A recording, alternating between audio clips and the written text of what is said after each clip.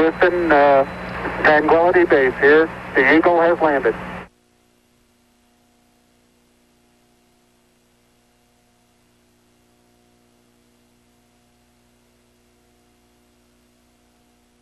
We choose to go to the moon.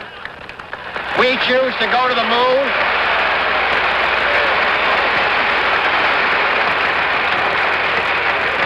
We choose to go to the moon in this decade and do the other things, not because they are easy, but because they are hard.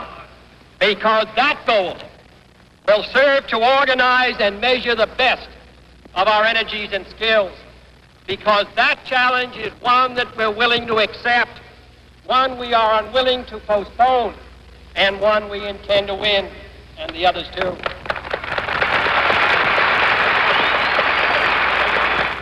ABC News presents Footsteps on the Moon, the flight of Apollo 11.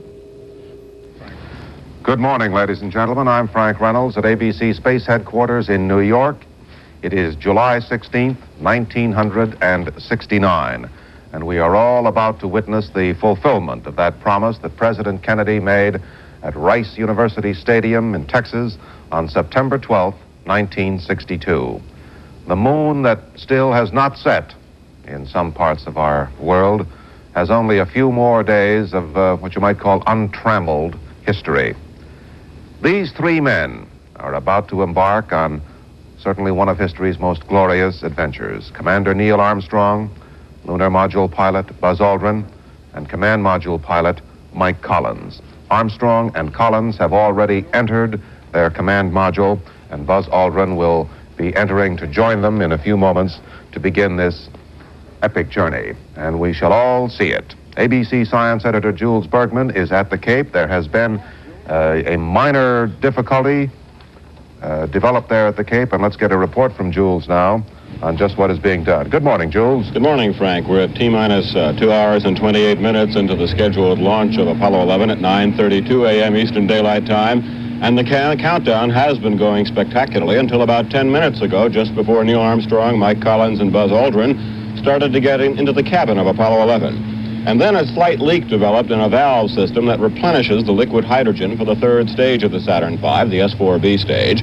The valve in question is not on the spacecraft itself, but on GSE or ground support equipment. It's the same valve, the very same valve, by the way, that leaked back on Apollo 10. Everything else here, Frank, is holding up very well. There's a forecast of clouds at 15,000 feet. As we look back to pad 39, right directly behind our ABC News space headquarters here at the Cape, you can see the clouds over the ocean. They haven't yet truly developed over the land area. And if it stays this way, everyone in the country and millions of people gathered around Central Florida will get a spectacular eyewitness view of Apollo 11 and the Saturn V lifting off. Uh, as it is now, there's a light layer of cirrus clouds at about 15 to 20,000 feet over the Cape.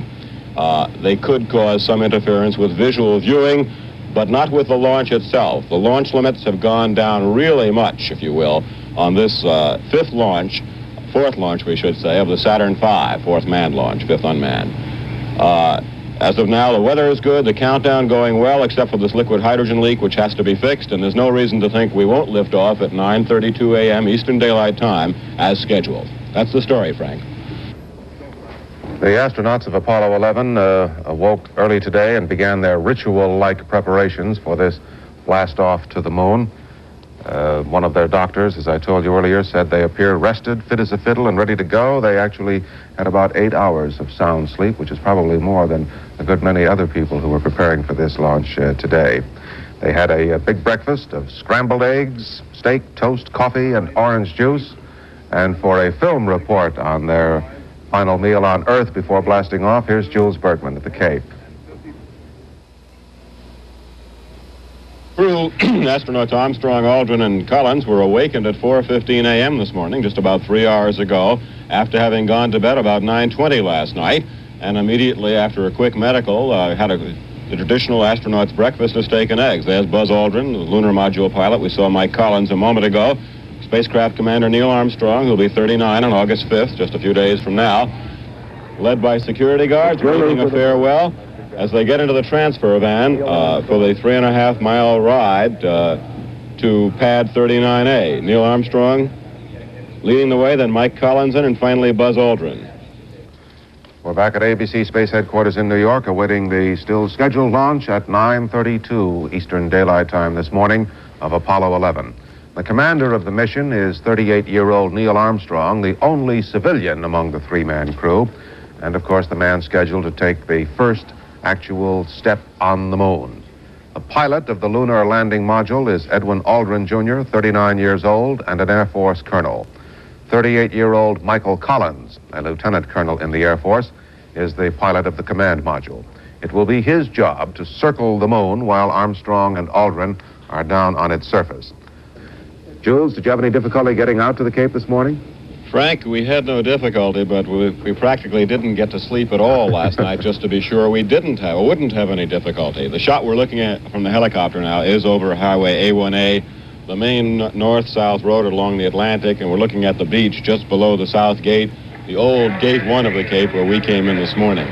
You know, the drama may be here at Pad 39 and on the moon this Sunday, that unforgettable drama, but it's somehow, for me, also on the roads around this spit of land which Spanish explorers 352 years ago landed on and called Canaveral for, for the fields of sugar cane. That's what Canaveral means in Spanish, cane fields. The fields of sugar cane they found growing here. We passed 10,000 odd cars, what we guesstimated, parked around the Gate 1 area at 4 a.m. when we got here, cars from every state, with little kids staring wide-eyed at the Saturn V glowing in the huge xenon spotlights 15 miles away. And we saw teenagers with telescopes. It was the very same road we came over eight long years ago, 21 manned space flights ago, when we came out at just about the same hour to cover Alan Shepard's 15-minute suborbital hop, America's first manned space flight. Americans cared then, I think, and they care now. And it was a very moving scene for me because, well, we were tired. They were tired. They'd been up all night. All those th thousands of people who we see now in daylight in those cars parked along the road that our live helicopter is uh, showing us Indeed, the helicopter pilot this morning, Bob Lockrow is his name, was the same man who used to fly us here with the very first film switches we did on flights and the very first live things. There's good luck, good luck Apollo 11 engraved in the sand. All going very smoothly here with the count. Among the distinguished visitors here this morning, uh, along with Vice President Spiro Agnew, is the former President Lyndon Johnson. There's our live picture from the VIP stands on the other side of the VAB. And and Launch Control Center. Behind uh, the former president is former NASA Administrator James Webb, sitting in the picture, uh, and many other dignitaries gathered there. Some 8,000 dignitaries in all invited by the space agency as guests uh, to be at this launch. And there's Mrs. Johnson being greeted with the former president.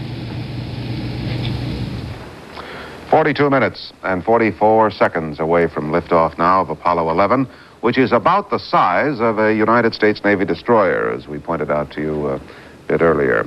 It stands higher than the Statue of Liberty, and it is the most sophisticated space vehicle in the world today.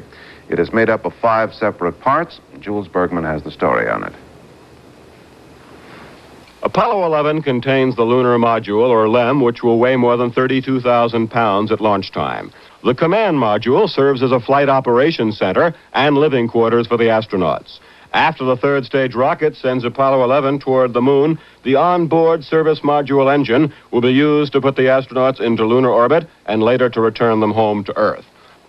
The total payload, nearly 100,000 pounds, rests on a Saturn V rocket. The first stage generates 7.5 million pounds of thrust at liftoff. The second stage will carry the Apollo spacecraft and astronauts to an altitude of 100 miles. And then the third stage breaks Apollo 11 out of Earth orbit and propels the astronauts toward the moon. And this is what Eagle, the lunar module uh, on Apollo 11, will look like after, uh, after its legs are, uh, its, its gear is put down after a translunar flight has begun and as it heads toward the moon.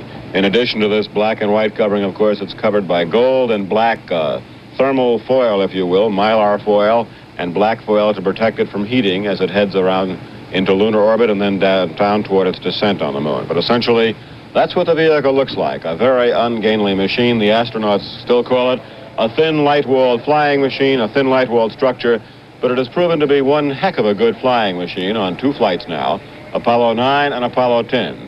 Launch Control is telling us now that uh, things are proceeding very smoothly with the fueling and with topping off the liquid oxygen in the S1C, the Saturn uh, main stage, all going very smoothly at uh, T-minus 40 minutes, and uh, we're lifting off at 9.32 a.m. Eastern Daylight Time as of now, everything proceeding very smoothly toward that pre-calculated liftoff time. Two minutes, 10 seconds, and counting. Target for the Apollo 11 astronauts, the moon at liftoff, will be at a distance of 218,096 miles away. We've just passed the two-minute mark in the countdown. T-minus one minute, 54 seconds, and counting. Our status board indicates that the oxidizer tanks in the second and third stages now have pressurized. We continue to build up pressure in all three stages uh, here at the last minute uh, to prepare it for liftoff. T-minus one minute, 35 seconds on the Apollo mission, the flight to land of the first men on the moon. All indications uh, coming in uh, to the control center at this time indicate we are go. One minute, 25 seconds and counting. Our status board indicates the third stage completely pressurized. 80 second mark has now been passed. We'll go on full internal power at the 50 second mark in the countdown. Guidance system goes on internal at 17 seconds, leading up to the ignition sequence at 8.9 seconds. We're approaching the 60 second mark on the Apollo 11 mission. T-minus 60 seconds and counting. We passed T-minus 60. 55 seconds and counting. Neil Armstrong just reported back it's been a real smooth countdown. We passed the 50-second mark. Power transfer is complete. We're on internal power with the launch vehicle at this time. 40 seconds away from the Apollo 11 liftoff. All the second stage tanks now pressurized. 35 seconds and counting. We are still go with Apollo 11. 30 seconds and counting. Astronauts report it feels good. T-minus 25 seconds. 20 seconds and counting. T-minus 15 seconds. Guidance is internal. 12, 11, 10, 9, Ignition sequence start. Six, five, four, three, two, one, zero. All engine running. Liftoff. We have a liftoff. 32 minutes past the hour. Liftoff on Apollo 11.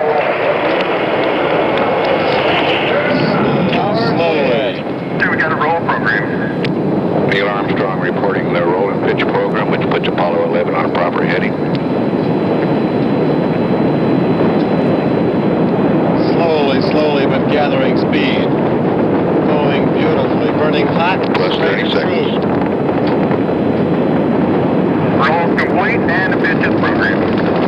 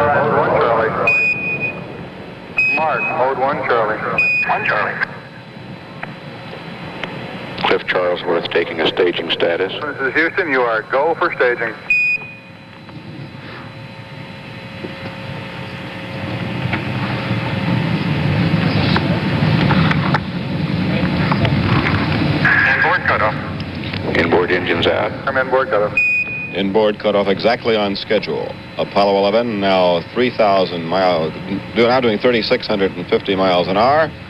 Eight Downrange 35 miles, 30 miles high. Standing by for the outboard engine cut down now.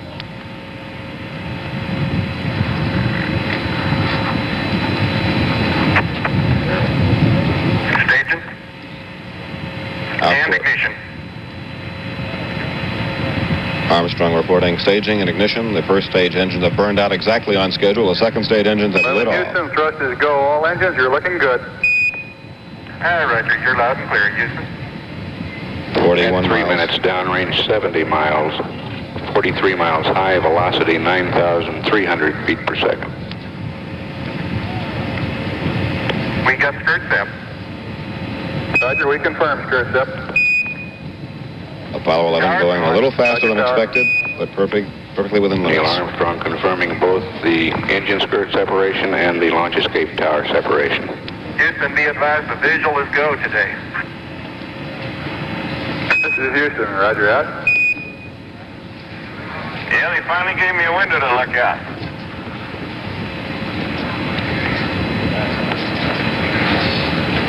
Eleven Houston, uh, your guidance is converged. You're looking good. Downrange 140 miles, altitude 62 miles, velocity 10,300 feet per second. Eleven Houston, you are go at four minutes. Roger.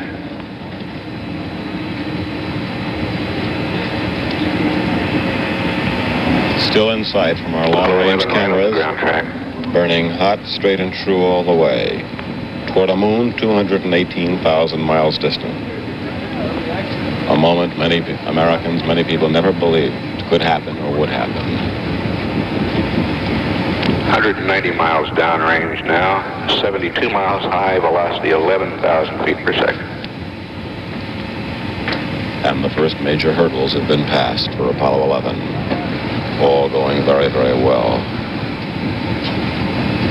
The first minutes of a 195 hour long flight ticking off almost without tension, almost like a regular airliner takeoff, but for the thunderous roar, the flame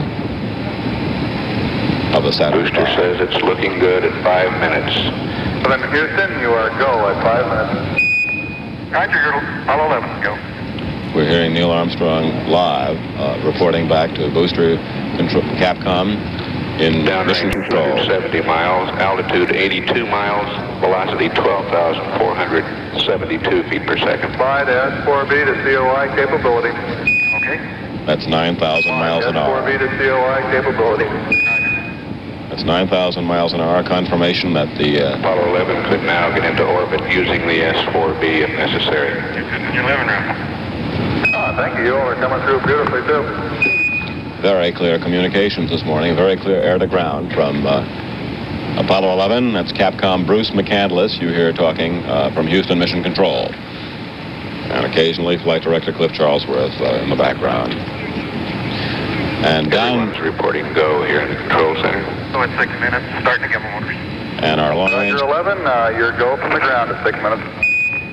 Our long-range cameras have lost the picture finally. We're at, our cameras are now at pad thir- 39, viewing that water deluge or dousing system we told you about. Hundreds of thousands of gallons of water, saving the pad from being all but uh, wiped out by the heat and the flame. The water still going, still keeping cool. Our animated view uh, now showing us what's happening up there at uh, 6 minutes and uh, 35 seconds into the flight of Apollo 11. Between the second stage and the third stage, the fuel uncovers uh, a sensor starting that sequence. We're coming up uh, almost to the point where uh, the second stage Predicting S2 rockets that will burn be out. Uncovered at 8 minutes 17 seconds with outboard engine cut off 9 minutes 11 seconds on the second stage. Apollo 11's go at seven minutes. 11, this is Houston. Roger, your go from the ground at seven minutes. Level sense arm at 8 plus 1 7. Outboard cut off at 9 plus 1 1. Roger. Very close to nominal Downrange figures. 530 miles, altitude 95 miles, velocity 17,358 feet per second. Apollo 11 has almost reached orbital velocity now. It'll require another minute of burn of the S2 second stage. President Johnson uh, in the VIP stands with Lady Bird Johnson, obviously relaxed, happy at the way the launch went, and Vice President Agnew next to the president. 7 minutes, 41 seconds. Roger, we confirm. Inboard engines are out on the second stage as planned. Inboard engine burnout exactly on schedule at 7 minutes 40 seconds.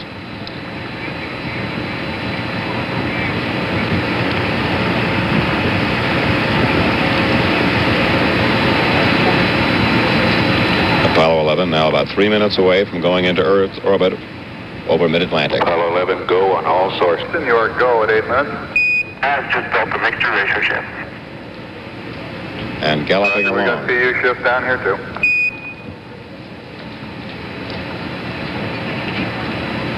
Apollo 11 galloping along now at more than 12,500 miles an hour. United States Board, these thunderstorms downrange is about all.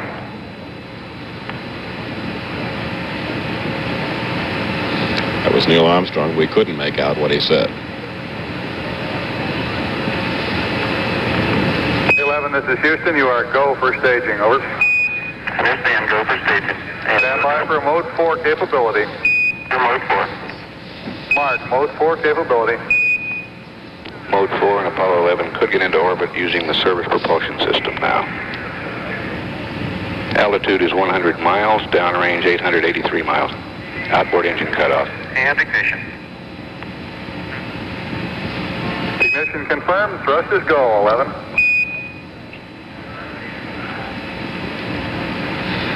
And we have a good third stage now.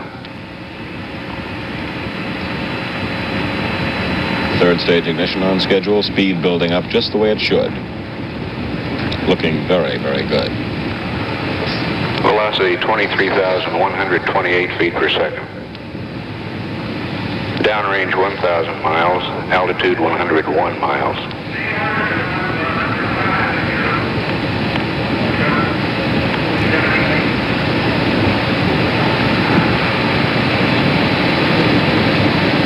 Apollo 11, this is Houston. At 10 minutes, you are go. And Roger, 11, go. Capcom Bruce McCandless giving the reports here from the control center. A relaxed Neil Armstrong saying, ah, Roger, we're go. Apollo 11, this is Houston. Predicted cutoff at 1-1 plus 4-2. Over. 1142, Roger.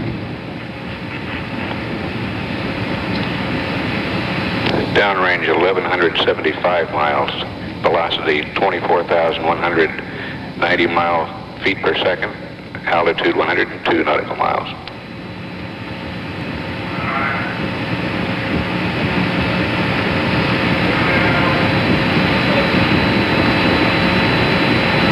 Apollo 11 still go on all sources. Apollo 11, this is Houston. You are go at 11. And ticking away the last few seconds.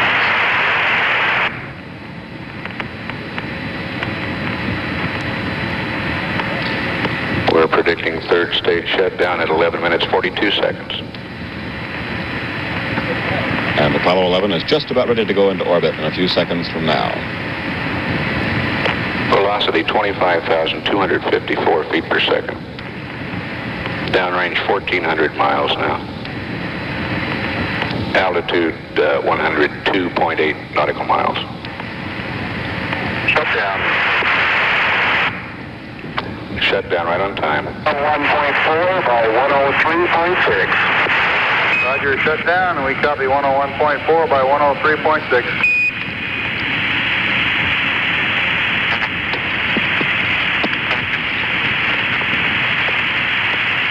And Apollo 11 is in orbit. Scratchy uh, Apollo 11, this is Houston. You are confirmed to go for orbit. When the third stage is fired, the astronauts will then be inserted into an Earth parking orbit. the guidance system has already computed the trajectory needed to intercept the moon. The confirmation of that trajectory or course will be relayed by Houston to the astronauts. Two hours and 40 minutes after launch over the Pacific, the third stage engine will be restarted, and when an escape velocity of nearly 25,000 miles per hour is reached, Apollo 11 will be injected into a translunar trajectory. Soon after, the panels of the spacecraft's lunar module adapter are jettisoned. The Apollo Command and Service Module then separates from the booster. The astronauts start the docking maneuver, rotating Apollo 180 degrees and then, using their small thruster rockets, dock with the LEM. The third stage will be jettisoned when the docking maneuver is completed about two hours after translunar injection. The astronauts, using star sightings backed up by mission control, guidance radar, and computers, then work up the data to make mid-course corrections and set their course to intercept the moon three days later. Depending on how accurate the rocket engine burns to get away from Earth, none or as many as three mid-course corrections may be needed. Apollo's speed decreases from 25,000 to less than 4,000 miles per hour en route. Then, near the moon, as lunar gravity begins to exert its influence, the speed of the spacecraft increases up to 6,000 miles per hour. Apollo 11 is in a free return trajectory, which will carry it around the moon and back to Earth for recovery if problems have developed. But if all has gone well, Apollo 11's onboard service module engine will be fired and the spacecraft will be placed into lunar orbit. Because of the danger of mechanical failure, all of the systems can be overridden by the astronauts if the automatic systems aren't working perfectly. 81 hours into the flight, Armstrong and Aldrin transfer into the lunar module for the second time, completing their checkout of the lunar landing spacecraft. They remove the docking probe and drogue from the tunnel connecting the command and lunar modules and equalize the pressure in both vehicles. The lunar module pilot then floats through the docking tunnel overhead and into the LEM. One of the first tasks for the lunar module pilot is to activate the LEM's environmental control system and to change his suit connections to the LEM's umbilicals. Now, today, today the moon is the target, and we're going to get the word on that TLI burn coming up in just a moment now from Mission Control. And we're now 14 seconds away from TLI burn. Mission Control is counting down. There's ignition. There's the word from Mission Control. Ignition over the South Pacific for the translunar insertion burn. We confirm ignition and the thrust is go. Thrust is built up to get them headed up to uh, escape velocity speed of 25,000 miles an hour. The burn took place over the southwestern Pacific two hours and uh, 24 minutes into the flight of Apollo 11. Guidance looking good. Let's go to mission control now for the talk down to the separation maneuver. This we copy. Capcom McCandless saying he copied, but we very faint transmission. Let's see if we can pick it up now. We can confirm the separation here on the ground. Separation confirmed.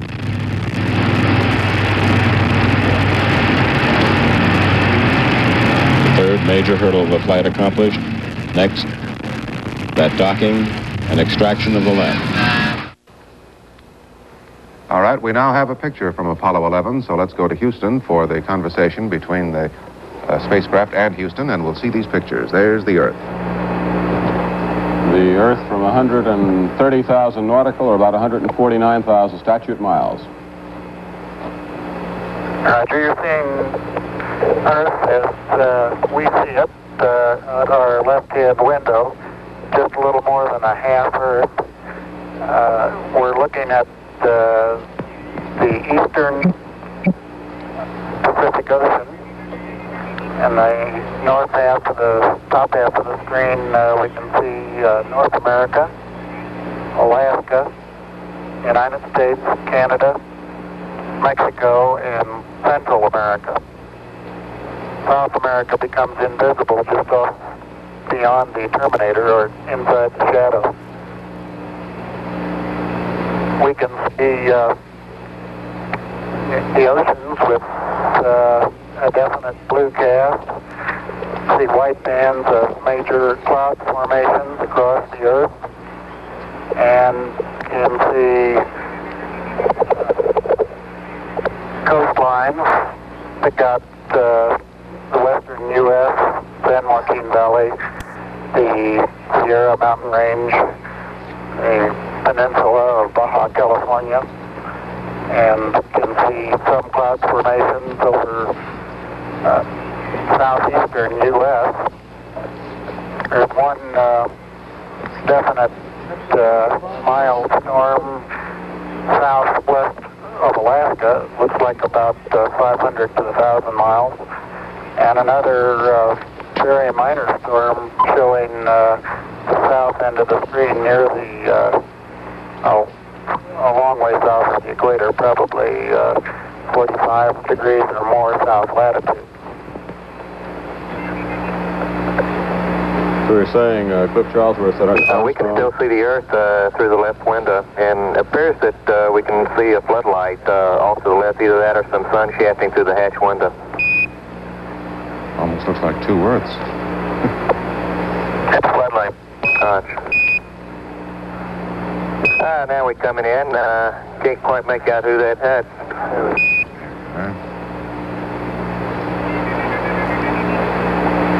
It's Big Mike Collins there. Well, you got a little bit of. Yeah, hello there, Split fans. You got a little bit of me, plus Neil's in the center couch, and Buzz is doing the camera work this time. Uh, Roger, uh, it's uh, a little dark uh, now, 11. Uh, maybe a, a bigger f-stop might help. Yeah, that didn't work.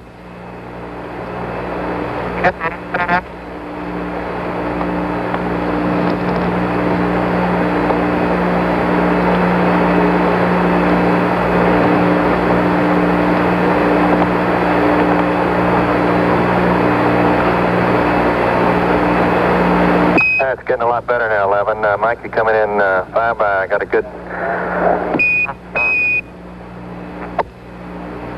Well, I put on a coat and tie if I'd known about this ahead of time. Is uh, Buzz holding your cue cards for you over?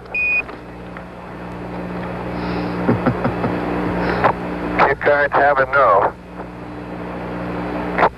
We have.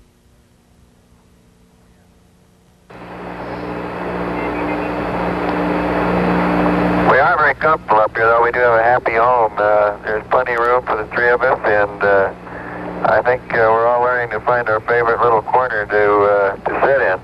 The zero G is very comfortable, but uh, after a while, you get to the point where you sort of get tired of rattling around and banging off the ceiling and the floor and the side, so you uh, you tend to find a little corner somewhere put your knees up or something like that to wedge yourself in, and that seems more at home. Uh, Roger, it looks like uh, Neil is coming in 5 by there. Uh, 11, uh, Mike, see you in the background. Uh, the, the definition is uh, really outstanding.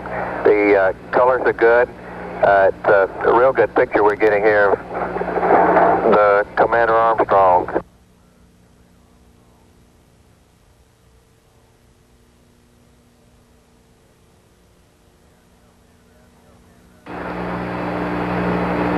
Yeah, Neil's standing on his head again. He's trying to make me nervous. Uh, Roger.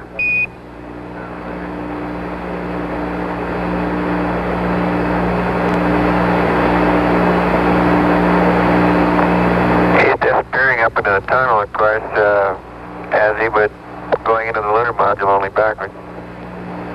Uh, Roger, we can see portions of the LAP now, the systems test meter panel uh, in the lower part of the picture, Oh, we did have it anyway. Okay, and then directly behind his head are our optical instruments, the sextant and the telescope that we use to take uh, sightings with. Uh, Roger, copy, and we see the DSKY flashing with a 651. Like we can read registers 1 and 2 quite clearly. That's the computer Yeah, the old keyboard gain uh, angles telling us which way the Earth is. All right, read the Uh, numbers. copy. That's a beautiful picture. Clarity is outstanding.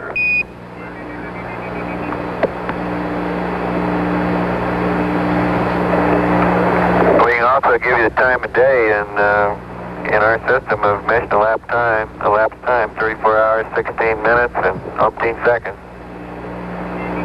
Can you see that uh, clearly enough, Charlie? Uh, Roger, Apollo 11. We can see it counting up every uh, every second. Uh, we got 341702 now.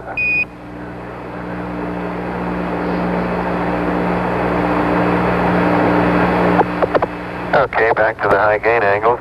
Uh, roger. Swing amp. Now we've amputated those. It's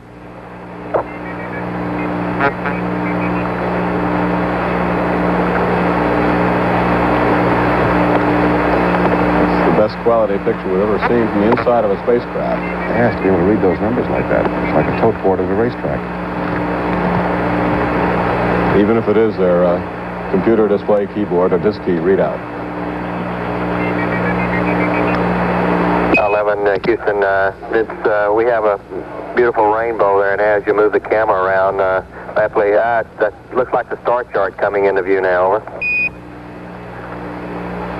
Yeah, those are Buzz's two star charts that he uh, is using right now as sunshades over the uh, right-hand window, window number five. Uh, Roger, we see the sun shining in through it behind him and uh, plotting out the uh, uh, equatorial, uh, correction, the ecliptic plane and uh, the stars that you're using for the navigation. You're right. He doesn't really need the charts. He's got them memorized. It's just for show. we copy. Well, we're uh, pointing up in this direction, we see out our side windows the sun going by, and of course out one of our windows right now we've got the Earth. Now right behind my window, of we have the sun, because the sun is illuminating the uh, star chart that we see.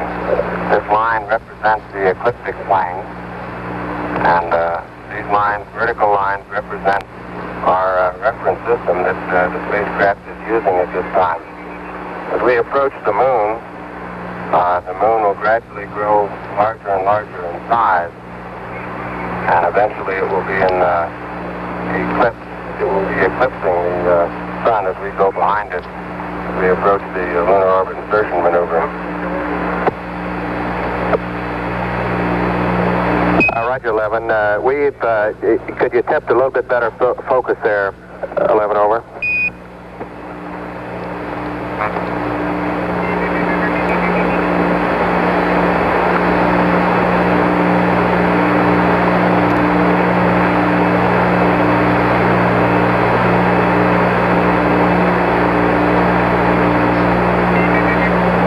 Like Mike Collins is moving the camera around the inside of the spacecraft again, back to Buzz Aldrin's star charts.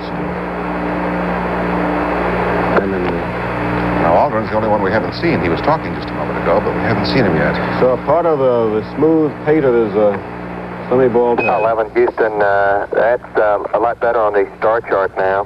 We can uh, make out the ecliptic plane and the uh, the planets and the the sun and the moon as it uh, as they're drawn at various places uh, throughout the ecliptic plane. Over. Okay, Charlie.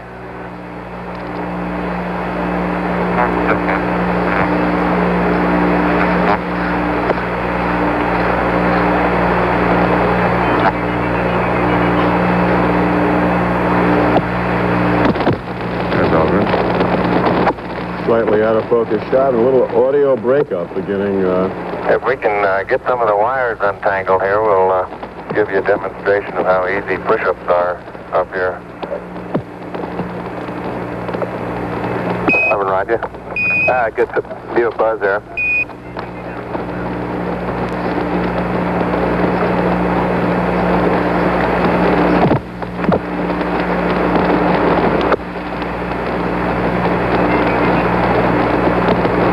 and one of, one of the reasons these pictures are such good quality is they're using a small floodlight inside the cabin to help illuminate their faces and the instruments.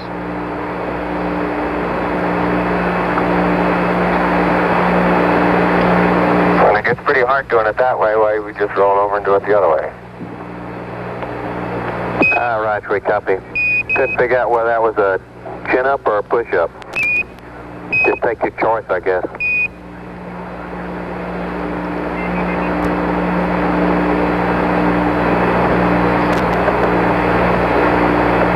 It's Buzz Aldrin going through a complete roll now in weightlessness.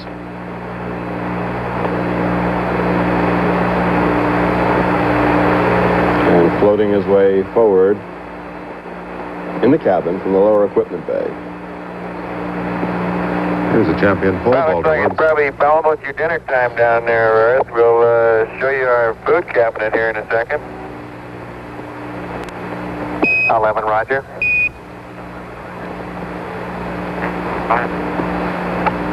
You know, Frank, in weightlessness, even I could be a champion acrobat. It doesn't take a Buzz Aldrin.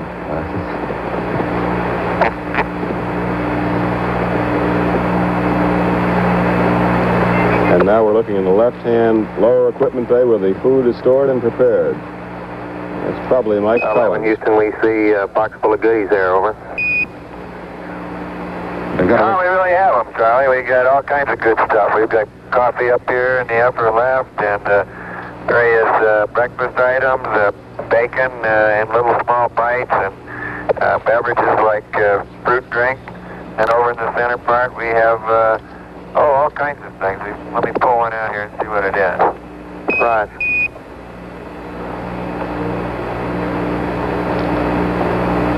Would you believe you're looking at uh, chicken stew here? All you have to do is three ounces of hot water for five or ten minutes. Now we get our our hot water out of a little spigot up here with a uh, a filter on it that that filters any gases that may be in the drinking water out, and uh, we just stick the uh, the end of this little tube in the end of the spigot and uh, pull the trigger three times for three ounces of hot water and then mush it up and uh, slice the end off it. There you go. Beautiful chicken stew.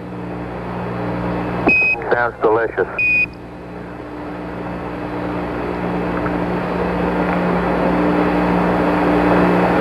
And that's their little emergency Yeah, flashlight. the food so far has been very good. Uh, we couldn't be happier with it. Roger. that flashlight a second? The surgeons are saying thank you there for that. And uh, it is sort of down in a dark corner, so uh, we have a flashlight here to, to help us uh, see things. And uh, if I can let go of it carefully, it'll uh, just hold itself right where it is. Ah, Roger. As long to disturb it, will.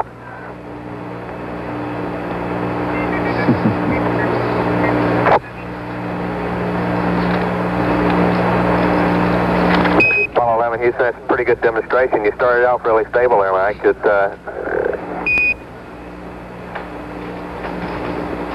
Well, the problem is no, no matter how carefully you let go, uh, you bump it just a tiny little bit, set it in motion, and uh, once in motion, there she goes. Try that again. Uh, it looks uh, fairly stable now with slow rotation.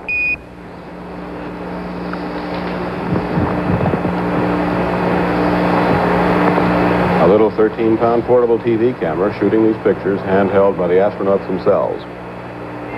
Now more than 130,000 miles out in space.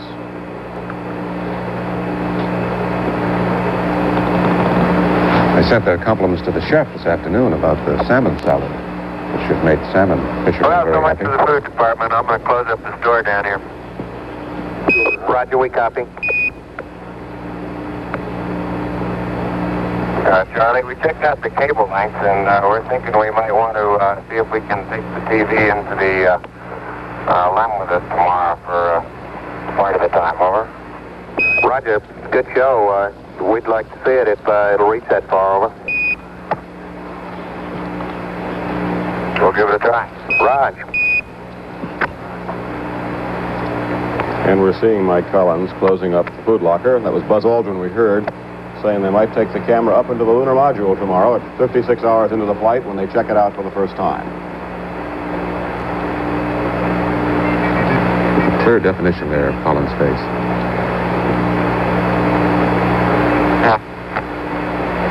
Camera has been clamped on using some small hand clamps they use for their still picture cameras and motion picture cameras. Now, where I sleep is down underneath this couch. Houston, Roger. And Mike Collins is apparently about to show us a demonstration of his sleep station. Slowly sinking into the sack there.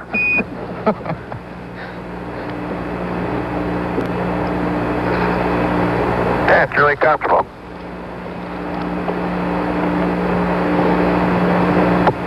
Good morning.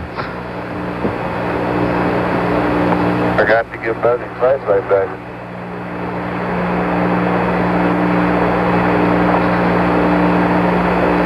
They carry some seven of those little emergency flashlights, Frank, which are really meant as survival flashlights in case they come down on the water and are stranded at sea at night. But they end up using them for everything. Well, the one question that is raised most often, over and over again, talk about redundancy, is why go to the moon? Well, for scientists, of course, the answer is obvious. They feel that the unexplored moon, thus far unexplored, will tell us many things about our Earth that we cannot find out by studying the Earth itself. In making it a comfortable place to live here, we have more or less wiped out its early history. One of our guests throughout our Apollo 11 coverage, we've already heard from him today, is Dr. Robert Jastrow, who is director of the Goddard Institute for Space Studies at uh, Columbia University. We put the question to Dr. Goddard why go to the moon? The moon is a poor piece of real estate, but and probably lifeless. But for precisely that reason, it is scientifically invaluable. We would like to know what conditions were on the Earth in the first billion years of its history, about three and a half billion years ago, when life appeared on this planet according to the fossil record. We'd like to know how the solar system was formed and how the Earth itself was formed. These are things that we would like to know in order to understand whether we are probably unique in our human experience in this part of the world or this part of the universe, or uh, whether what we are experiencing on our planet has been gone through many times in many places. Now, unfortunately, this early history of the Earth has been wiped out by the very factors on our planet that make it such a comfortable place to live in. We have running water, and we have winds, atmosphere. They erode all of the record of our past. We have mountain building, which creates the beautiful continents, but it also wears out and turns over and churns around the record or the rocks that were laid down here when the Earth was a young planet. The very life that we have has removed the traces of its own origins. On the moon, however, which we think is probably lifeless, there's no atmosphere, there's no running water at the present time, and we think that the record of its past is infinitely better preserved than it is on the Earth. Just looking at a picture of the moon such as this one shows you countless craters, the scars of meteorite impacts that have occurred throughout the moon's history. Uh, there are 100,000 of them or so visible in a telescope on the front face of the moon alone. Now, these craters, which were probably formed by meteorite impacts, have also, uh, or must also, have occurred on the Earth. The same bombardment by meteorites must have occurred. Uh, there, there are, however, very few remains of those craters left. One of the few remaining is the Arizona crater, uh, a crater 4,000 feet across that you can see uh, when you fly, let's say, from New York to Los Angeles in a jet. Uh, this is one of 20 or so craters that are still visible on the face of the Earth. The other hundreds of thousands or millions have been worn away and turned over and buried. Because of the fact that these craters still remain on the moon, but are gone from the Earth, we are pretty confident that the moon's surface goes back farther than the surface of the Earth. Uh, just as a digression, by the way, uh, I'd like to mention that there was a big dispute among uh, scientists until recently over whether the craters on the moon were volcanic or meteorite impact. I think most people believe that while some of these craters are volcanoes, the majority of them are meteorite impacts. And the reason they believe that can be demonstrated in the studio. A, uh, when a meteorite comes into the surface of the moon, it has so high a speed that its energy per pound is five or ten times that of TNT. It drills a clean hole in the surface of the moon and uh, buries itself underground, driving a plug of moon rock ahead of it at such a great rate that the, pl the plug of rock is compressed and heated to a gas, a vaporized rock gas. When the meteorite comes to rest, then uh, this plug of hot gas explodes, ejecting all the material above it and forming a crater, something like a bomb crater. Bomb craters have exactly the same size and shape as, of, as most uh, meteorite, most craters on the moon, and we think, therefore, that moon craters are bomb craters. I can't explode a bomb in the studio, but I have buried a firecracker in a uh, bin of sand to uh, produce a, a small crater of the kind you can see in surveyor photographs of the moon, and a crater which in minuscule form has the dimensions, the scaling, and the shape of, um, of lunar craters and bomb craters on the Earth. That was very satisfactory because it shows not only the characteristic conical shape of, of uh, many lunar craters, but it even shows uh, the lip that forms around them and uh, the bits of debris, in this case they're chunks of flour, uh, that litter the field, and it shows these rays, these radiating lines of light material by which uh, scientists always are able to recognize freshly formed new craters on the moon. In particular, uh, this little explosion crater looks just like large bomb craters and like most lunar craters. So I think there's no doubt what the origin of lunar craters, of many of them at least, is. That doesn't uh, exclude the fact that some craters are volcanic, but that's another story, that's a, another matter. Now, there's a very interesting uh, consequence of the, of the, fact that many craters on the moon are explosion craters formed by meteorites. Uh, I have a picture of a 500-foot crater uh, uh in the, uh, which happens to be in the ocean of storms on the west limb of the moon. It's actually in the mouth of the face of the man in the moon when you look at him in the sky. And you see in this crater a uh, littering of the field, of the ocean surface around it, with chunks of rock, some of them 10, some of them 20, 30 feet in diameter. Um, the significance is that when we land on the moon, in each of our landings, although the exploration or the region explored is quite small, perhaps the size of a garden plot uh, in the first landings, we will probably find on that uh, uh, garden plot a, an accumulation of debris, as shown in the next photograph, the Surveyor photograph, taken of a region on the moon similar to the regions in which the landings are, take, are occurring. Uh, a, we will find an accumulation of debris, as you see in this picture of the moon surface, uh, representing rocks hurled out of craters all over the moon, rocks from all ages of the moon's past, all depths, all places uh, an excellent sample of the whole moon acquired from the exploration of one uh, small territory. At least we uh, will be finding these things, this variety, if, if we're lucky.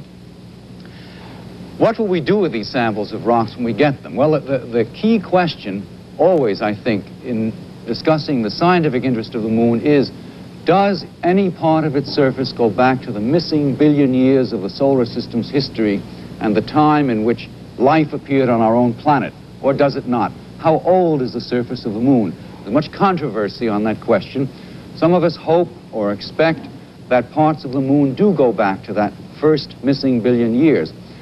And uh, partly with this motivation, among the experiments performed on the lunar rocks as soon as they are let out of quarantine in Houston, the single largest block, about 30 or 40 experimental groups here and abroad, will be concerned with dating these rocks.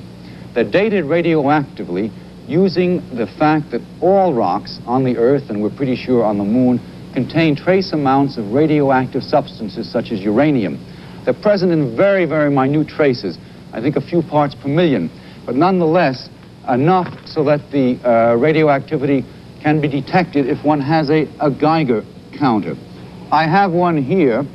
It's connected to a um, to a, an amplifier and a microphone so that it gives a visible click every time it's triggered by the passage of a, an energetic particle through it. You can hear it click once in a while as I speak because a cosmic ray has passed through it. I also have a piece of rock which contains not invisible amounts, but in an invisibly small amount, some radioactive uranium. And as I bring this rock up to the Geiger counter, the proof of the existence of that radioactivity in the rock is, is, is in the fact that an absolute cascade of counts comes out of the counter, almost drowning my voice.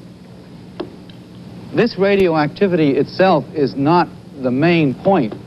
It uh, is not the means used to date the rocks uh, directly. Uh, that's done in the following way. That whenever a radioactive uh, uranium atom decays, emitting one of the particles that we just heard being audibly uh, detected by the counter, uh, it is transformed into a new nucleus and eventually winds up as lead. If the rock is very old, most of the uranium in it has been converted to lead.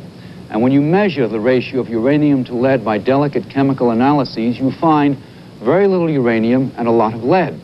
If the rock is young, very little of the uranium has been converted, and when you measure this ratio, you find mostly uranium and, and very little lead.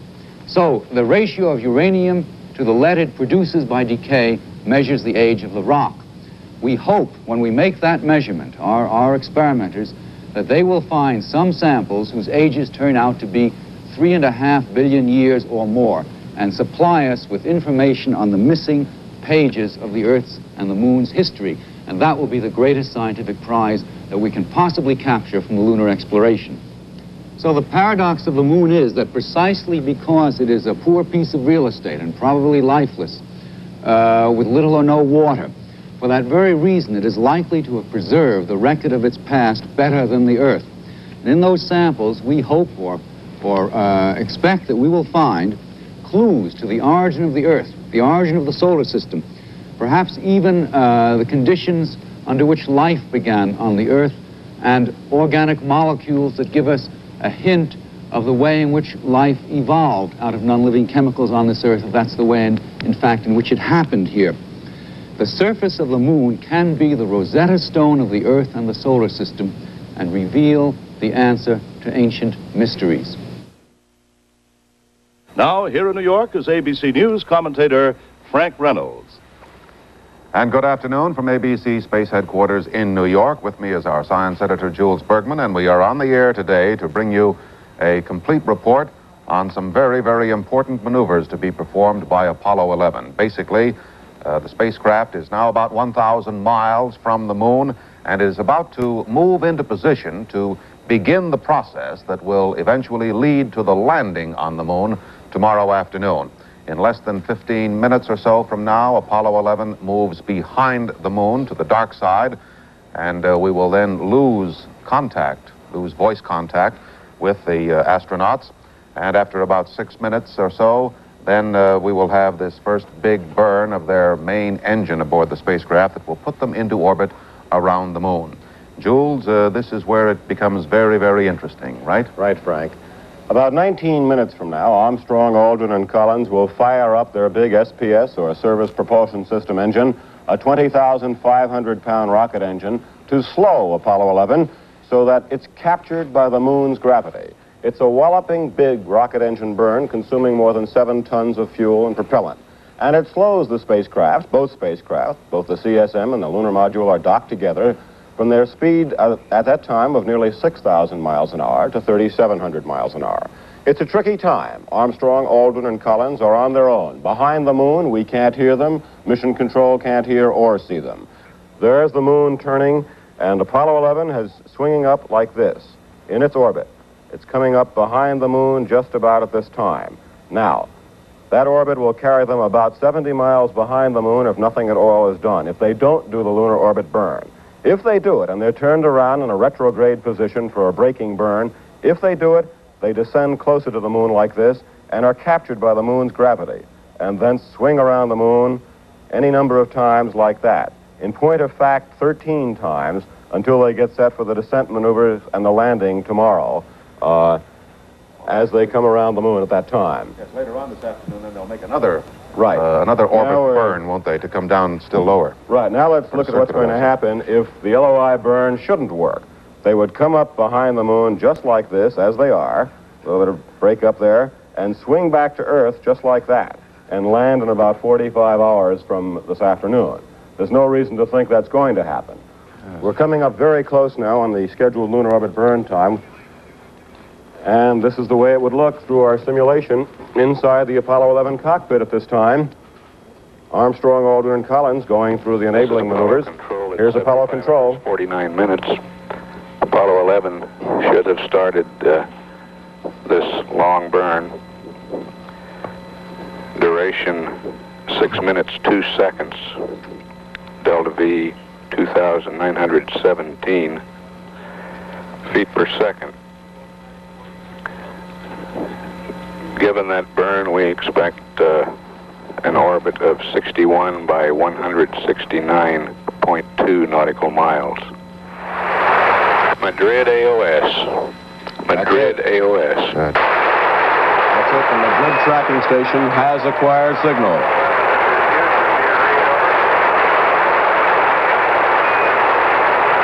And we're hearing Armstrong very faintly in the background, too faintly to Understand.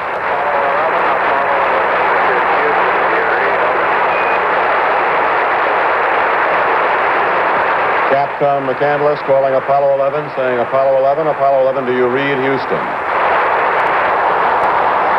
We are reading you weakly. Go ahead. That's Bruce McCandless calling.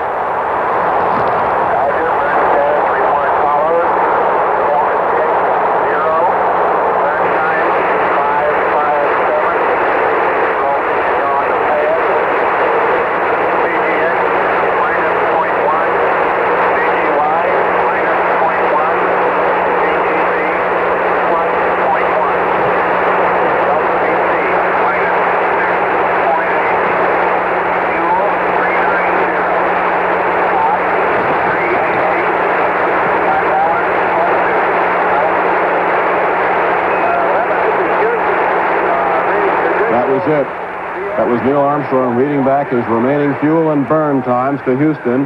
Very scratchy radio communication. The antennas still aren't set, but Armstrong and his crew are obviously in good shape. The LOI burn went perfectly.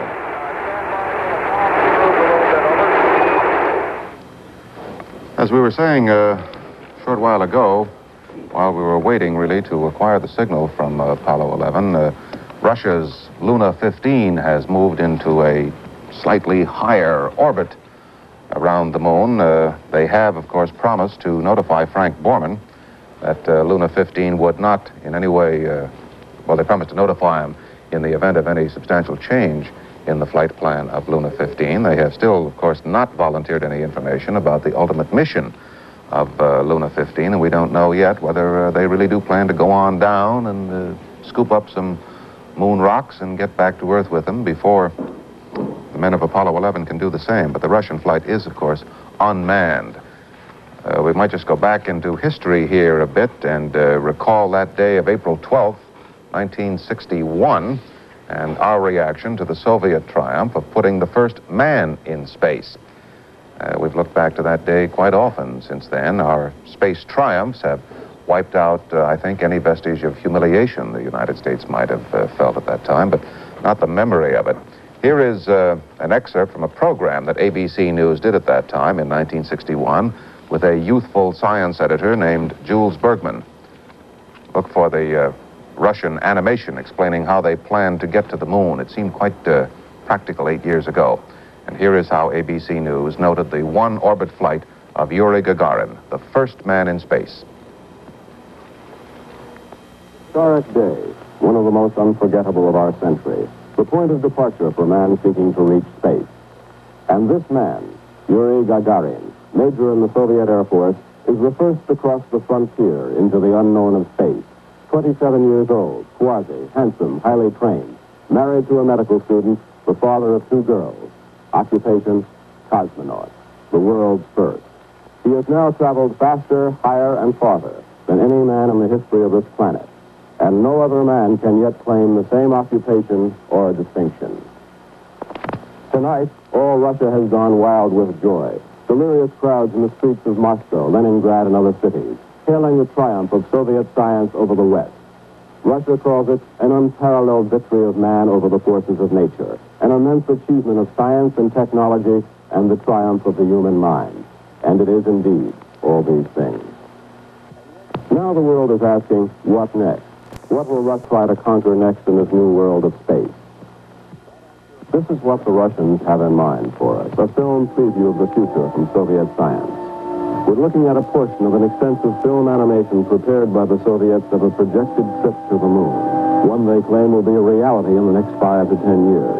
At the beginning of such a flight, a spaceship propels a multi-stage rocket. As the speed increases, the rocket breaks away, and then various other stages of the rocket also fall away. After a time, it is traveling by inertia alone with no further energy required. Powerful radar stations keep the rocket within the grasp of its radio signals. And automatically operated instruments on the ground send radio impulses back to the rocket from the Earth. And they're received by ground stations. This station guides the rocket with the help of machines to count the electronic impulses. The rocket races forward along an orbit that has been calculated months in advance. But at a command from the Earth, it can launch into another orbit. When a rocket has traveled beyond the Earth's gravity, it can head toward its goal, the gravitational field of the moon. Now a refueling rocket sets out from the Earth, and now a rocket is headed into the moon. When it reaches the moon, a laboratory and tank treads will launch out to explore the moon. The Soviet scientists who designed this project describe it as fully possible.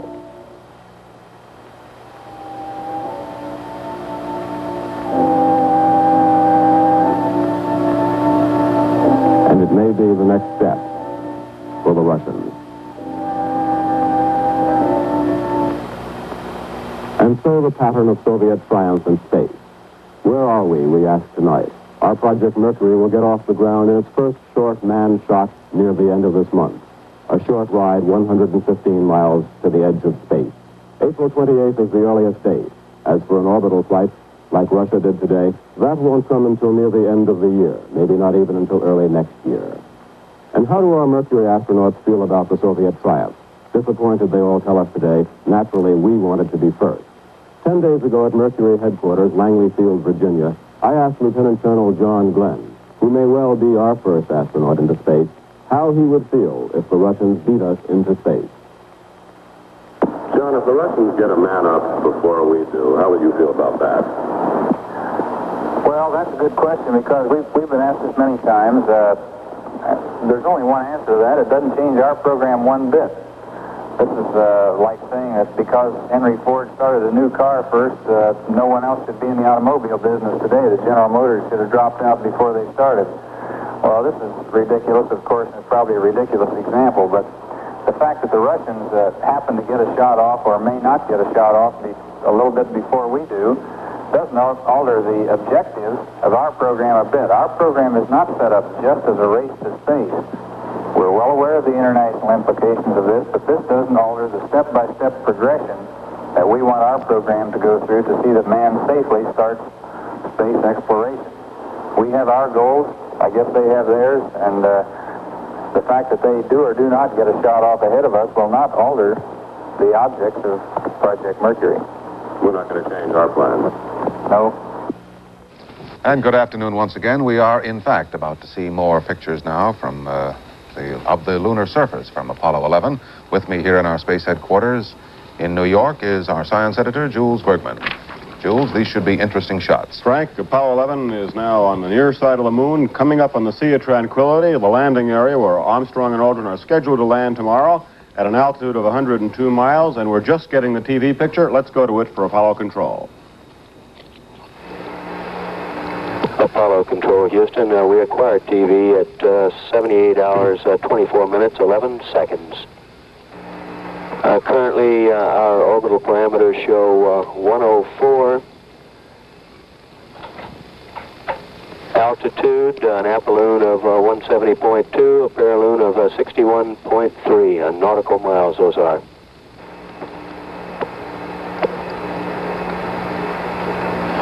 Uh, 11, this is Houston. Uh, would you care to comment on some of these craters as we go by?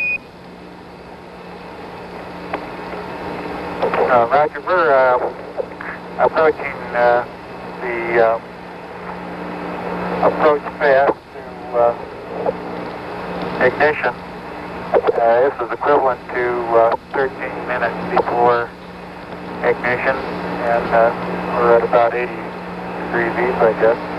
83 degrees east. Would that correspond to location you're holding in uh, time? Uh, Roger, we're showing your present position is about uh, 77, 76 degrees east, uh, looking back towards the east.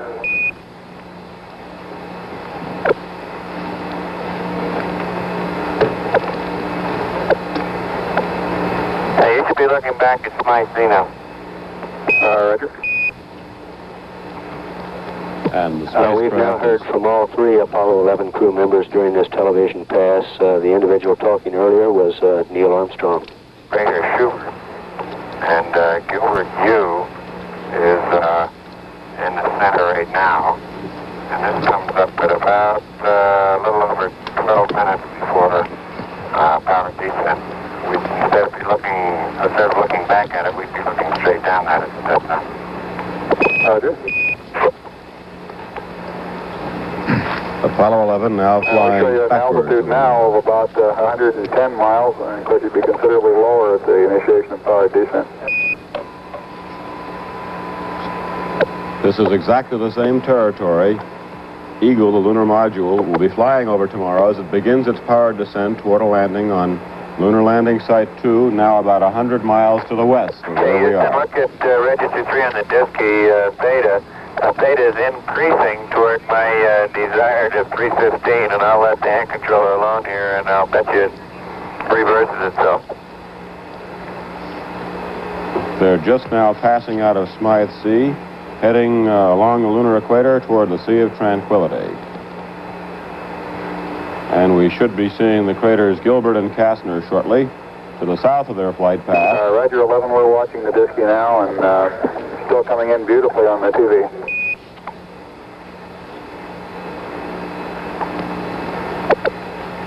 The spacecraft faced around backwards, There's looking uh, back. right side of the screen at the present time. There's a triple crater with uh, with a uh, small crater uh, between the first and second, and the one at the bottom of the screen is uh, Schubert Y.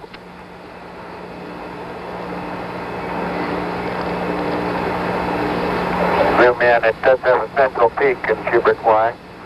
Actually, several of them, and uh, you can observe those. Plus the uh, rim craters uh, at the bottom of your screen. Uh, Roger, we're seeing the central peak quite clearly now.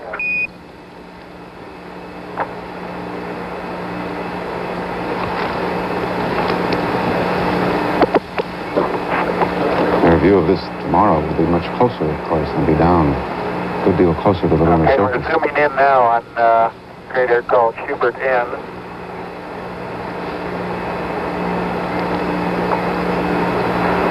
Schubert N, uh, very conical inside walls, and uh, the bottom appears to be nearly flat. Look at data on the disk. It's stabilized and uh, is holding steady now. Roger. Looking out the window, I can see uh, a number of small craters on the bottom of uh, Schubert N.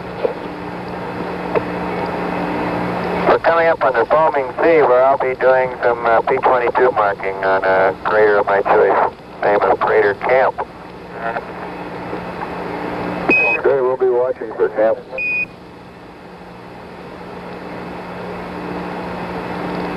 And notice register 3 has reversed itself and is heading back the other way now without any uh, pitch thruster firing. Uh, Roger, Mike, uh, we confirm that uh, you've changed the direction of your uh, pitch rate.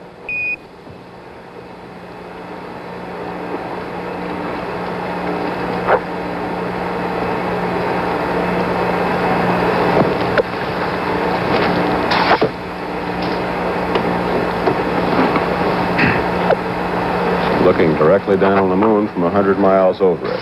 As they move out of Smythe Sea into the foaming sea on their way toward the Sea of Tranquility. Generally speaking, the uh, tendency seems to be to pull the limb down toward uh, uh, the center of the moon as in a gravity gradient experiment. Uh, Roger 11, we copy. It may have and- something to do with mascons, or it may, Uh, Roger, we've gotten... uh, it may have something to do with mascons, or it may just be the peculiarity of the DSKY display. Okay, we've observed the behavior of your DSKY, and I think we've got the data here to work on it. Uh, let us grind around a little while on it, and we'll report back to you uh, uh, probably in a rev or two. Okay, well, in the meantime, I'm going to pitch down uh, toward 315. Roger. That's uh, Mike Collins, who's flying in the left-hand seat. Spacecraft Commander Neil Armstrong's ordinary seat. three craters, three horizontal craters that uh, you now have in the field of view are uh, immediately underneath the ground track. The right hand and the largest crater that you see is uh, P. It's Armstrong. Uh, Roger, we can concur on the identification of the crater. Arago B. the crater Neil Armstrong has identified.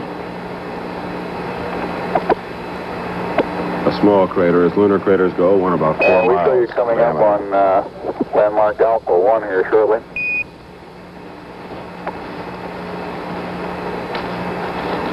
Roger, uh, Mike having his first look at Alpha 1 at the present time.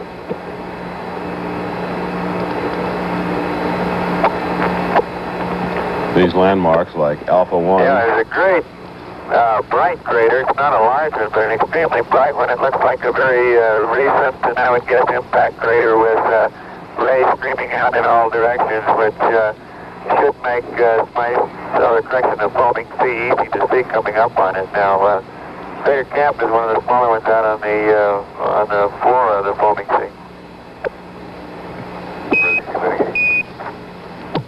Uh, we've been some 17 minutes now into this television pass, uh, standing by, continuing to monitor.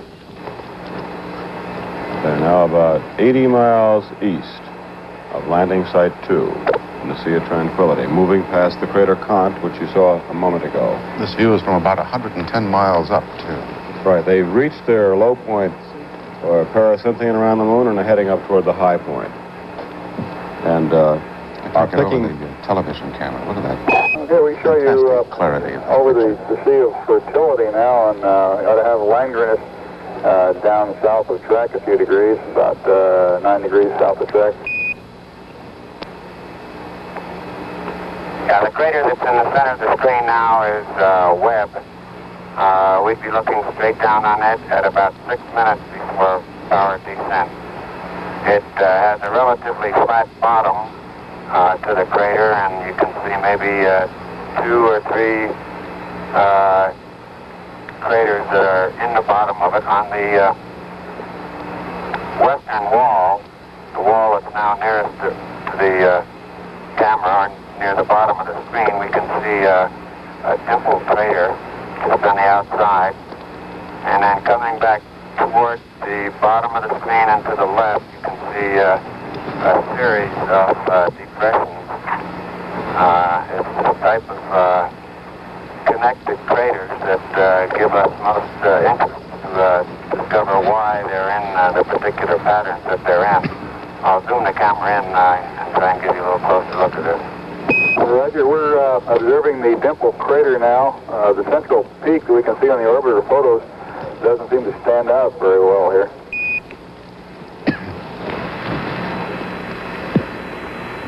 Well, they're not central peaks. They're uh, depressions in the center. Roger. And you'll notice on the uh, pitch structure activity, I still I put in uh, oh, a dozen uh, minimum impulses and pitch down, uh, and I'm still far from correcting back to 315. We're moving the camera over to the uh, right window now to give you uh, Langrenus. It's, uh, it's uh, several central peaks, and uh, Roger, uh, we got Langrenus in our screen now. And Langrenus is an enormous crater about 160 miles south of their flight path, a crater about 85 miles in diameter. And that's Collins and Armstrong zooming in the camera for a close-up view of it.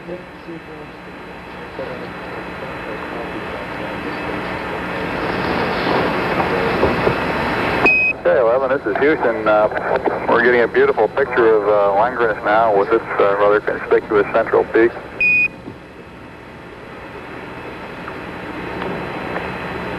Moving along into the Sea of Sea of Fertility. fertility doesn't look very fertile to me. I don't know who named it. well, it may have been named by uh, a gentleman whom this crater was named after, Langrenus. Langrenus was a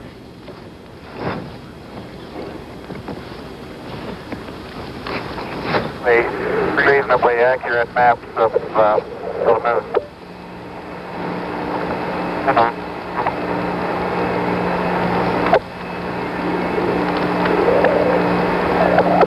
Roger, that's uh, very interesting. I'll have to sounds better for our purposes than the Sea of Crises. Amen to that. okay, it looks like you're coming inside now on the camera.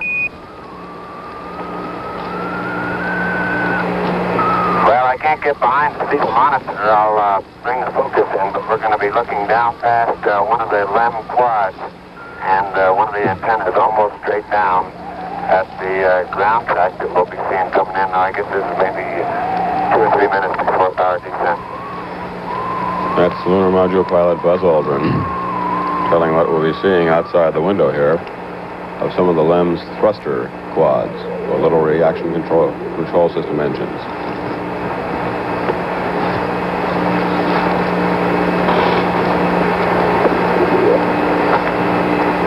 All right, that should put the uh, LEM structure about in focus. I'm going to uh, move it out to infinity and then uh, expand the field of view.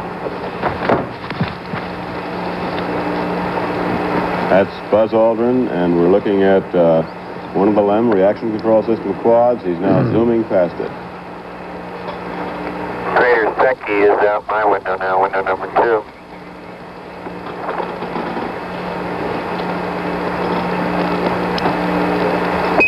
South Apollo 11, this is Houston. Uh, we uh, show you coming up on the Terminator at uh, 78.53, about seven minutes from now.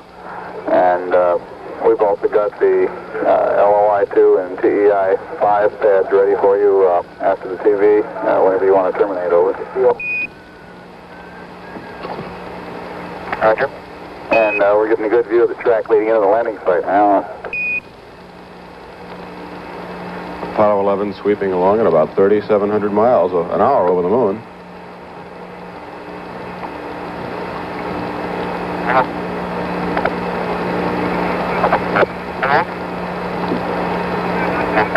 How far are they from the landing site now? Okay, it looks like uh, we had Secchi K go by about uh, 10 seconds ago, coming up on Apollo Ridge.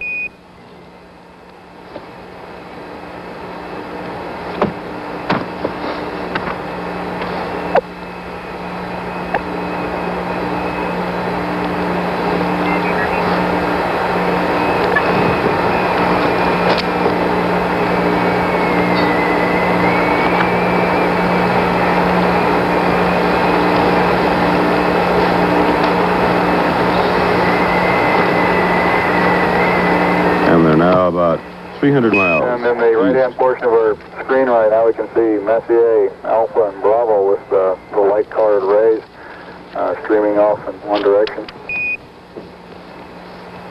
Capcom Bruce McCandless saying what Apollo Control sees from the same TV picture we're all looking at.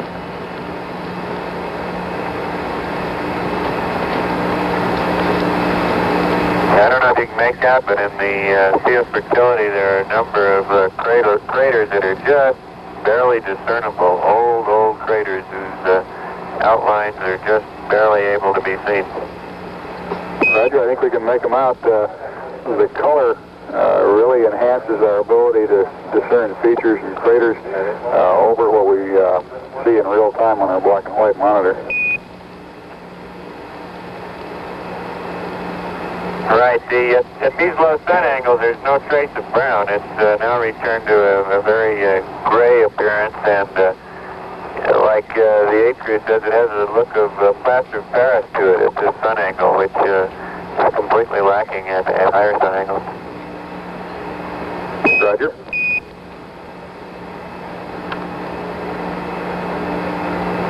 We're now some 25 minutes into our television pass.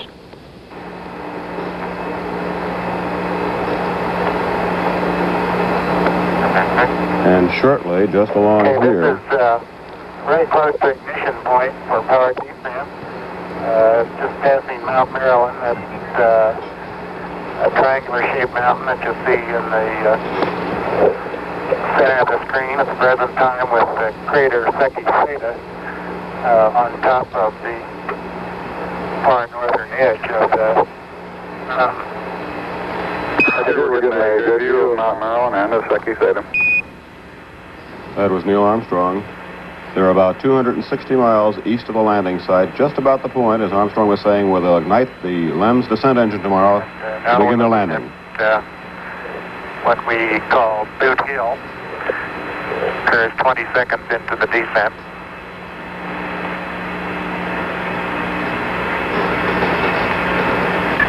And it's easy to see what's on Armstrong's mind.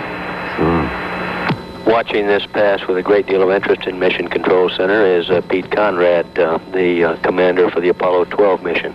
Right edge of the screen. Censorinus T.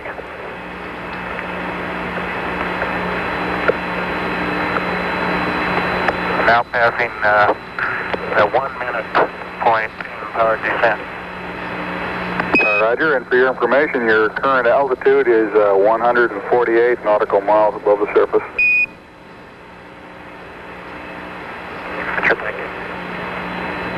The clustered Censorinus craters. I'm unable to uh, determine altitude at all looking out the window. I couldn't tell whether we're down at 60 or up at 170.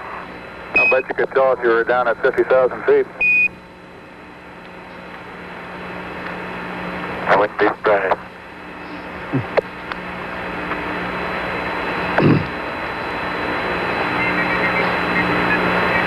The clustered Censorinus craters will be hearing more of tomorrow right along their flight path as they do the power descent burn. Some uh, steep ridges here, uh, the edges of old craters that uh, were photographed by Apollo 10, and uh, those the crew of Apollo 10 was very impressed with the steepness of these ridges when they came over them at about 50,000 feet.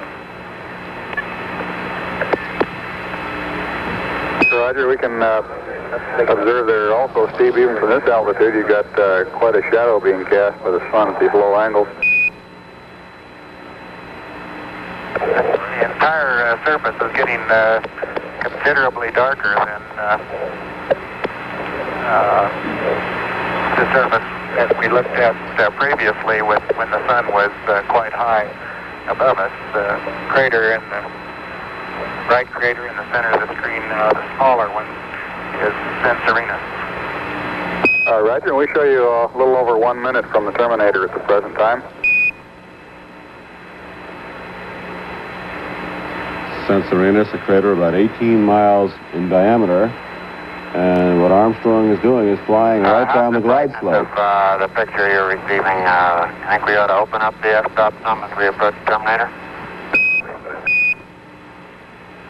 Uh, yeah, the, the brightness is still doing uh, quite well. You can go ahead and uh, open it up a stop or two. The uh, automatic light level compensation seems to be working beautifully.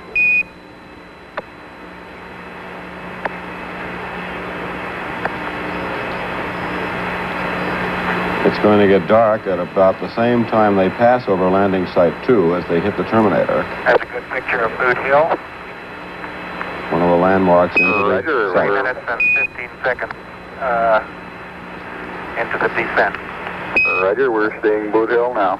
And the next crater coming into the bottom, that's Duke Island right there, and to the left, the uh, crater, the largest of the crater near the center of the picture right now is Maskelyne W. This is a position check during descent at uh, about 3 minutes and 39 seconds, and it's our downrange position check and cross-range position check prior to uh, yawing over face up uh, to acquire the landing radar.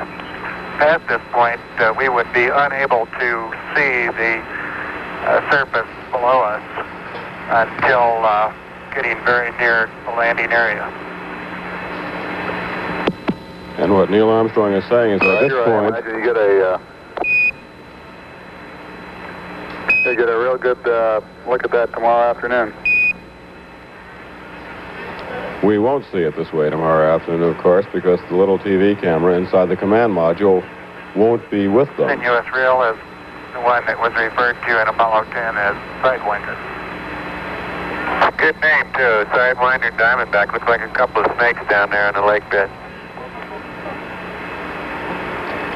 They would now be at about 37,000 feet over the moon if they were in the landing procedure.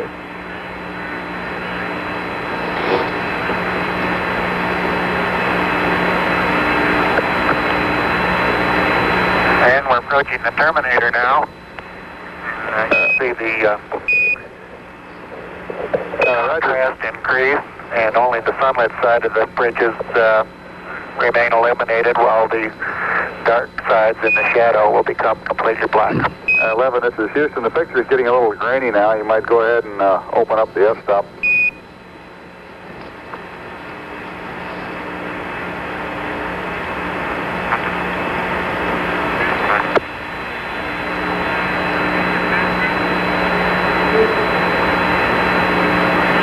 Landing point is just barely into darkness. That one crater is uh, the upper part of which you see, uh, lower part completely in darkness. A small, well-defined crater is Moltke, which is about a beam of the landing site. Uh, Roger, we can just see it looks like uh, a little less than half of its rim right now.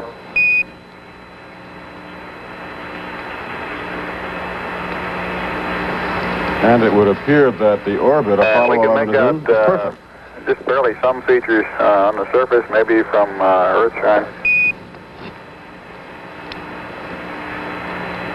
The crater Moltke there, about 30 miles south of their track. Are you wide open on the f-stop at this time?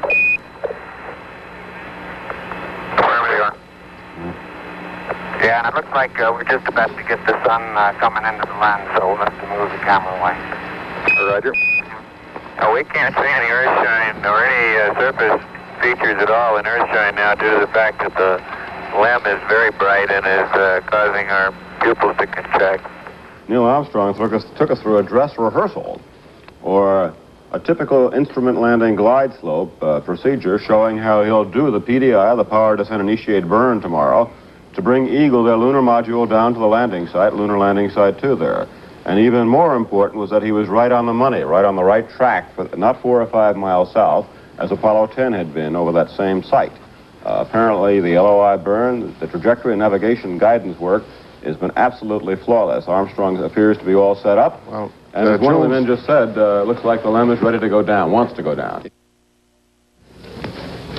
Well, it's uh, in a way a million light years between the flight of the the Wright brothers at Kitty Hawk, but it's not, not so very long at that when you stop to think of the actual calendar time. But of course, there have been tremendous strides.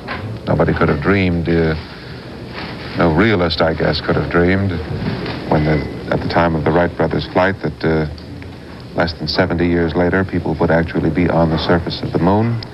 Let's, uh, we have a film package for you. Uh, ABC's Don North has put it together to uh, just trace the history of flight. Here's Don North. Incredible as it may seem, there is only 66 years between this, the first successful aircraft to fly, and the flight of the Apollo 11 spacecraft. 66 years between the flight of Wilbur Wright and Neil Armstrong. It was in this aircraft, a frail combination of wire, wood, and cloth, on December 17, 1903, that Wilbur Wright launched on the sands at Kitty Hawk, North Carolina, and flew for 12 seconds. He covered a distance of 120 feet. A modest beginning, with few Americans realizing the significance of this achievement. The Wright brothers alone seemed to realize the significance of what they had done. Later, Orville Wright said that it was the first time in the history of the world in which a machine carrying man had raised itself by its own power, raised itself into free flight, and sailed forward on a level course without reduction of speed, and finally landed without being wrecked. A single still photographer was there to record the event. He made this photo. There were no newsmen present. Later, only one newspaper, the Norfolk, Virginia Pilot, printed the story, but they got most of the facts wrong. This film shows an early glider flight about 1902.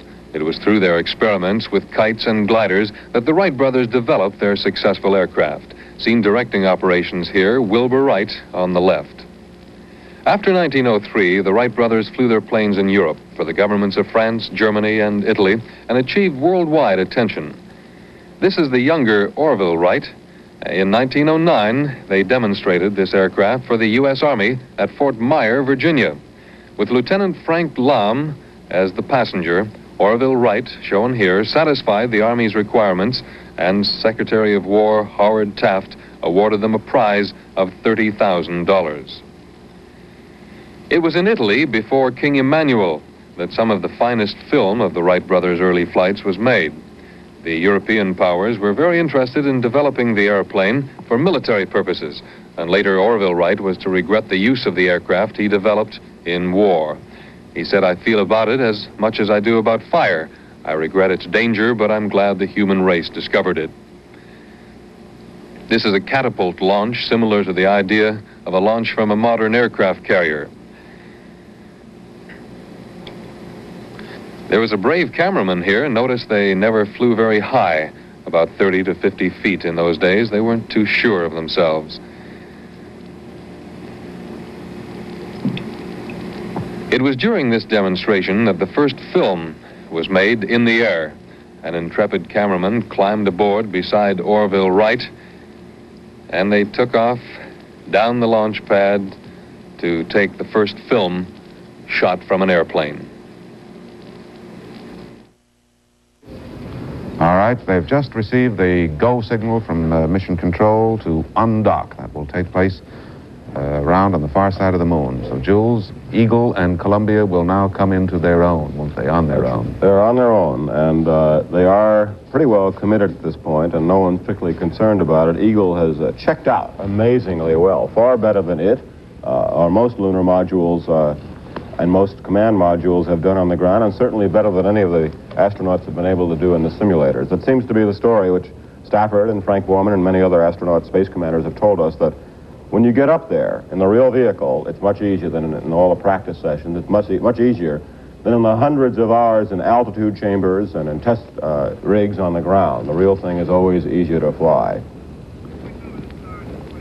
And uh, this is the way it will be this is the way it is now, we should say, just before undocking, which takes place on the far side of the moon, with uh, the command module, Columbia, on the left-hand side of our frame, of course, docked to Eagle, the lunar module, both of them passing in an orbit some 60, 60 miles over the moon. Actually, the orbit varies between 55.9 and 63 nautical miles over the moon's surface. Mike Collins alone now in the command module. Let's go to Houston for a little air to ground in these final moments before loss of signal.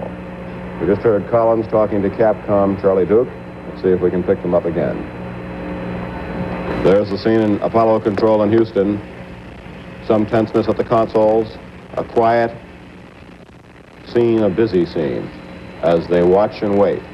As Flight Director Gene Kranz, an expert at this kind of thing, the flight director in charge of the descent maneuver and the lunar touchdown has his team, team drilled. Go ahead, Columbia, over. Roger, there'll be no television in the undocking. I have all available windows either full of heads or uh, cameras, and I'm busy with other things. We concur, over. Uh, Eagle, Houston, we'd like you to select aft Omni now. It'll be good for both uh, LOS and AOS, over. Roger, going to Omni. And that was Mike Collins confirming that the live television he'd hoped to do of the undocking now cannot be done. They're switching antenna positions, which is why the signal has suddenly gotten scratchy there. As Eagle and Columbia go over the hill, as the astronauts call it, around the western side of the moon.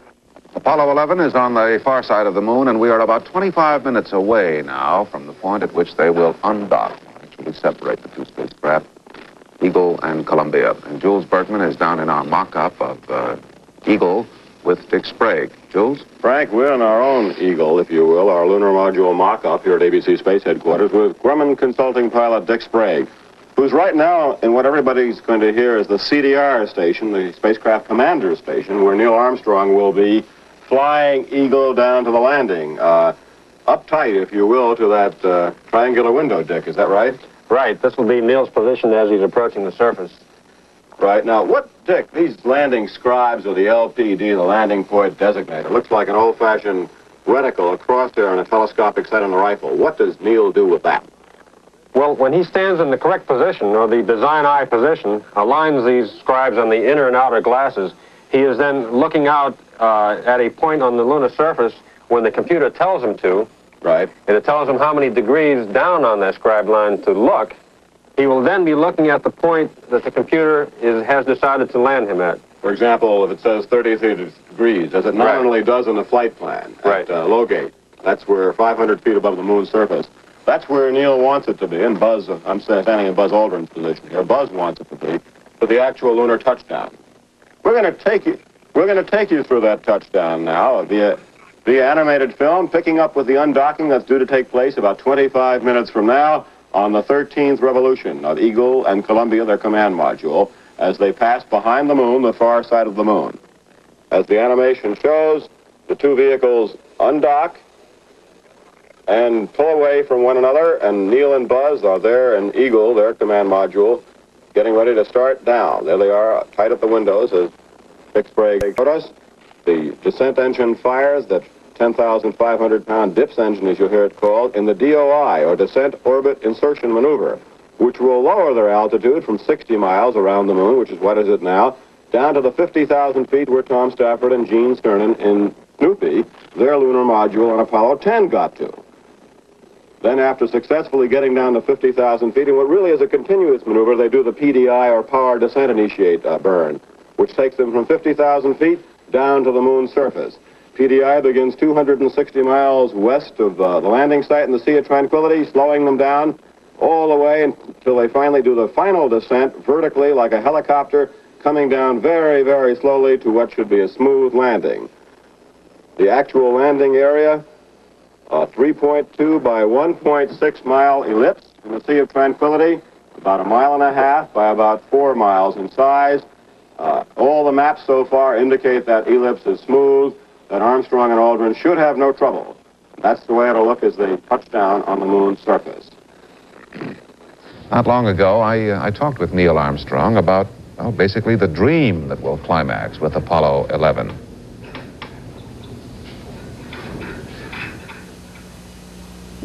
Uh, you're supposed to be, and you are a pilot, not uh, a philosopher, but uh, you are going to be the first man to land on the moon. You must have thought well beyond the technical, purely scientific aspects of this mission. So I want to ask you really a kind of an impossible question, but you're the man to give the answers. What do you think this mission will tell us about, uh, about man? If we are successfully able to execute a touchdown and return, it's going to give us the, an unmeasurable amount of confidence. I think that's probably the greatest result of the flight. It's going to assure those, those people who have been spending uh, long hours late at night for many years in the computer labs across the street and in the simulations uh, over in the other building and, and the program offices that uh, the, the almost staggering technical job that they tackled is in fact possible for, for man to conquer. And uh, given that confidence, uh, we will then be in a much better position to accurately judge what we should tackle in the future. It, it won't be marred by a lack of understanding of what can and can't be done. It can be judged on its values.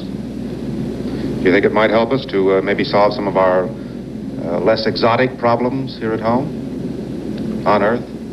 Well, I certainly hope that uh, that we would take the the more successful uh, approaches that have been used in this kind of a uh, program and find ways to apply those approaches to to other problems. I uh, I, I don't necessarily agree that uh, just because these people have be- in this in this uh, approach have been successful that uh, we uh, should uh, take their resources away from them and give them to, to some other people who have been less successful in their endeavors. I get the impression you think we might be able to do both. Well, I certainly think we can. We're a great country. Uh, we have a lot of abilities, and uh, when we direct our efforts uh, toward an understood goal, we uh, we usually solve the problems. You know, I think I was wrong in putting that question to him in the, the way I phrased it. Uh, he is a philosopher, too, as well as a pilot. He's a young man who uh, means what he says and says what he means. We're back in mission control now to see if we can't get some more communication. Houston, Columbia, my uh, disk is reading 4.9. NX, uh, 5.0 make it, and uh, EMS uh, 105.4, over. Roger, copy. Columbia looks good, uh, Silver.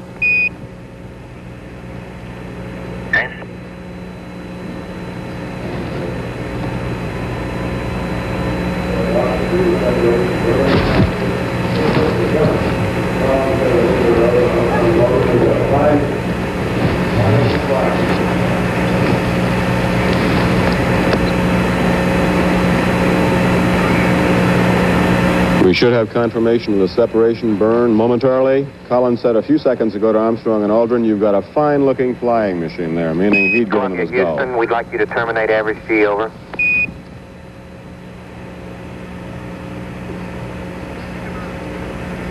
Roger, boom. B, he said.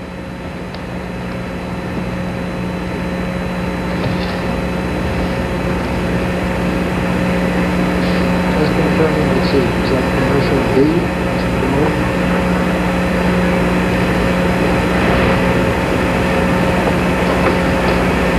B.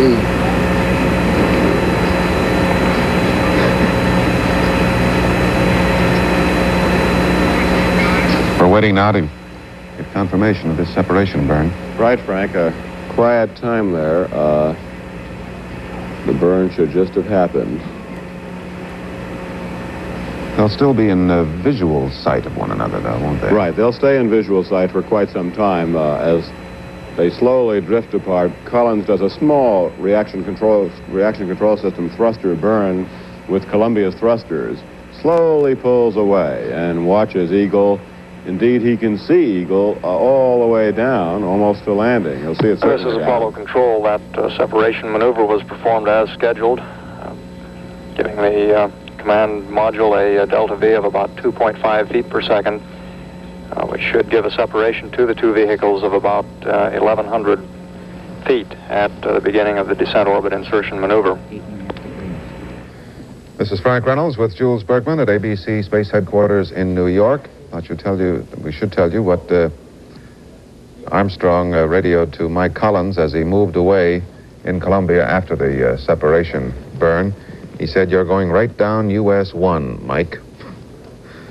Collins moved away, and now they are flying in tandem, so to speak, until the time comes for the DOI, or the descent orbit initiation, when they will start down in Eagle toward the surface of the moon, and Mike Collins in Columbia continues, of course, to orbit around as sort of a watchful mother hen to watch every every move they make. In the event they encounter any difficulty on the way down, he does have the capability to go to a certain point, a certain point, and uh, try to rescue them. And of course, he'll be very happy to see them come back when they crawl through that tunnel again late get- tomorrow afternoon. He can get pretty low, Frank. Well, how, how far down can he go? He Well, said the other day about 10 miles, didn't he? It varies a little bit, but uh, Collins has apparently rehearsed the fine art of rescue uh, in abort modes to the point where he can actually get the Columbia command module down to 20 or 25,000 feet above the moon's surface if he has to. In the unlikely event that all the lunar module's engines failed and uh, Armstrong and Aldrin couldn't abort by themselves to get back up to the Columbia. So Collins can get down within five miles of the moon's surface. Within five miles. That's pretty low.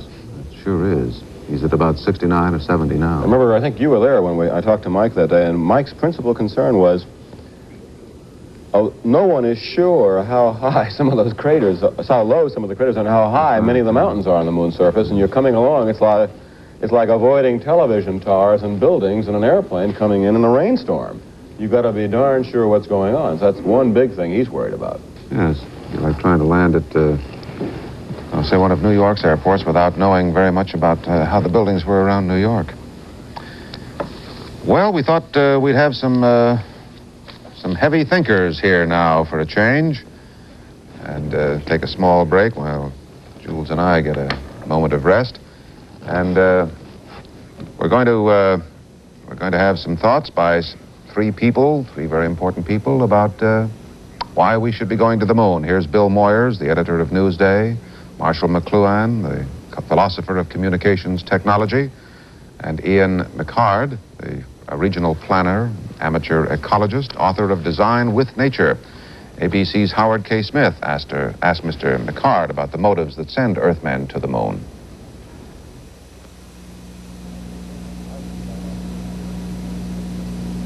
I would give all honor to the astronauts and NASA for this, you know, phenomenal adventure. But it seems to me there are two motives here, one of which is good and the other, I think, quite bad. One, the, the, the good motive is the, the increase in man's knowledge. Uh, the bad motive, I think, is the, the motivation of conquest. And uh, I think our attitude to nature has been throughout the whole Western tradition one of conquest. we talk about conquering Mount Everest and conquering the moon and conquering space. And we have, you know, traditionally this whole culture, thick, low-browed, dull-witted, uh, Territorial. laying bludgeoning strokes across, uh, you know, the world-life body, destroying and singing paeans of self-praise as we go. And I think there is a, an aspect of this you see in the conquest of space, that it is really based, it's the that- same witless, It's metaphoric. though. anthropocentric When you man. say the conquest of space, you mean it's a metaphor. Oh, I think it's not a metaphor. I really believe the Western tradition does believe that man has a moral duty to conquer nature. I mean, he is exclusively divine, or so the Genesis tells him, given dominion over life and non-life, and joined to subdue the earth. And by God, the whole Western tradition, Judaic and Christian, has tried to give the best evidence of this uh, dominion and subjugation that it possibly can. And uh, the conquest of space is just one of the spin-offs of this arrogant, anthropocentric, witless, clottish man who insists on subjugating the earth and all creatures. I don't look at it that I was way. gonna ask I, you. I, I, cons- I think man is essentially an explorer. He's always reached out into the unknown, and Mr. McLuhan said earlier that uh, if something can be done, it will be done, and man is going to determine that uh, he can do this. I think it is not a, a greedy, uh, avaricious reach for something that he would like to control as much as it is for something about which he would like to know more. And I think as long as there is something unknown, man will be trying to reach for it. What I've learned from all of this is that, that man also, as a political animal, has the capacity to organize himself and his peers in such a way to attain a goal that uh, a decade ago seemed to be impossible and seemed to be forbidding. And what I hope that we can do from this is to see the difference that exists between what we've done in space and what we yet have to do on Earth and organize ourselves to ach- achieve the goals which will affect the lives of billions of people on the Earth, uh, as well as the life that the lives that will be affected uh, of a few men who will make it into space. Wouldn't Bill, you were in a high place in government at a time when this program was launched. Uh, do you think that it's been a wasted effort, that the money, it has been a perversion of resources and skills? No, I don't for this reason. We were not doing very much in the social and domestic field in the late 1950s when we were not searching for the moon or reaching into space. Uh, we have done more uh, on Earth since we have been doing more in space than we ever did in the decade before. That's uh, a syllogism, perhaps, which proves nothing except the fact that, that, that this nation is so wealthy and so rich that it really has the capacity to do what it will organize itself to do and what it establishes as its priorities. But, Mr. Moyer, have you considered that the Russians, who have never had a 19th century, who have many less resources than we, have also accomplished more or less the same goals in space? But at a greater price. You see, their, their, G, their GNP is such that they could not carry on a consumer revolution at the same time we have been doing that. All right. Uh, and so But they I had to give uh, up something. I don't think we have to give up something. I think we do. Because it is so much easier to reach a goal that has few political obstacles in front of it than it is to try to do something about some of these problems which have political It's just a kind of luxury for us to play with these things, whereas it's life and death for the Russians. No, no, it's not life and death with them. They, they, they made it a matter of, of life and On the death other by hand- the allocation of their very meager On, resources. on the other hand, with Sputnik, they created a very witty pun, which was carried out visually, Little Fellow Traveler. They put this Little Fellow Traveler as an environment around the planet, a planet that was terrified of fellow travelers, and uh, they put a little one out there to reassure us that it was friendly. They didn't create the pun, Mr. McLuhan. You did. Well, uh, the word Sputnik means little fellow traveler in Russian. And it was done at the time when fellow travelers were t- uh, rather a menace But in they our did it for a very esoteric group of men of whom you are the paramount chief. No, I'm, I'm very flattered, but I, I, I heard that from a great many other people. I didn't uh, probe into the etymologies of the word. But it is, uh, I, I, I think it's worth considering, uh, since they do have a sense of humor, uh, what the uh, Russians had in mind in uh, the complementarity of this current effort. Uh, Oh, yeah. I think they've all, I think at least in the beginning, Mr. Smith, they had a, a military purpose behind their space effort. And I think this is one of the reasons that our leaders at the, that particular time, particularly in 1960 and 61, uh, were motivated out of a sense of reaction, even to some extent fear, which has been translated into the prestigious reach for uh, uh, uh, to be first in space. But I, I think they really had serious military motives behind Well, their. Uh, are there, space effort. when you say serious military motives, I, I, I shouldn't think military motives half as serious as many others, including educational. But uh, when you, you you attach the word serious to military, I, I don't. It can be attached to almost any war. I- well, there are many military efforts that we're making that are not serious in the sense of Our relevance. You don't think of in, in the, sense uh, of the you don't think of Apollo 11 as having any relation to our own uh, military Oh, interests. By all means, the uh, the uh, the uh, the uh, present head of the Apollo program, who is a general, Mm-hmm. uh, indicated today that he will be leaving the Apollo program a few days after uh, the success, the flight in order to go back to the Pentagon to apply the techniques he's learned in the Apollo program to our defense effort. So I think to, to go back to your, one of your first questions for one second. You said, what is the value of this? Well, there are many esoteric values that are still to be realized. There are many long-range projected values that the millennia will realize, but the immediate value is military. Let's face that. The practical, significant application of our space effort, if it has any about- pragmatic well, value whatsoever, is let's ask- basically military. Let's ask ourselves in long-term uh, projects about the meteorological possibilities of the conquest of moon space. You better ask him. Can we consider the possibility of space platforms that might be might serve the control of climatic conditions eventually on Earth?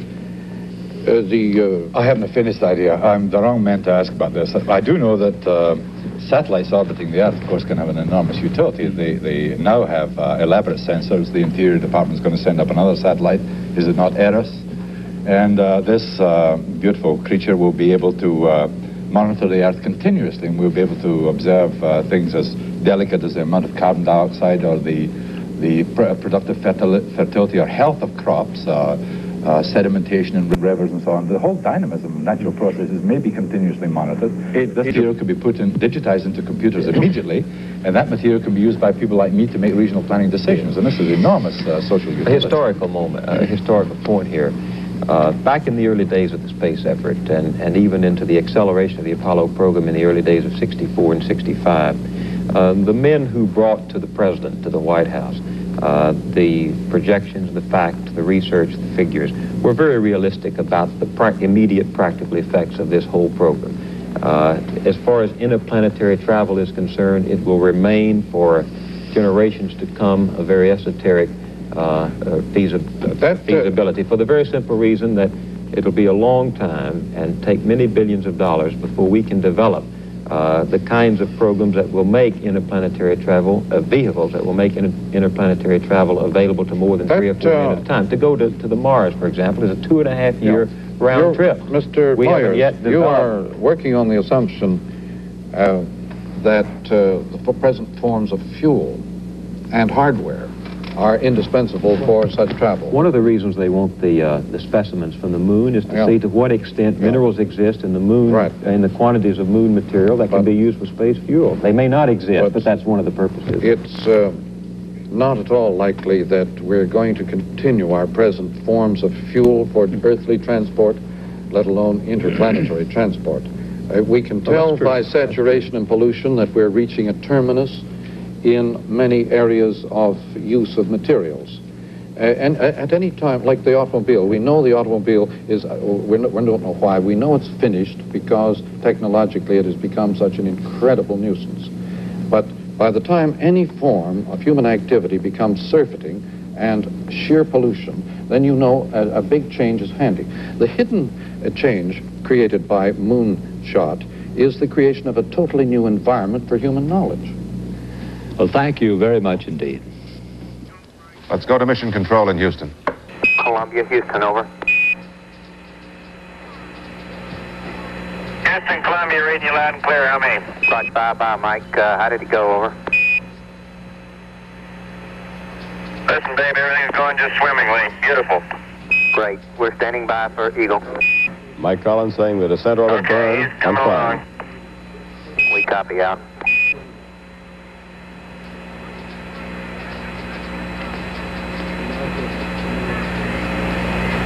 Columbia, Houston, uh, we expect to lose your high gain uh, sometime during the power descent, over.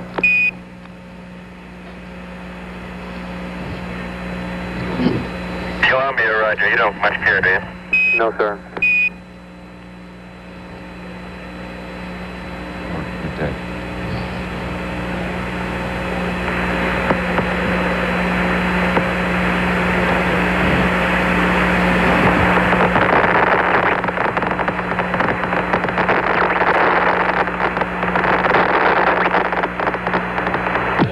Acquisition of signal from the LEM. And we're having some uh, antenna problems with uh, Eagle. Power control not yet getting good quality. At this point, uh, Eagle, as you heard Doug Ward in Mission Control saying, is descending through 12 miles, 12 and a half miles over the moon, nearly at the lowest point. Houston, uh, we have you now. Do you read over? Loud and clear. Roger, we see your uh, VERB 47. That's Buzz Aldrin talking to Charlie Duke, the Capcom. Yeah, I don't know what the problem was there. Uh, it just started oscillating around uh, in yaw. According to the needle, we, we're picking up a little oscillation right now, as a matter of fact. Uh, Roger, we'll work on it.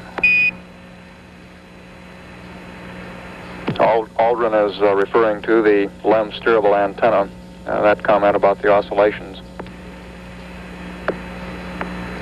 Good, clear communications now. check was uh, right on time. Roger. Armstrong confirming he's finished his checklist. Did you copy the star, uh, I mean the sun check, uh, Charlie? That's affirmative. We did, Buzz, out.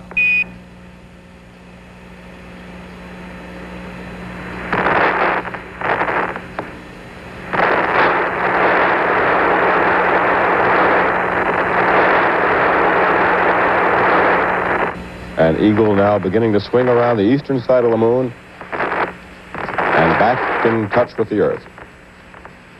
Coming up on landing side one, above which they will do the power descent burn to land themselves 260 miles further east on, on landing site two.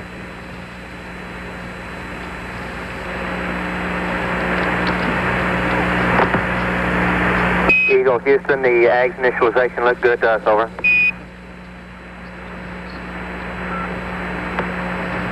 Roger. Confirming the abort guidance system, and the test worked fine.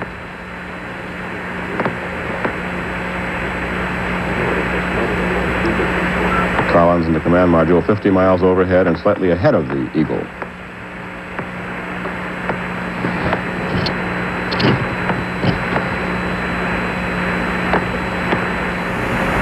Gene Kranz getting a go, no go for descent.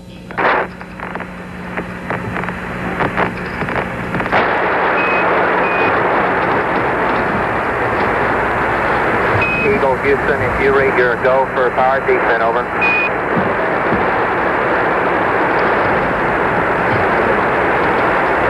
Eagle, is Columbia. They just gave you a go for power descent. Columbia, Houston, we've lost him on a high gain again. Would you please, uh, we recommend yaw right 10 degrees and uh, reacquire. Eagle, this is Columbia. Your go for PDI, and they uh, recommend you yaw right 10 degrees and try the high, high gain again. Bill? 10%.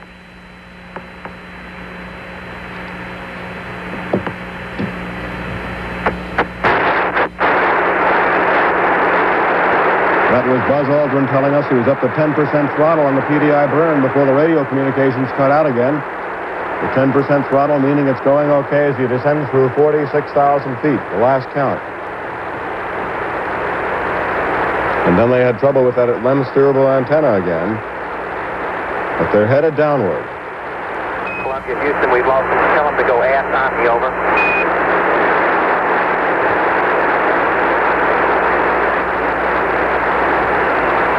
They've lost you on the Omnis, uh, Eagle.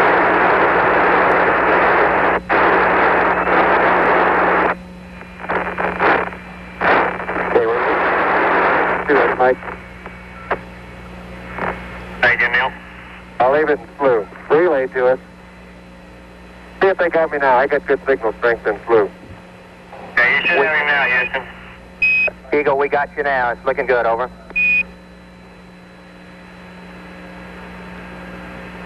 Eagle, that looks good. Eagle, Houston, everything's looking good here, over. Roger, copy. Eagle, Houston, after yaw around angles, uh, S-band pitch, minus niner, yaw, plus one eight.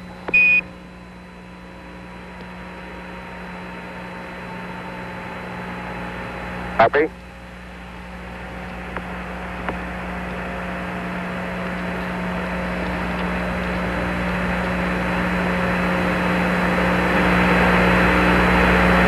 Ike's and things agree very closely. Roger.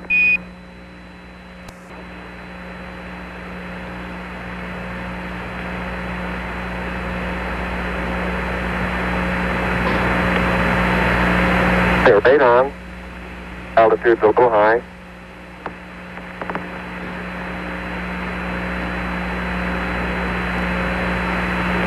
Two minutes, 20 seconds, everything looking good. We show altitude about 47,000 feet.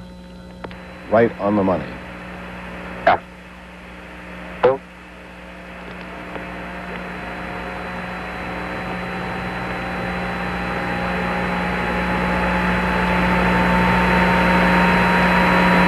Uh, Houston, I'm getting a little fluctuation in the uh, AC uh, voltage now.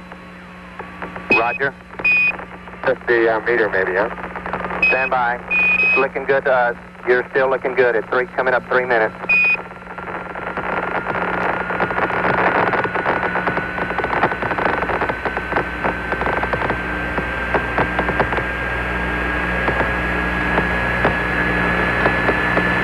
It deep. Looks real good. Hold it. Start on. Our position check downrange show us to be a little off. Roger, copy. Ag, ag is going about 15 seconds straight away.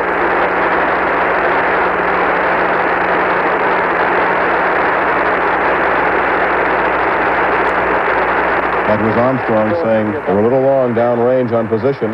You'll have to correct slightly. They should be through 45,000 feet now.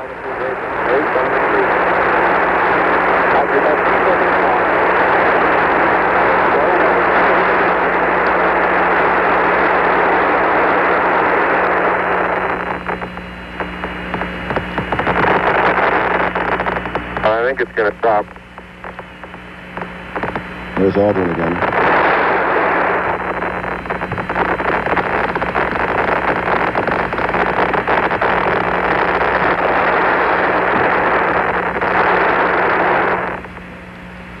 Eagle, Houston, you're a go to continue. all at uh, four minutes. Roger, you're a go to con- you go to continue power descent. You're a go to continue power descent. Roger. Altitude 40,000. Houston, we got data dropouts. You're still looking good.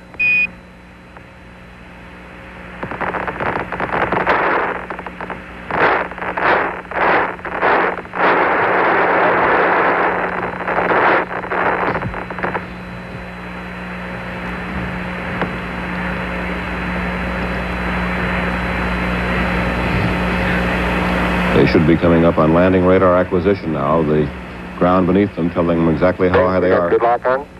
That's it. They've got it. They've Radar got it. lock. Altitude lights out. LH is minus 2,900. Roger, we copy. At the Earth, right out our front window. Houston, you're looking at our Delta H. Uh, that's affirmative. Program alarm. Looking good to us, over. 1202. 1202.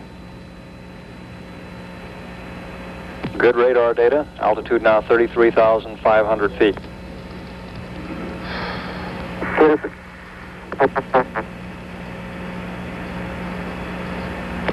Give us a reading on the 1202 program alarm. Roger, we got you. We're going at alarm. Roger, 330. 6 plus 2, 5, throttle down. 6 plus 2, 5, throttle down. Roger, copy. 6 plus 25. We're still go, altitude 27,000 feet. Same alarm, and it appears to come up when we have a 1668 up. Roger, copy. Eagle should be slow to 1,200 miles an hour now. Eagle, Houston, we'll monitor your Delta H. beautifully. Delta H is looking good now.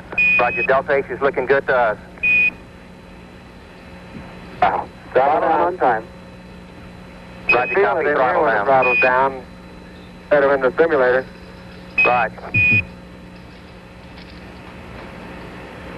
About 60 miles from their landing site. Heights and things look real close.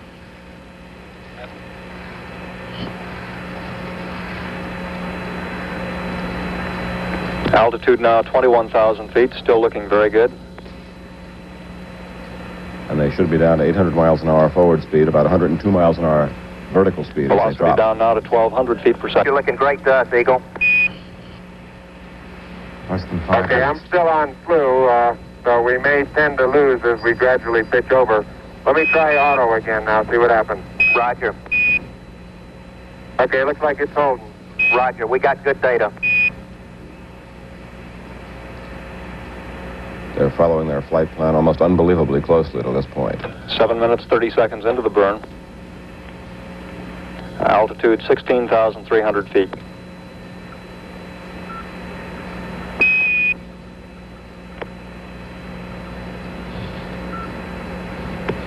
Eagle Houston, is descent to fuel to monitor, over. 72. Altitude 13,005. Final radar, radar check coming Velocity up. 9,100 feet per second. Made it, uh, switch over time, please, just. Roger, stand by. You're looking great at eight minutes. Uh, correction on that velocity, now reading 760 feet per second. It's the P-64. Good. Roger.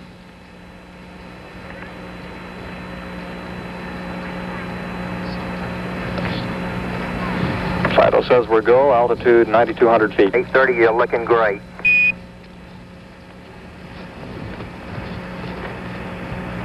Descent rate 129 feet per second. We copy. or about 80 miles an hour.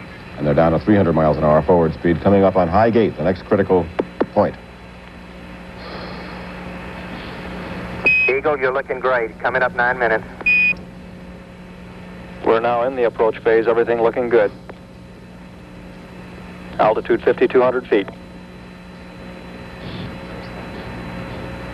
Manual attitude control is good. Roger, copy. Altitude 4,200. Houston, you're a go for landing, over. Roger, understand. Go for landing. 3,000 feet. Copy. alarm. 1201. 1201. Roger, 1201 alarm. We're go. Same type. We're go. 2,000 feet. 2,000 feet. Into the ag. 47 degrees. Roger. 47 degrees. Eagle looking great. You're go. Altitude 1,600. 1,400 feet, still looking very good. Roger, 1202. We copy it. 35 degrees. 35 degrees. 750. Coming down to 23. 700 feet, 21 down. 33 degrees. 100 feet down at 19. 540 feet down at 30. Down at 15.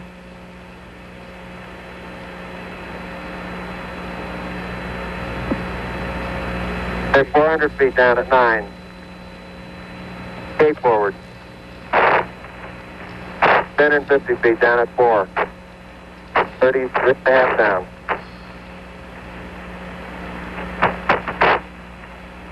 They're uh, pegged on uh, horizontal velocity.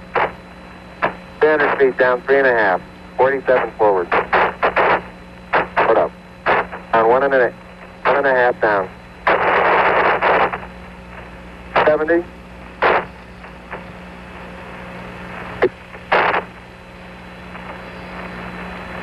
Epic shadow out there.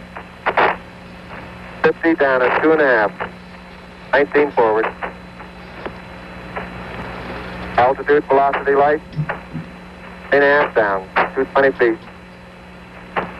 13 forward. 11 forward, coming down nicely. 200 feet. Four and a half down. Five and a half down. 160 feet. Six and a half down. Five and a half down. Nine forward. Good. 120 feet. 100 feet, three and a half down, nine forward. 5%. How many? Okay, 75 feet, Car's looking good, down a half. Six forward. 60 seconds. Lights on. Six. Lights on. Down two and a half. Forward. Forward. That's 40 feet down, two and a half. Picking up some dust. 30 feet, two and a half down. Straight shadow. Four forward. Four forward, drifting to the right a little. Down a half. 30 seconds forward, just. Uh, Good. Okay.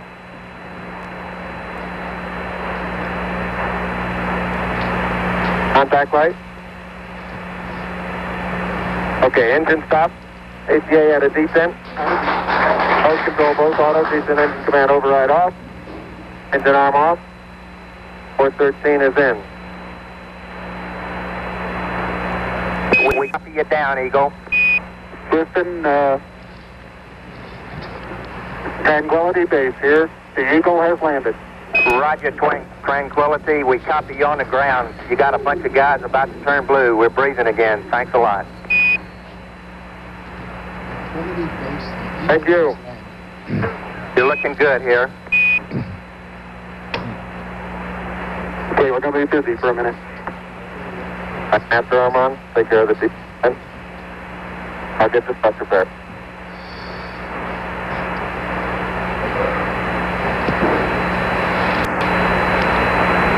Very smooth touchdown.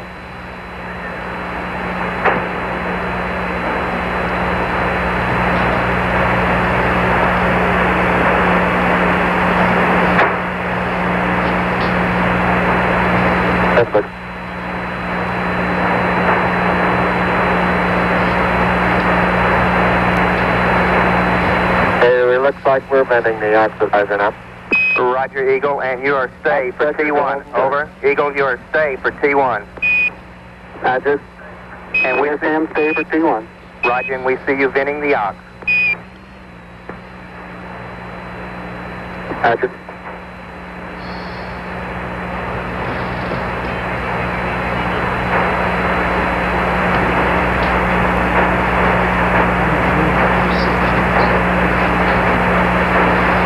Does that clock now show us how long we've been in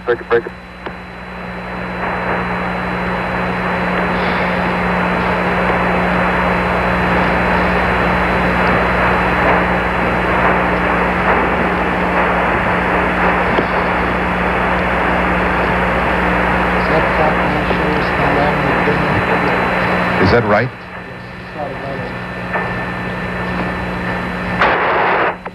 Armstrong and Aldrin have made it. And everyone wondered what Neil Armstrong's first words would be. This is Tranquility Base. Tranquility Base. Copy, uh, now 60, now 43. Over. Roger, we have it. Yes, sir. I read Columbia on the high. Roger, we rig you five by Columbia. He has landed Tranquility Base. Eagle is at Tranquility. Over. Yeah, I heard the whole thing. Well, good show. Collins and the Columbia Command Module. Fantastic. Off reset. There was never any doubt about what Armstrong was going to do. He had a low fuel light on there, his fuel warning light, and he was very near, very near not being able The to The next do it. major stay, no stay, will be for the T2 event. That is at uh, 21 minutes 26 seconds after initiation of powered descent. Columbia went up telemetry command reset to uh, reacquire on the high gain. Copy out. And uh, there seems to be an absence of drama and emotion in Armstrong and Aldrin's voice. They're busy checking out the spacecraft to be sure they can get off the moon in a hurry if anything goes wrong. And nothing has gone wrong, though. Every sign, Frank, seems to indicate it's okay. And when he was at 40 feet there, it said some dust being kicked up by the engine. Yes. You must have set that thing. We down. have an It's perfect. unofficial time for that touchdown of 102 hours, 45 minutes, 42 seconds, and we will update that. Was so unerring, it was almost unbelievable. Eagle Houston, uh, you loaded R2 wrong. We want 10254.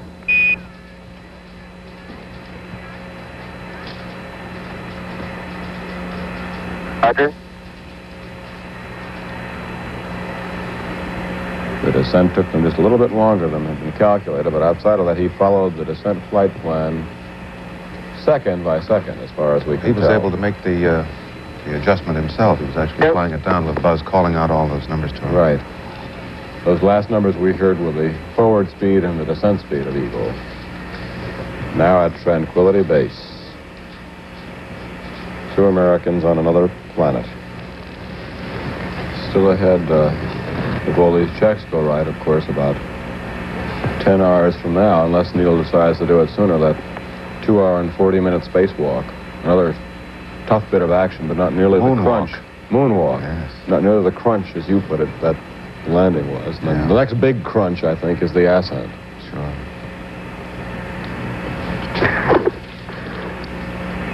These men breed a confidence in the rest of us, though, by their, their own actions. Hey, uh,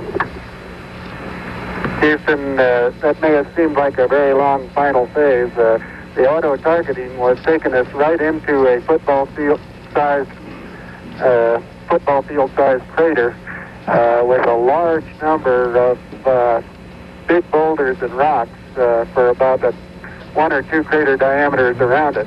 And it required us in P-66 and flying manually over the rock field uh, to find a reasonably good area. Roger, we copy. It was beautiful from here. Tranquility, over. Armstrong was right. He said he'd have to do it by manual control. It's a good thing he did, too, because the Now, we'll automatic get to was... the details of, uh, of what's around here, but it looks like a collection of just about every variety of uh, shape, angularity, granularity, but every variety of rock you could uh, find. The color is, uh, well, it varies pretty much depending on uh, how you're looking relative to the uh, zero phase point. Uh, there doesn't appear to be too much of a general color at all. However, it looks as though some of the uh, rocks and boulders, of which there are quite a few in the uh, near area, uh, looks as though they're going to have uh, some interesting colors to them. Over. Roger, copy. Sounds good to us, uh, Tranquility. We'll let you press on through the simulated countdown, and we'll talk to you later. Over. Roger. Okay, this 160 is just like the airplane. Roger, Tranquility. Uh, be advised there are lots of smiling faces in this room and all over the world. Over. Capcom. All right, two of them up here. That ought to Roger, it was a beautiful job, you guys. And don't forget one in the command module. right. Mike Collins. Capcom Charlie Duke telling him to get back to that simulated countdown to That last remark from Mike Collins at an altitude of 60 miles. Uh, the comments on the landing, on the manual takeover, came from Neil Armstrong. Uh, Buzz Aldrin followed that with a description of the lunar surface and uh, the rocks and boulders that they are able to see out the window of the LEM. One last engine remaining to be tried. 96 engines aboard that Saturn V, the command module, the lunar module, and one big one remaining untried, the ascent engine for liftoff tomorrow afternoon to rejoin Columbia, the mothership, and Mike Collins, orbiting the moon 60 miles overhead, Tranquility Base. A new word, a new place in the solar system. How did the country react? Well, let's uh, find out about the capital anyway, and let's go to Washington now to see just what happened there. ABC's Sam Donaldson. This is Okay, I'll wait. Tranquility Base here.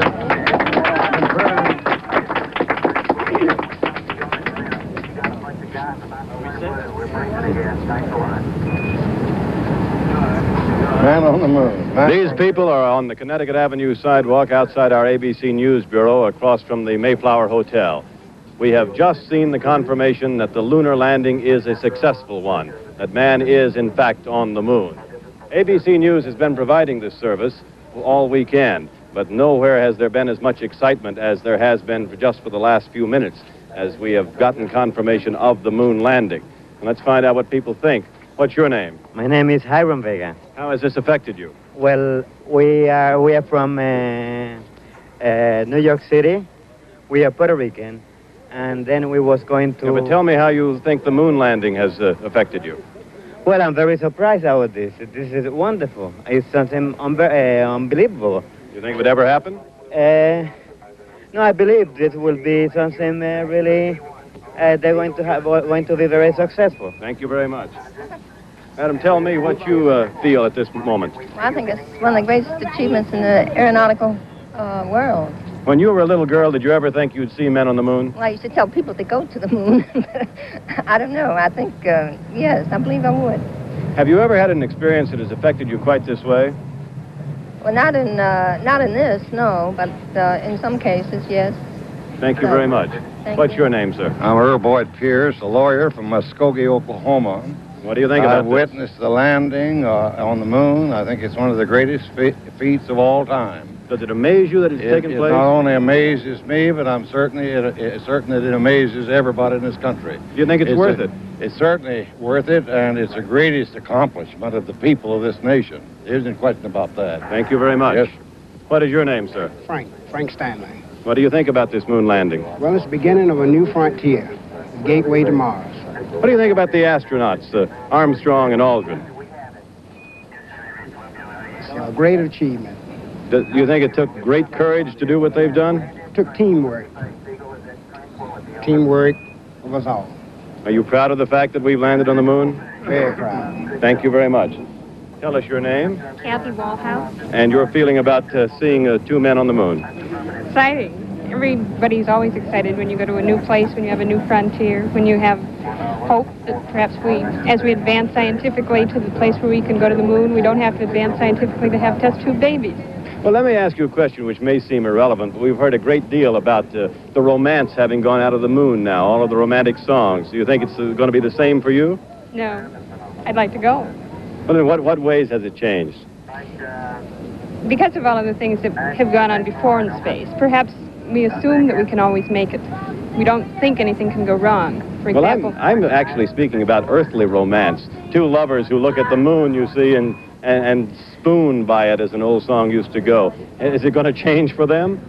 I doubt it. I don't think human beings change that much no matter where they are. The moon will still be a nice object. A nice object to watch, and it'll be a nice object to live on, perhaps. Thank you very much. We're told now that President Nixon watched the uh, touchdown on the moon on a portable color television set in the executive office building just across the street from uh, the White House. Immediately after the landing, he called uh, Secretary of State Rogers at home. He said it is the greatest moment of our time. The success of this operation will be immensely favorable and will bring the people of the world closer together. That seemed to be what Mrs. Armstrong, uh, the astronaut's mother, was saying shortly after the uh, touchdown. The president went on to say these procedures are the greatest steps in the history of mankind, and as Dr. Paine may have reported just a moment ago, he told Dr. Paine later on uh, the same modern technology that got men to the moon will get them back. Jules?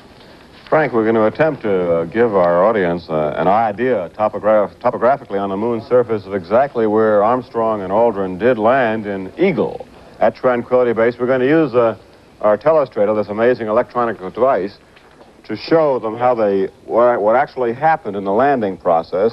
They were due to land, if the camera can pan just a little bit left on this lunar topographic chart. Little more left now till we pick up the ellipse that was the original target. More left, slightly more left. There we are. Now, we're electronically implanting on the target card, this was these were the actual descent charts used by Armstrong and Aldrin, the original ellipse. Well, we were too low somehow. We'll try again. That was the original ellipse there. And what happened uh, as uh, Apollo 11, as the Eagle swept in in her approach card over the lunar equator, Armstrong looked ahead and saw that this area had this football-sized field, a crater field, full of boulders, and in effect overshot it. We're a little off on our lines here. Overshot it and came down four miles to the west in a new area right about here, just south of the lunar equator, in a perfect landing procedure. And uh, the amazing thing was that he needed every bit of his fuel reserve uh, to do the maneuver with. Well, Jules, the uh, telestrator is an amazing uh, electronic device, Frank, that enables us to electronically write on a television set and directly to home audiences. Yes, well, the thing that I'm, I wonder about, though, this football field full of rocks, uh, had that been charted? Did they know in advance? Was that in the actual landing site area? That was in, that was the precise actual landing site area, Frank, that was on the lunar orbiter charts. Now, the ama- I'll go over that again for a second. The amazing thing, and I still don't quite understand all of this, is that our pictures were formed uh, from lunar orbiter pictures, which were taken, which were taken rather high over the moon's surface, and apparently uh, missed this area. They were lunar orbiter's pictures were supposed to be down to one meter or three foot resolution in many cases. Remember, I mentioned earlier that that orbiter uh, was capable of one meter, three foot resolution, just about like that. And indeed, the scientists had spotted 6,000 craters, large, small, medium, minute craters in this area. But apparently, the football field sized crater was completely missed. So it was old fashioned pilot judgment by Neil Armstrong. Neil Armstrong, the, the flying kid uh, who started at 15, who came in, saw the problem, and landed long. Used up half of his remaining fuel reserve and came darn close to having to abort, but did a beautiful job. You know, none of the uh, astronauts involved in this historic uh, event, very dangerous operation, is, uh, is due to become a millionaire out of it. As a matter of fact, I think uh, Buzz Aldrin said not long ago when somebody said to him, What are you going to do after the flight? He said, Well, I'm not going to become a millionaire. Money doesn't seem terribly important to them in uh, that sense, and perhaps it's a good thing that they have other, uh, other motivations. Neil Armstrong gets about $30,000 a year. He is a uh, civilian, of course, as a government employee. Uh, at his grade, he gets about 30000 uh, Colonel Aldrin gets about 18000 I think, and uh, Michael Collins, who was a lieutenant colonel, gets around 17000 or so with all the flight pay and so forth. There is somebody who is going to make more from their landing than they will make in a year. Well, not quite more than what Neil Armstrong will make in a year. There's a 26 year old Englishman. We told you about him some time ago. He made a bet five years ago that man would land on the moon before 1971. And now he stands to win $24,000. David Threlfall is the man's name. He's a science fiction buff. And he took odds of 1,000 to 1 from one of England's uh, largest bookmakers. He said he was just playing a hunch bet. And I suppose uh, five years ago, 1,000 to 1, well, I don't know, Jules. I think that uh, the bookmakers uh, kind of deserve to suffer their fate. Five years ago, it didn't seem that uh, it would be a 1,000 to 1 shot, did it? Maybe a hundred to one. A thousand to one seems pretty outlandish to me. Nobody was giving me any odds of that kind five years ago. You weren't in the right places, Frank. Well, anyway, we have David Threlfall in London, and I guess he's collected his check. And let's go to London and see the man.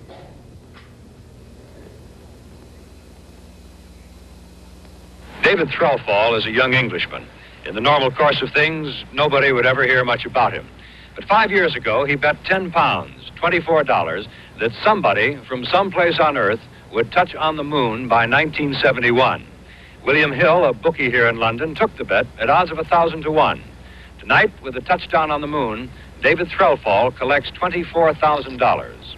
Now, when you placed your bet with William Hill, you didn't you didn't say that it will be an American on the moon by no, 1970. I, no, I, I, anyone, uh, Chinese, Japanese, uh, a man, woman, or child from any nation on earth.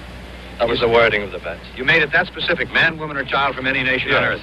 I wanted to say woman or child because I wasn't sure of the payload you could carry. And I thought you might be tight for weight, so uh, I, I, I tried to cover every option and tried to make it as unambiguous as possible. Well, five years ago, it was a, a bet. Obviously, it was a bet because William Hill was quoting odds of a thousand to one. When did you begin to feel that, by heaven, you're going to win this bet? I think it was in 1966 when they proved that they could do a soft landing, that it wasn't uh, green cheese or uh, a mile of dust. I think that was the only factor. There was some doubt when uh, the three Americans lost their lives and there was a delay in the program. But um, once they got over that, then I was always certain. The British are not getting much glory out of this landing on the moon. But here in London, there is a little pride that apparently an Englishman at least is going to get the most money out of it. This is Bill Beutel, ABC News, London. Oh, here comes Mrs. Armstrong out of her home. Let's go to Texas. It's a bit easier now. Yes. yes and no.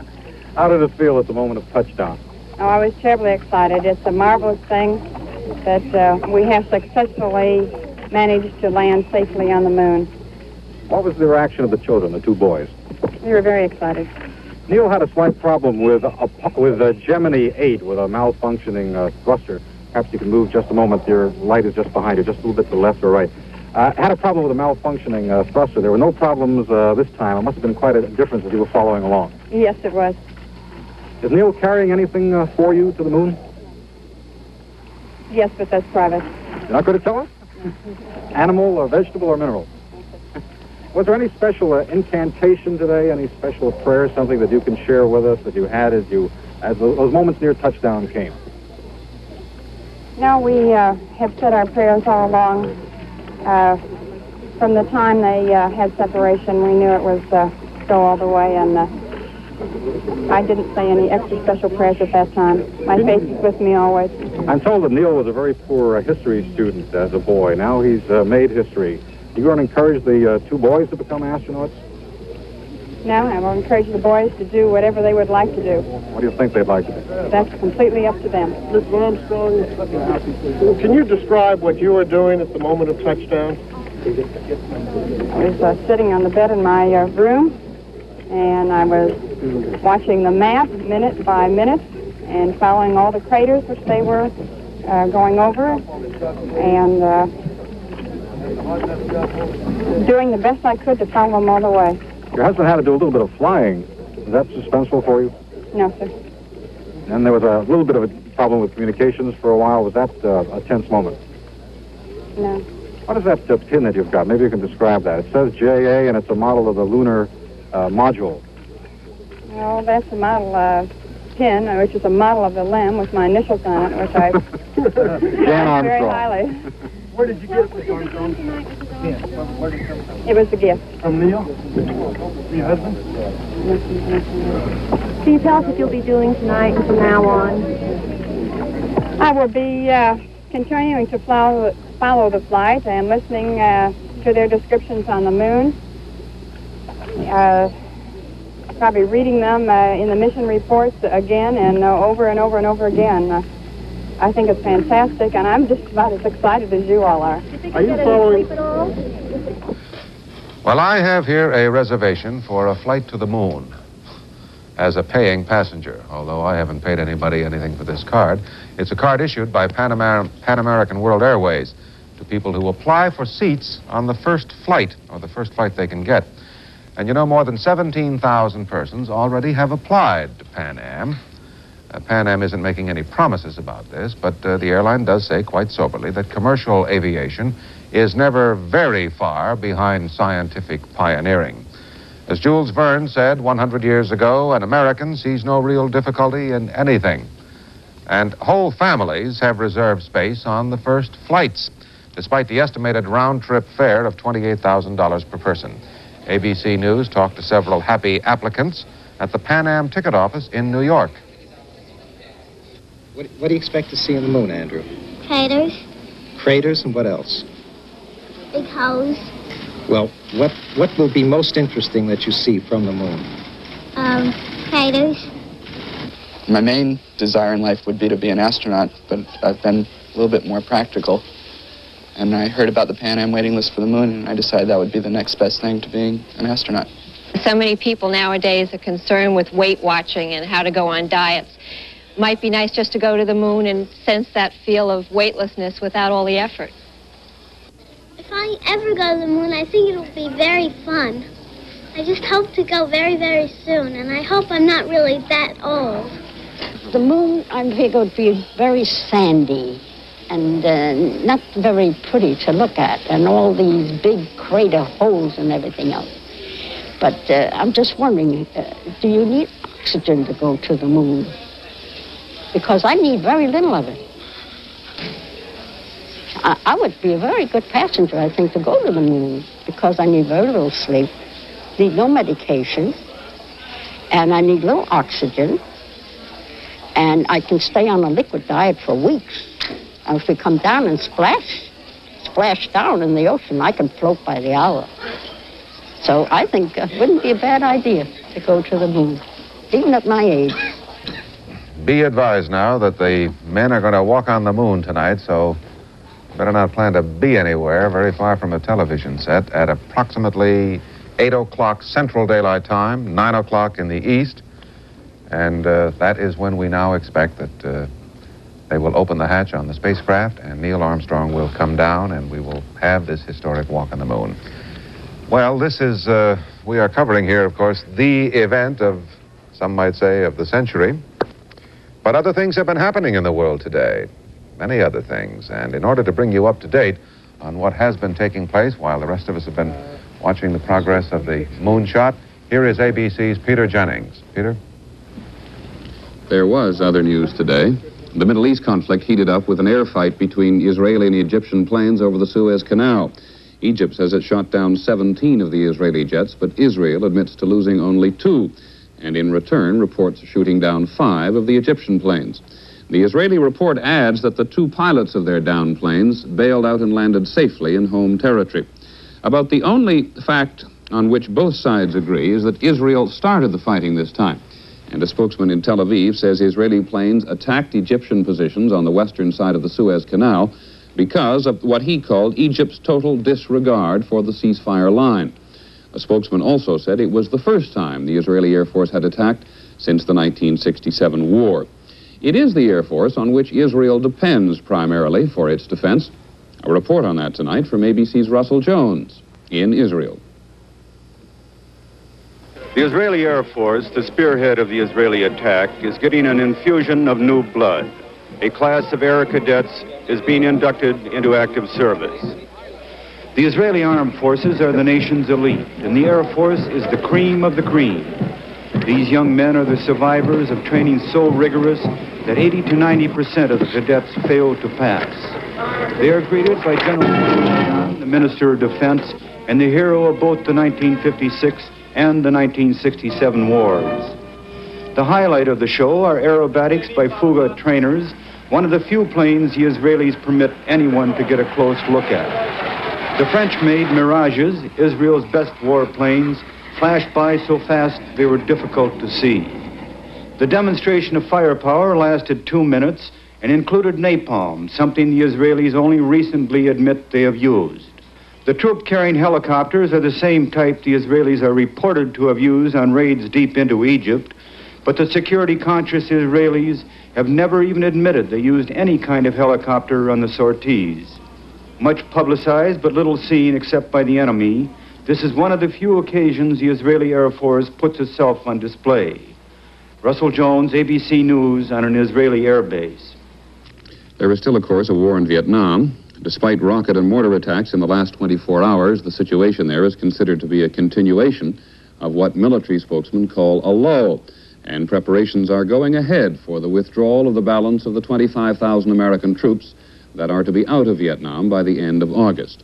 But turning control back to the South Vietnamese is not a simple matter, as ABC's Ted Koppel explains tonight in this report from a Special Forces camp in the Mekong Delta.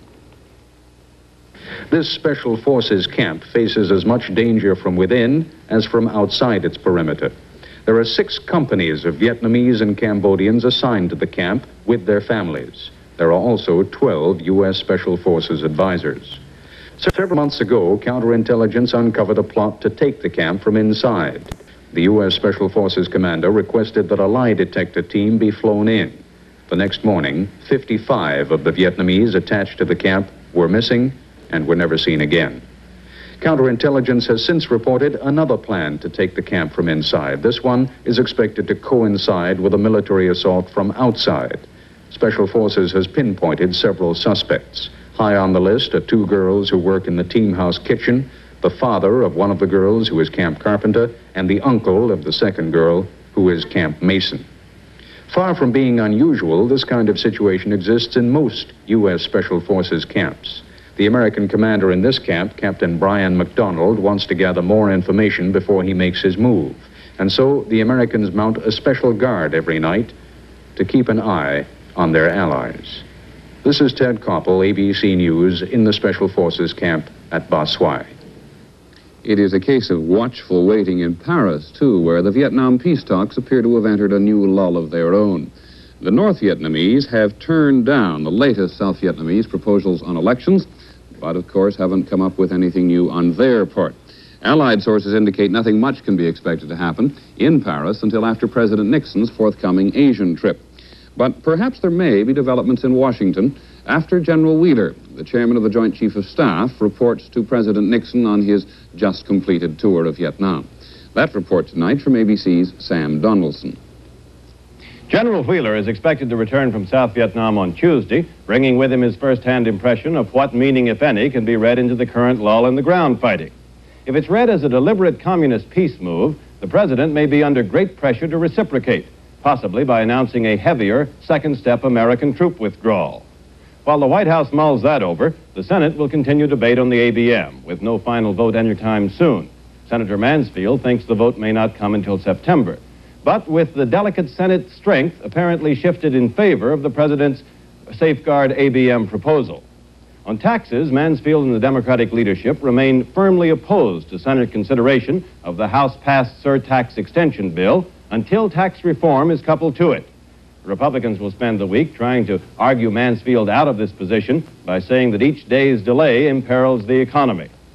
But all this activity will have to go on without the city's chief resident.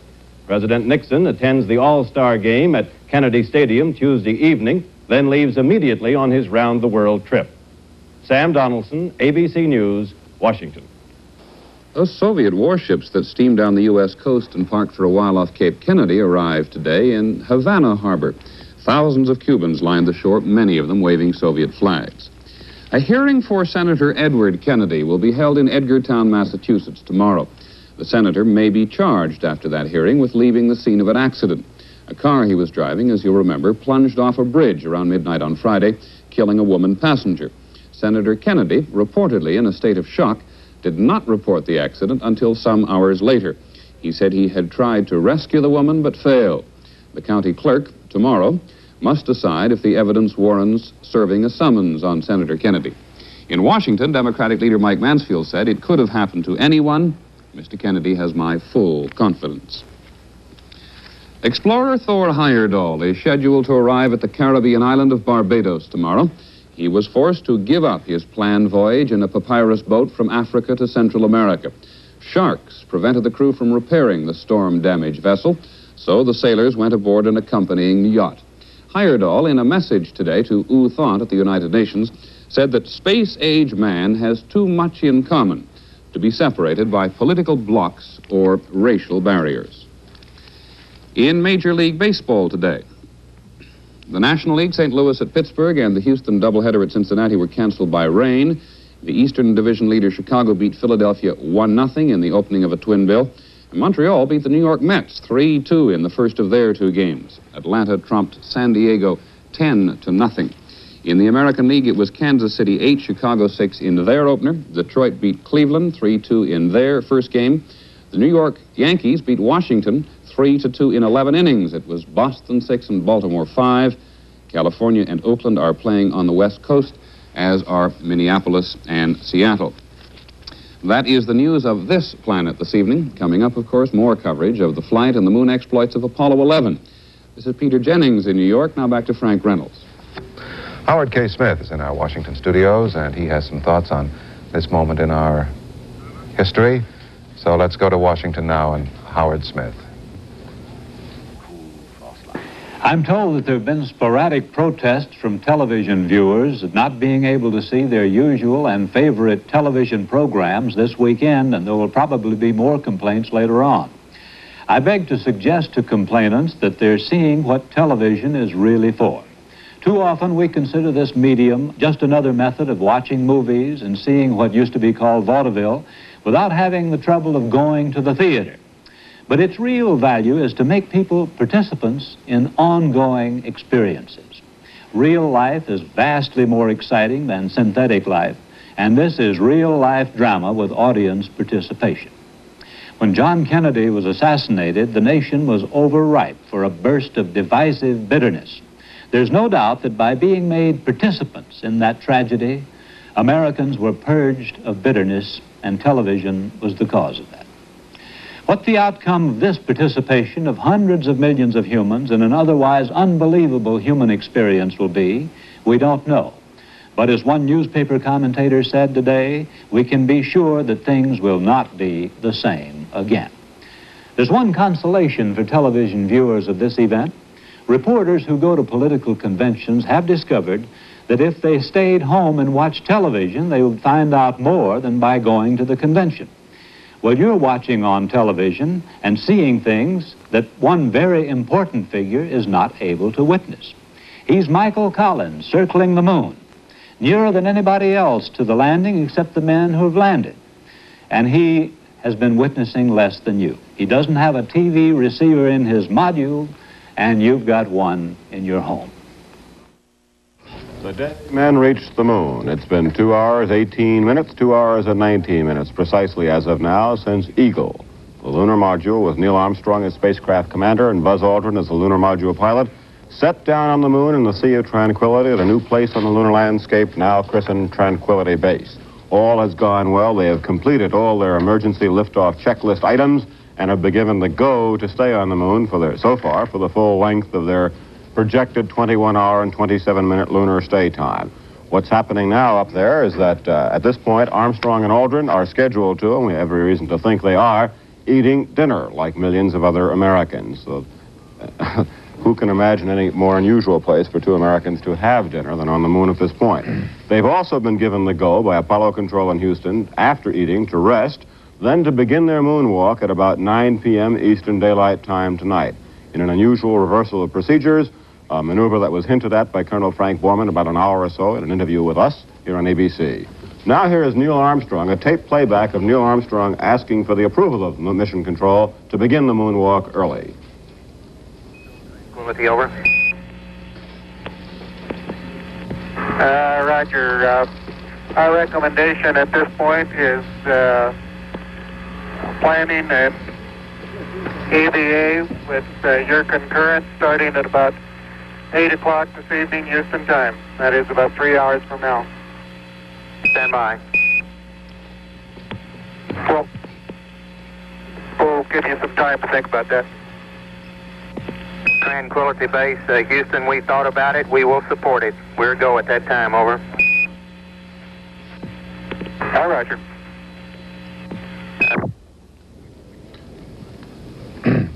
So that took care of that.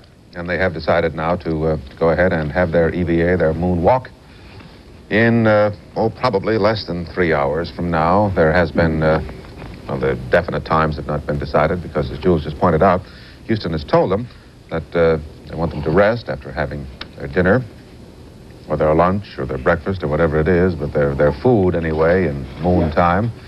And uh, then, after resting, they will uh, break the hatch and decide to come out and walk in prime time, so to speak. It's very good. By the way, Jules, you talked about them uh, eating.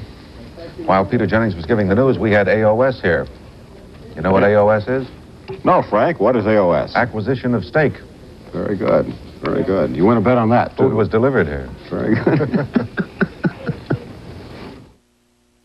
Magnificent sight out here. Magnificent desolation.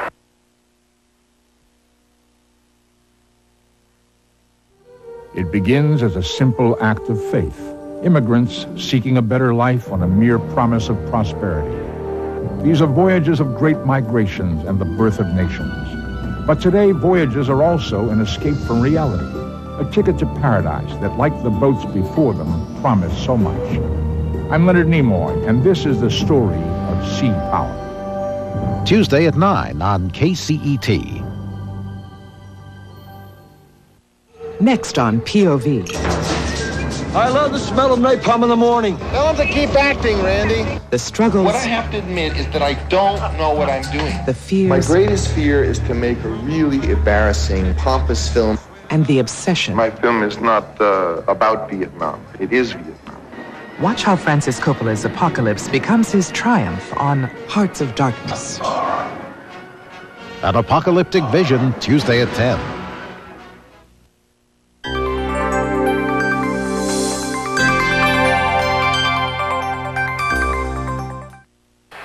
Men from the planet Earth, first set foot upon the moon.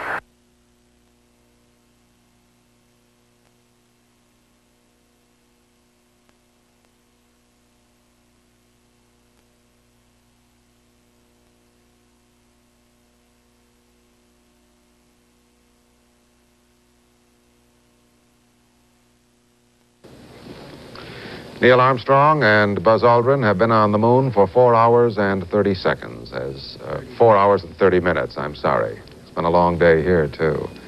As Jules said, uh, that EVA, that, that walk out on the moon, uh, probably will begin about 45 minutes or so from now. And about uh, 50 minutes after Armstrong steps out, when uh, both uh, Armstrong and Aldrin are on the lunar surface and have planted the American flag, that's when we expect to have the telephone call, the conversation, really between President Nixon in the White House and the men, the two Americans, on the moon. Man, of course, uh, explored space and even landed on the moon long before Apollo 11. There's nothing new about this. At least as far as Hollywood is concerned, there's nothing new about it.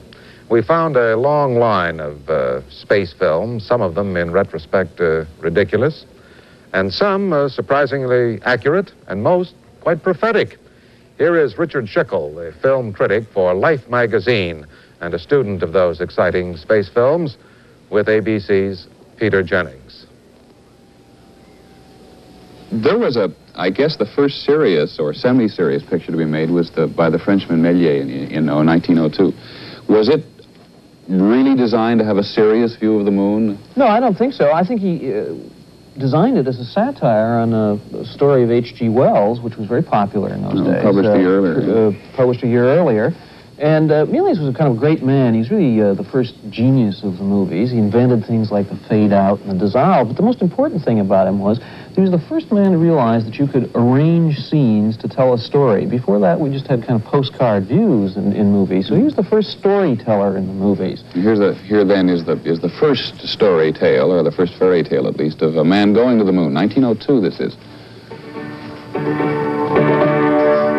That's the first meeting of NASA, I think. or the debate about what flag will be planted on the moon.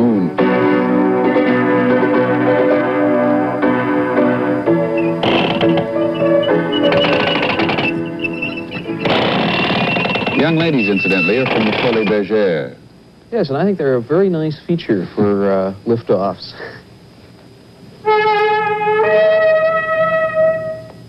Here the concept was, of course, firing the rocket out of a cannon.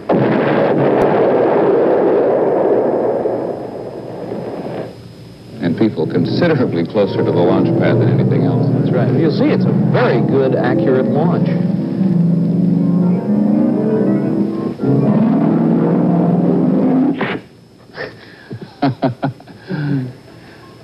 That's something he really did take from Wells, which is the notion that moon people lived in caves. Uh, they thought that possibly the craters, which they saw through the telescopes, were the entrances to vast caves, and that maybe there was a civilization down there, uh, underground.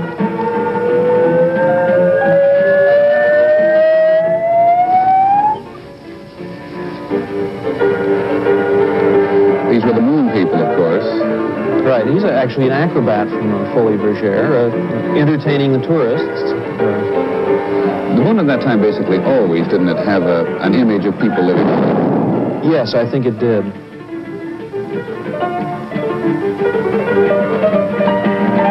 And not very friendly ones either.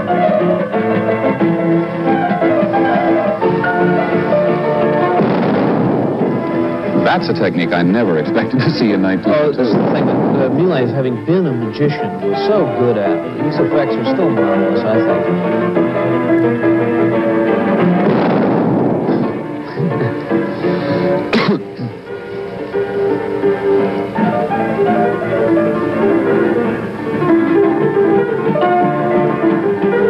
Re-entry takes a somewhat more primitive form in this film That's right.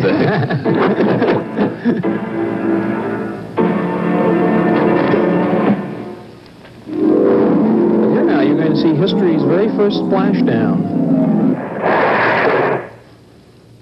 It's amazing where NASA picks up its ideas. Isn't it? How that great cast iron thing descends from the moon and floats as well. And uh, Méliès' version of the USS Hornet.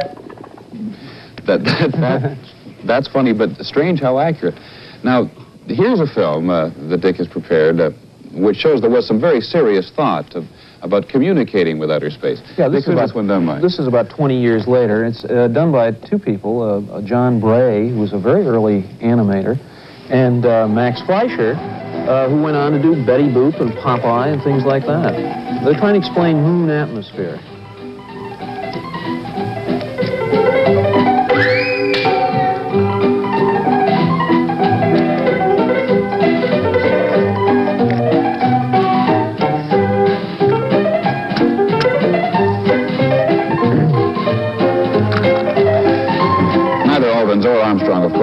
Find work on the moon a pleasure. It's going to be very tedious. But there are a couple of things here which indicate this, for example, that one of the ways to move on the moon is with a kind of kangaroo hop, though not necessarily that far.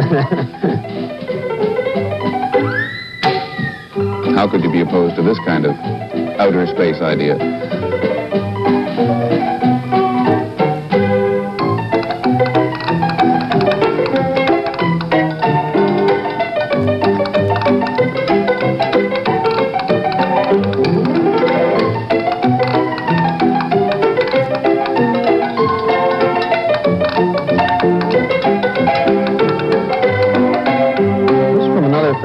Same people, uh, and they're trying to talk about um, communications between the planets. And Professor Pickering, of course, really existed, and this indeed was his plan, um, which I think uh, probably had some help on from Rube Goldberg. Uh, Mechanical arrangement. Yeah, it's a giant hinge. Of course, that hasn't changed much either. NASA today uses language that the layman can hardly understand. Well, that's true. I think there's something very charming about these uh, ideas because in those days, in the 1920s, we had to depend on mechanics rather than electronics to do a lot of the things that uh, are easy now. And so these kind of great goofy ideas were proposed. Uh,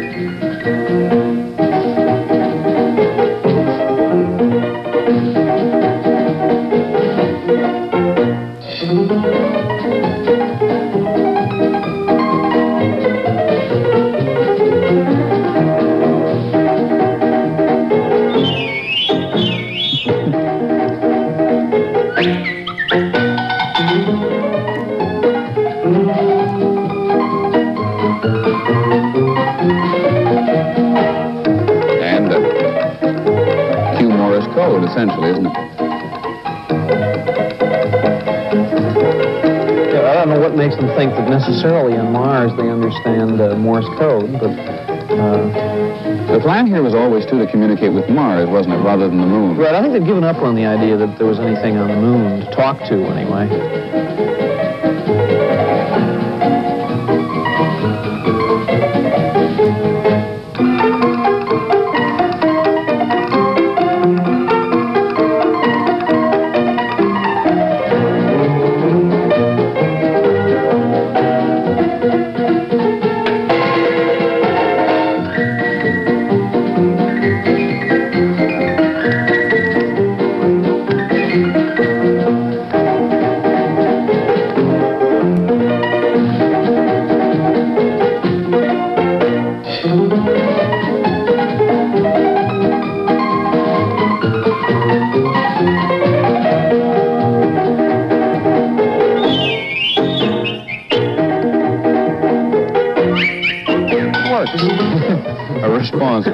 Which scare the devil out of anybody. How do these things stack up to a film critic?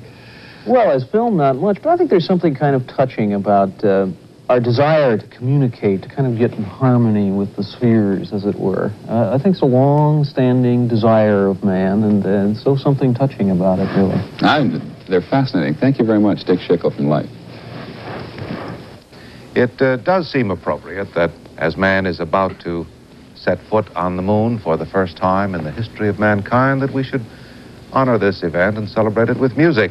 So ABC News asked a most distinguished musician to compose and perform an original piece for this occasion. He is a member of the National Council on the Arts. He holds about a dozen honorary PhDs. Last April, when he was 70 years old, President Nixon awarded the composer the Medal of Freedom at a gala White House birthday party. And here in ABC Space Headquarters is the Honorable Dr. Edward Kennedy Duke Ellington.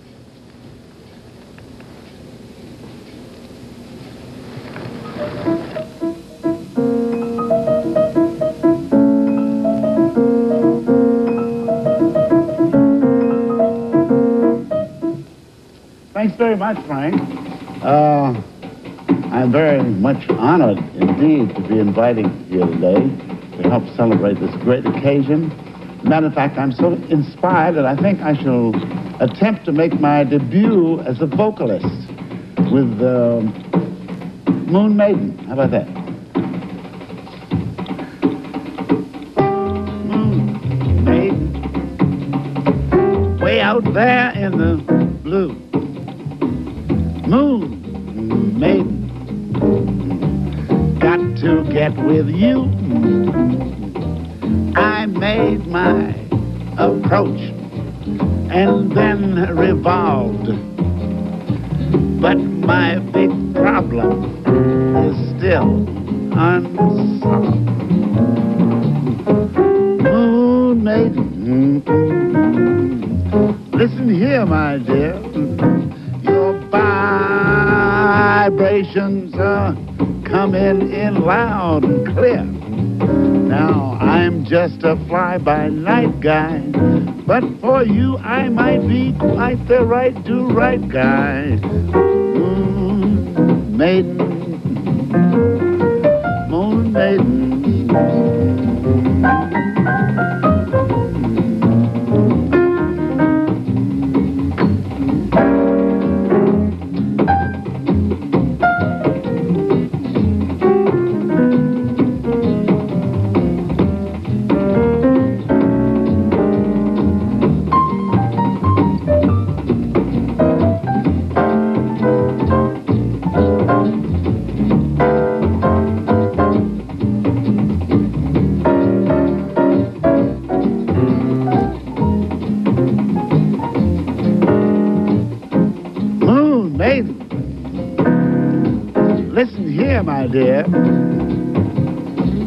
Your vibrations are coming in loud and clear. Now, I'm just a fly-by-night guy, but for you, I might be quite the right do-right guy.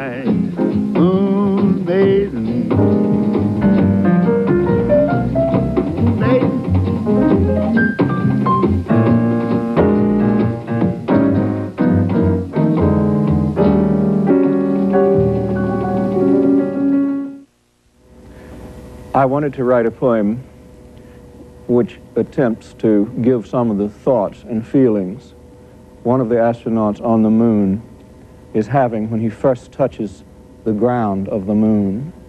These are the only men in this world and on the moon, the only men who have ever been there, at least so far as we know. And they've brought the whole human mind and all the cycles of civilization and history, including mythology, with them. It seems a strange and wonderful thing to me that the spaceship that brought them to the moon should be named Apollo, who is also the Greek god of poetry.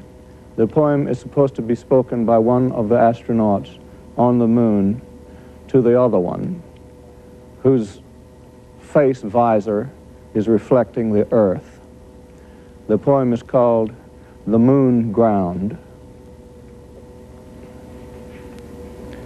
You look as though you know me, though the world we came from is striking you in the forehead like Apollo.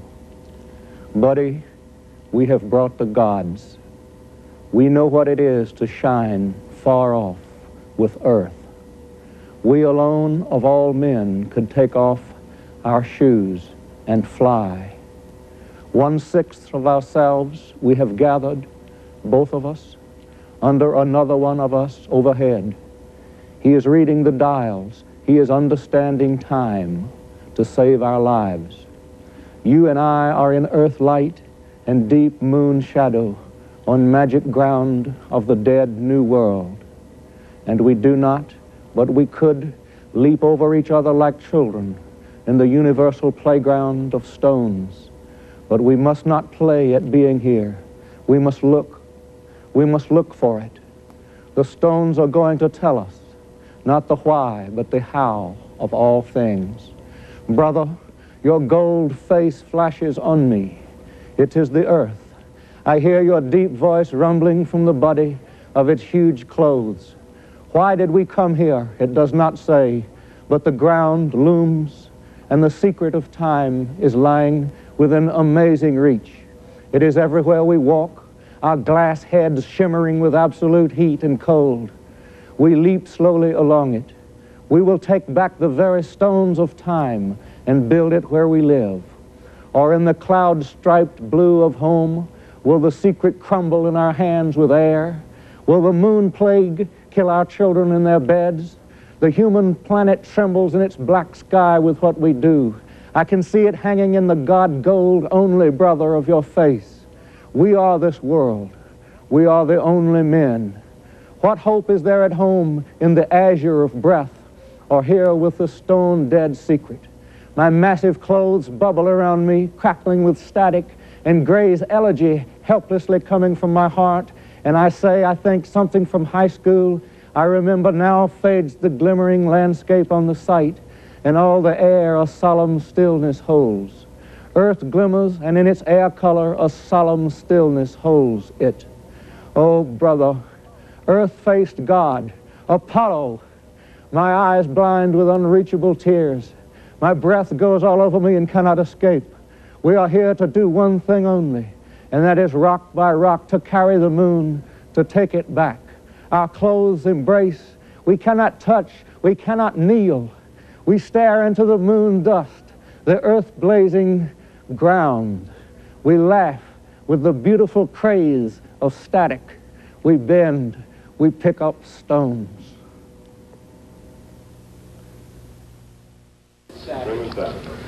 This is not the time to run down to your neighborhood drugstore for something that you may have forgotten, because we're getting very, very close now to the time when we will hopefully see the pictures of man stepping on the moon, Neil Armstrong.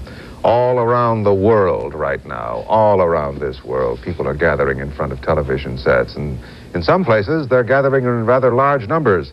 Uh, Central Park in New York, in the sheep meadow, it's been renamed Moon Meadow for tonight. And uh, despite some adverse weather, I really do not know whether it is still raining in New York.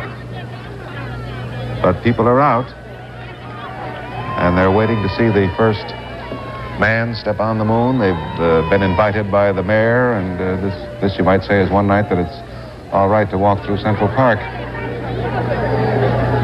Originally, the idea was to wear white. I wasn't, I've never quite been sure why that was the preferred mode of dress. But they all seem to be having a rather good time, don't they? Participatory moon madness. With TV, Let's go to Houston now. They're in conversation with the astronauts on the moon.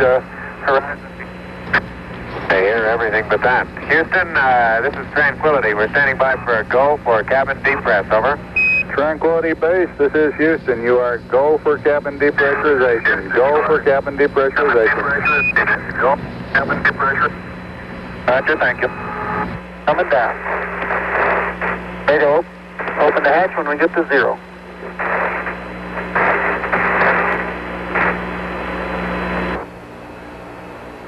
Base five clear. Roger. And we're getting a picture on the TV. You got a good picture, huh? Uh, there's a great deal of contrast in it, and uh, currently it's upside down on our monitor, but we can make out a fair amount of detail.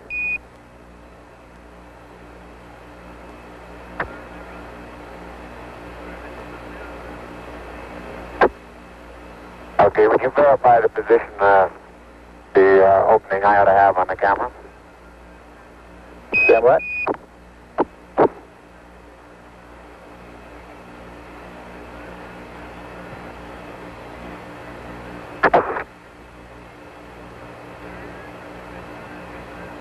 Okay, Neil, we can see you coming down the ladder now. Neil, we can see you coming.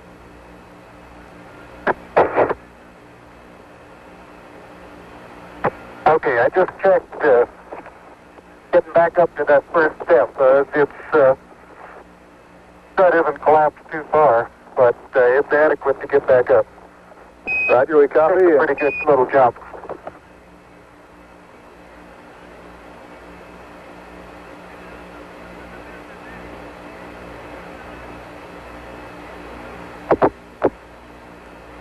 Uh, Buzz, this is Houston. F2, 1 160th second for shadow photography on the sequence camera. Okay. I'm uh, at the foot of the ladder.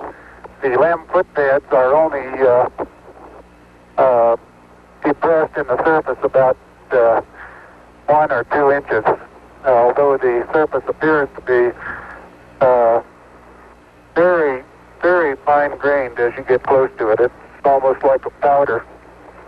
Ground mass uh, is very fine.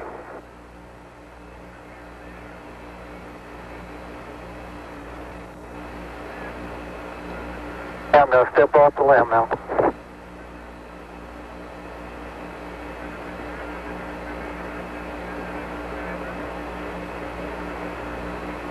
That's one small step for man, one giant leap for mankind.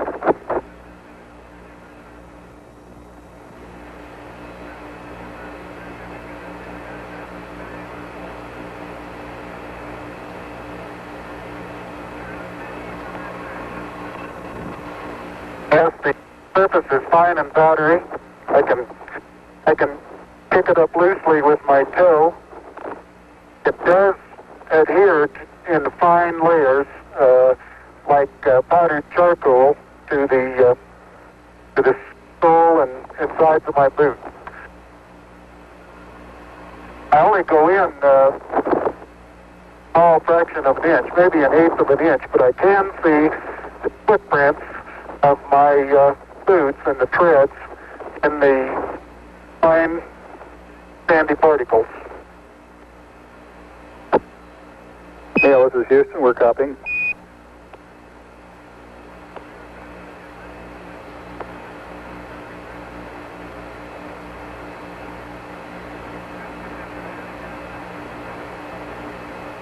Uh, there seems to be no difficulty in moving around as as we suspected. Uh, it's even perhaps easier than the simulations of 16G that uh, we performed uh, in various simulations on the ground. Absolutely no trouble to uh, walk around.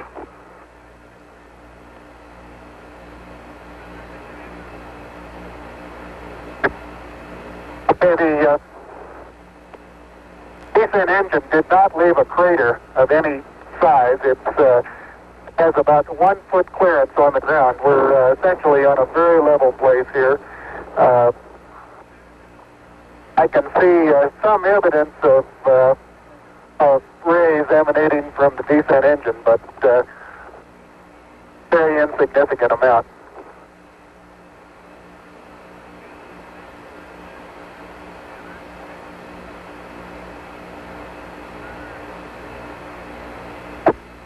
Okay, Buzz, we ready to uh, bring down the camera? I'm all ready. I think it's uh, two miles squared away in good shape. Okay. Okay, you'll have to pay out all the LEC. It looks like it's coming out nice and evenly. Okay, it's uh, quite dark here in the shadow and a little hard for me to see it. I have good footing. I'll work my way over into the sunlight here without looking directly into the sun. Okay, it's taut now.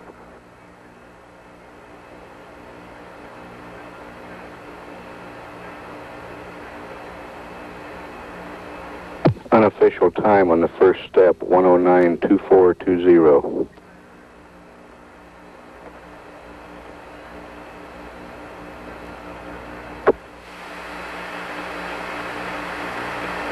That's the sample return containers, the rock boxes that Capcom. I want to uh, back up and partially close that.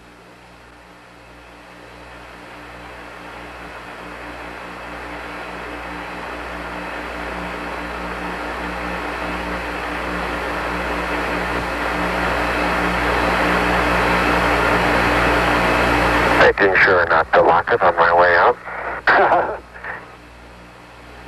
Particularly good thought. That's our home for the next couple hours. We want to take good care of it. Okay, I'm on the top step and I can look down over the RCU and landing gear pad. It's a very simple matter to hop down from one step to the next. Yes, I found it to be very comfortable, and uh, and walking is also very comfortable. You, uh, you're on. You've got three more steps, and then a long one.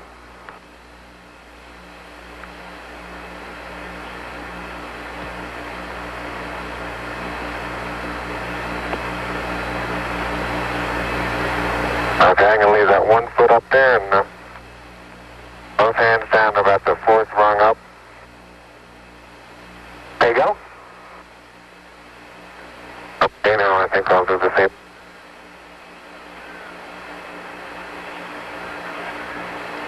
A little more. About another inch. There, you got it? That's a good step. Yep. About a three footer.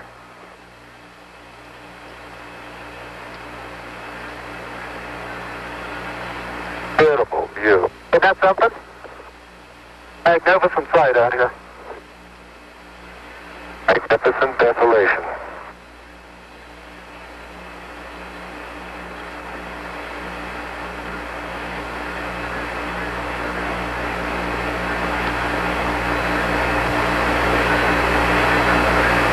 Both PLSS is nominal on consumables.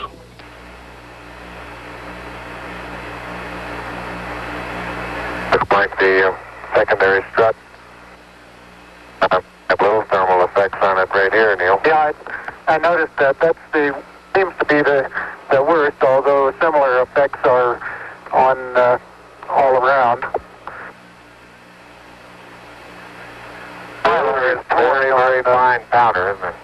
Isn't it fine? Right in this area, I don't think there's much of any fine powder. Some clouds together, and it's hard to tell whether it's a clod or a rock. How you can pick it out. Yeah, and it bounces and then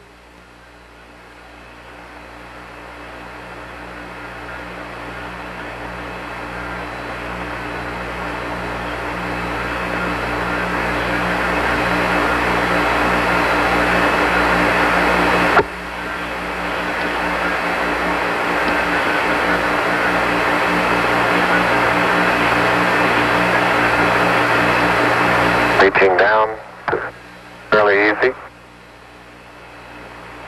Get my suit dirty at this stage.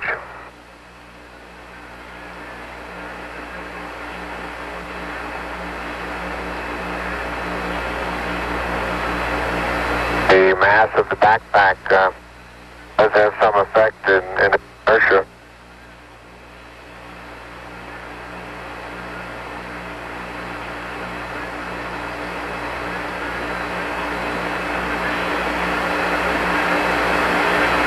There's a slight tendency uh, I can see now to uh, backwards due to the soft, uh, very soft texture.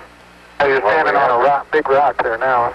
there now. This pad sure didn't. No, it didn't. Absolute no crater there at all from the engine. No. I wonder if uh, that right under the engine is where uh, boat might hit. I'd like that. Uh, yeah, that's. I think that's a good representation of our sideward velocity of touchdown. There,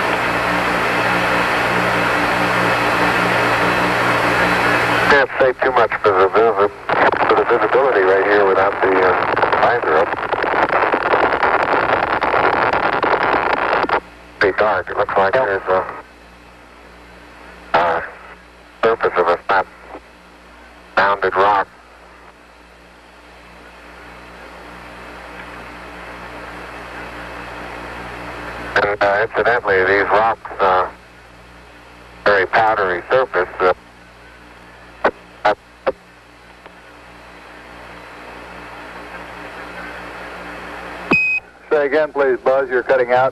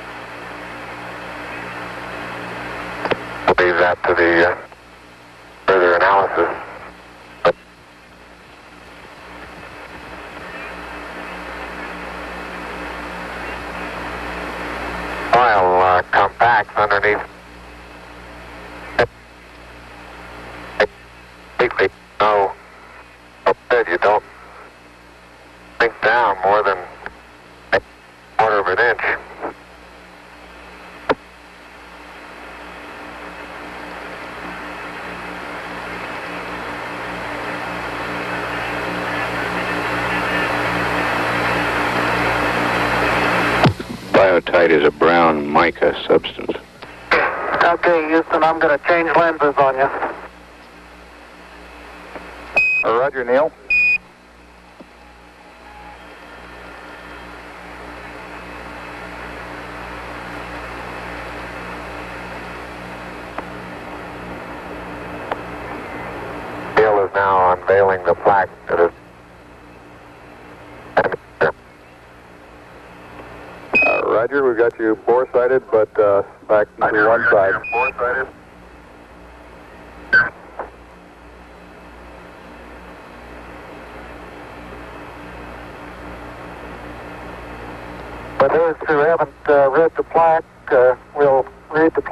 on the front landing gear of this LEM.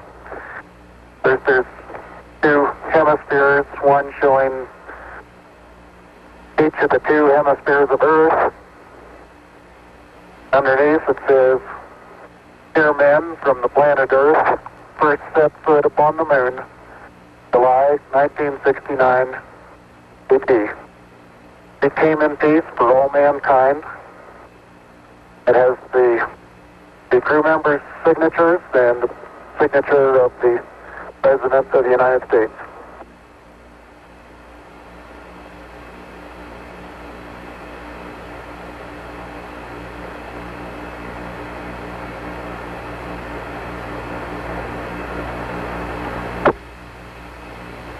Ready for the camera? Oh, I'll get it. Are you taking TV on them? Touch the LEC there.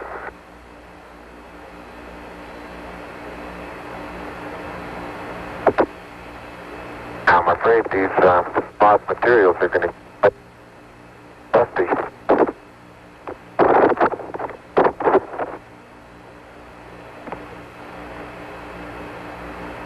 The uh, surface material uh, powdery. Uh,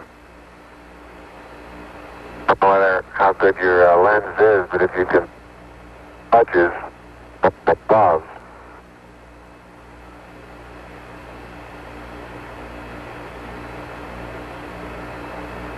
very much like a uh, very finely powdered carbon, but pretty, pretty looking. You uh, pull out some of my cable for me, Buzz?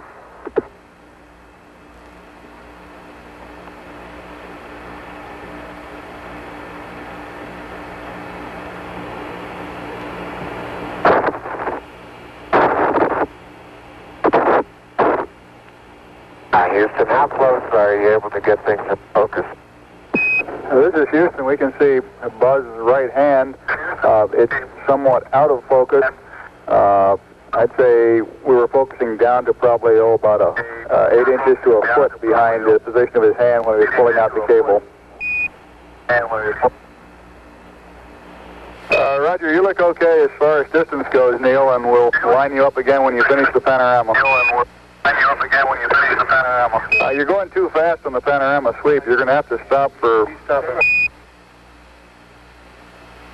I haven't stopped. I haven't set it down yet. That's the first picture in the panorama. Right there. Roger.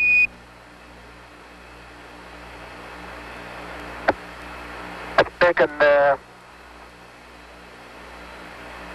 just uh, oh, about north northeast. Tell me if you got a picture, Houston. Well, we've got a beautiful picture, Neil. Okay, I'm going to move it.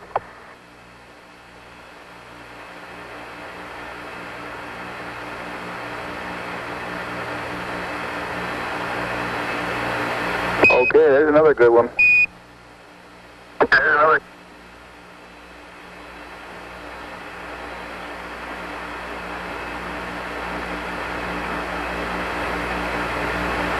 Okay, we got that one.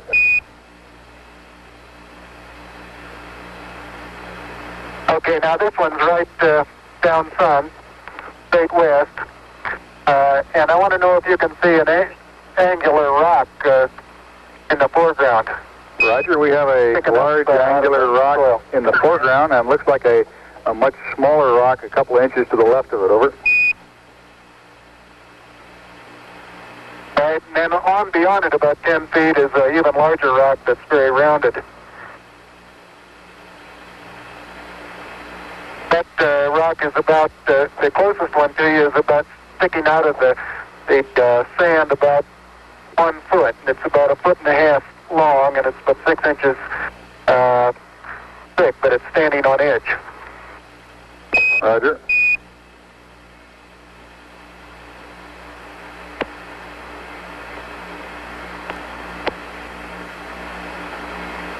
Neil, I've got the, uh, the table out. Got a bag deployed. We got this view, Neil.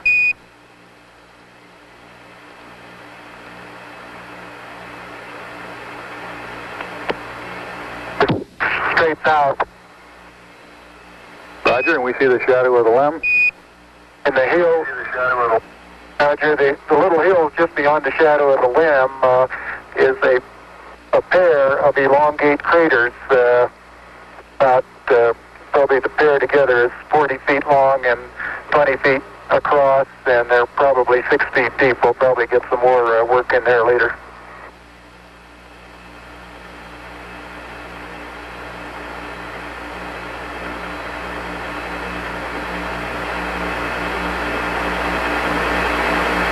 Roger, and we see Buzz going about his work. How's that for a final? Uh, Uh, for a final orientation, we'd like it to come left about uh, five degrees over.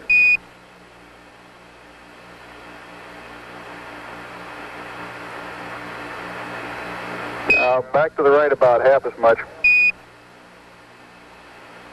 Okay.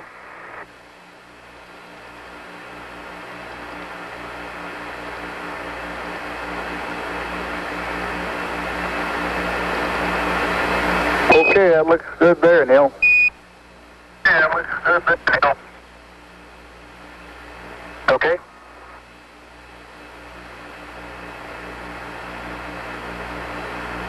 One hour, seven minutes time expended.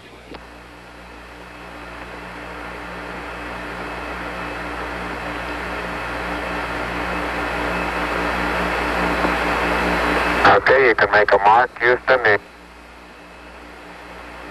Roger,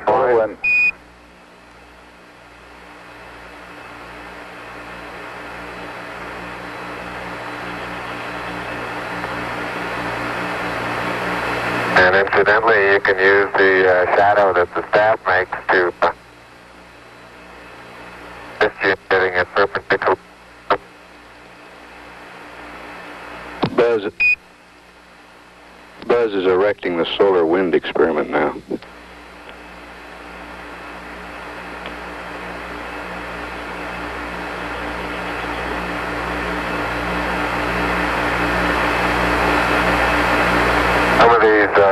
Depressions uh, big soft, and you tend to think, oh, maybe two or three inches.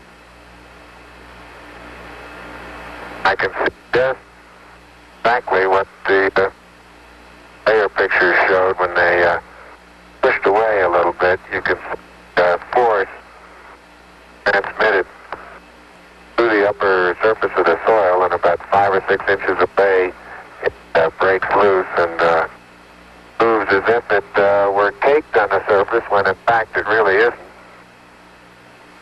I, I noticed in the soft spots where we have footprints uh, nearly an inch deep that the soil is very cohesive and it will retain a uh,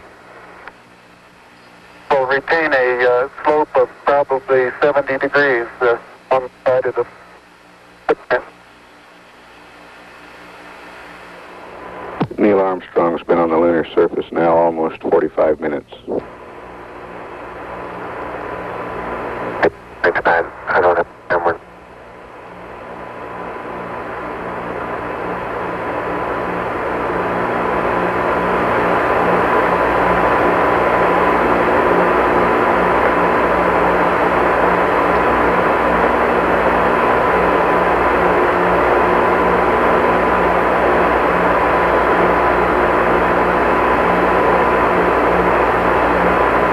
Houston, Columbia on the high gain, over.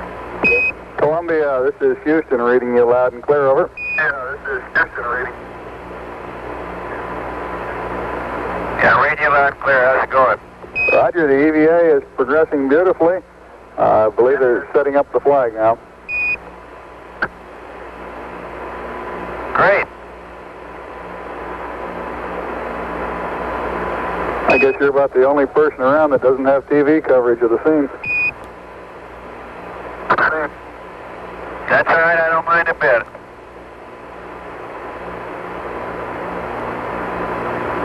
How is the quality of the TV? Oh, it's beautiful, Mike. It really is. Oh, geez, that's great. Is the lighting halfway decent?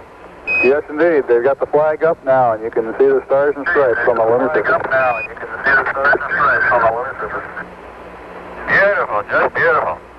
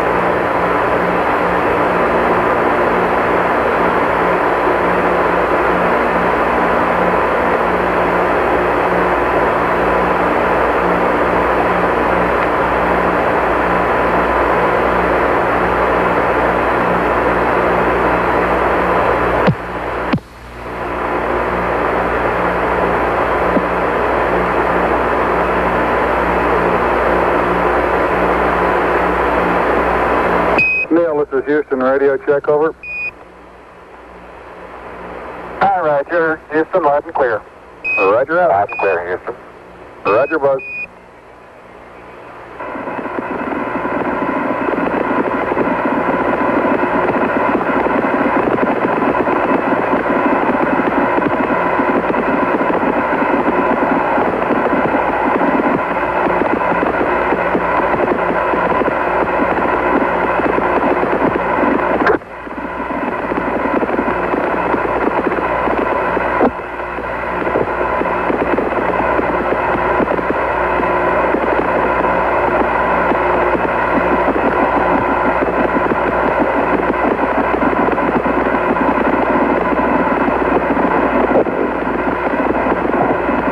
I'd like to evaluate the uh, various paces that a person can traveling on the surface. I believe I'm out of your field of view. Is that right now, Houston? That's affirmative, Buzz.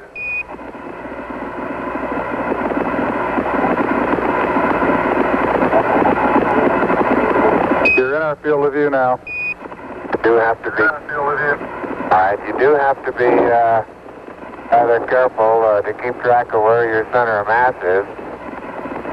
Sometimes it takes about two or three paces to uh, make sure that uh, you've got your feet underneath you.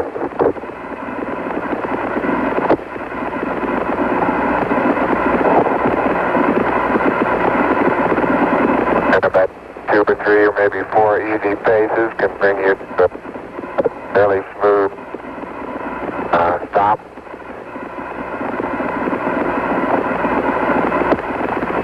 Direction. Like a football player, you just have to put out to the side, cut a little bit.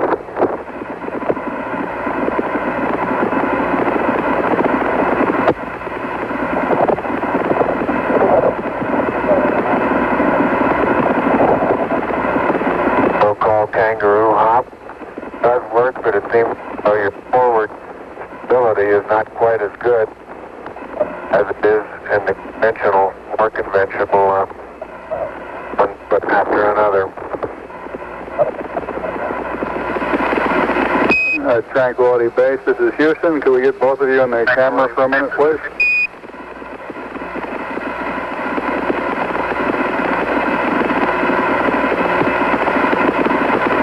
Again, Houston.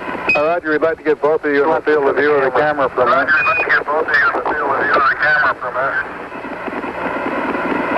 Uh, Neil and Buzz, uh, the President of the United States is in his office now and would like to say a few words to you. Over.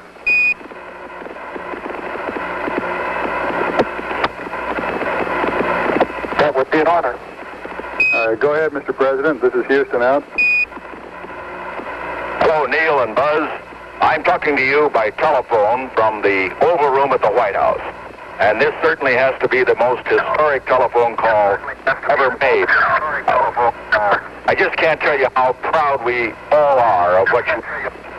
For every American, this has to be the proudest day of our lives. And for people all over the world, I am sure they too join with America in recognizing what an immense feat this is. Because of what you have done, the heavens have become a part of man's world. And as you talk to us from the Sea of Tranquility, it inspires us to redouble our efforts to bring peace and tranquility to earth. For one priceless moment in the whole history of man, all the people on this earth are truly one. One in their pride in what you have done, and one in our prayers that you will return safely to earth.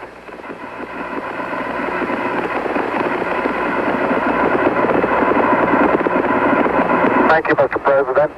It's a great honor and privilege for us to be here representing not only the United States, but men of peace of all nations, and with interest and a curiosity and, and with a vision for the future. Uh, honor for us to be able to participate here today.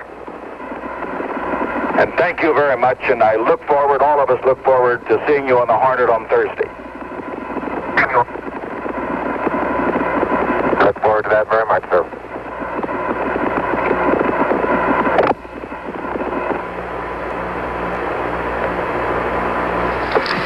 Uh, Neil and Buzz, this is Houston. We'd like you to... You're right. Turn to your right. Not clear? Not quite. Neil, this is Houston. We'd like you all to get two core tubes and the solar wind experiment. Two core tubes and the solar wind, over. Roger.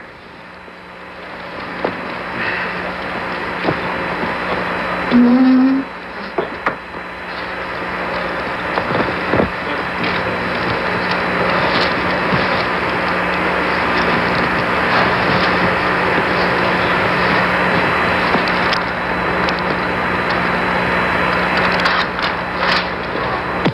tubes provide material. Get the next one. Maybe you can yeah, turn away the box a little bit.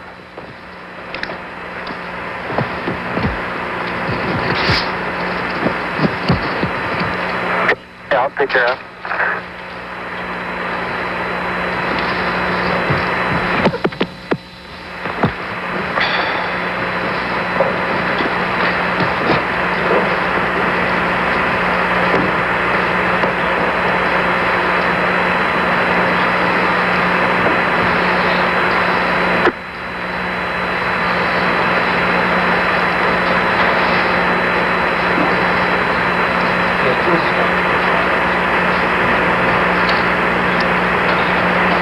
They've already learned a great deal about the lunar surface from their own observations, certainly the information that they bring back with them, not just the materials that come back with them, will be of inestimable value to scientists. And all the rest of us have learned a great deal about them and I guess about ourselves today. Buzz, this is Houston. You have approximately three minutes until you must commence your EVA termination activities. Over. EVA termination activities. Over. Roger, understand. Buzz understands, but I have the feeling he's not too enthusiastic about terminating his... Columbia, this is Houston. Approximately one minute to LOS. Over. One minute. Columbia, Roger. And do you plan on uh, commencing your sleep on the backside this pass? Uh, if so, we'll disable uplink to you while we're talking to the LEM. Over.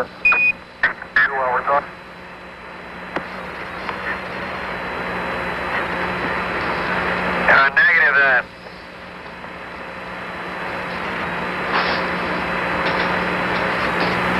Houston, were you able to uh, record uh, in a documentary way where the two two samples were taken?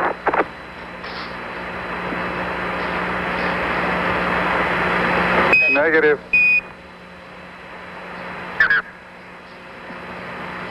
Now, I didn't get a stereo pair of those two, but they're right in the vicinity of the solar wind.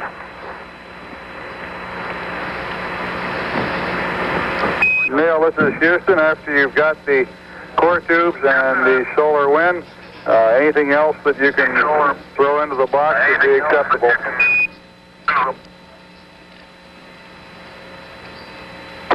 I do.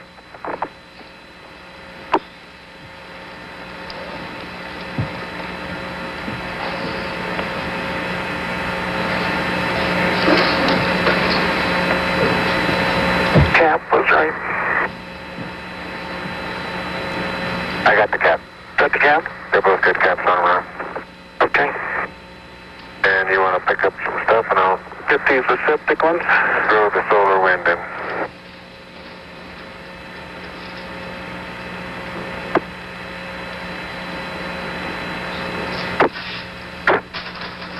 have to remember as you see them almost soaring about there. Buzz Aldrin retrieving the solar wind experiment.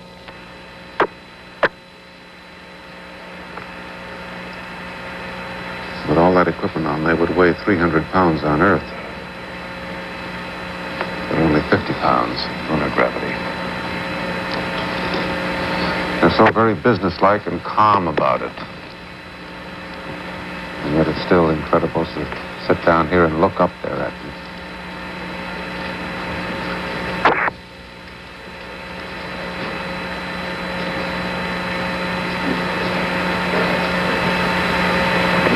Uh, Buzz, this is Houston. It's about time for you to start your EVA closeout activities.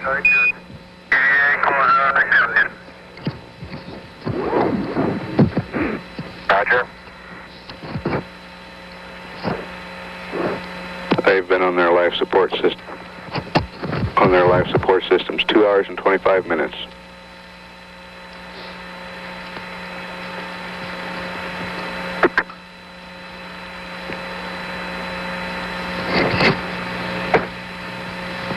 Those Aldrin will be getting ready to go back inside.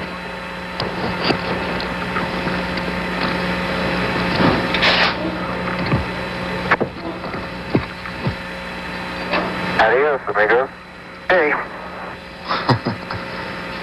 Anything more before I head on up, Bruce? Negative. Head on up the ladder, Buzz. Head on up. Capcom Bruce McCandless in Houston.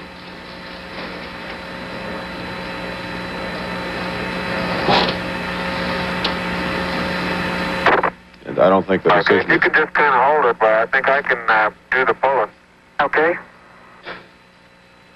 That's uh, Aldrin pulling up the sample return container last Stand by a minute. Let me move back. It's not as easy as it once as it seemed in the beginning. And also, they've had a very long day. They've been up for 18 hours and 10 minutes now with no rest break in between since 7 7 a.m. Had only about five or six hours sleep last that. night. I still think they were wise to start okay, I'll this get it the rest way. start this moonwalk earlier than planned. And I'll give it to you to uh, go away just a second. And a little more.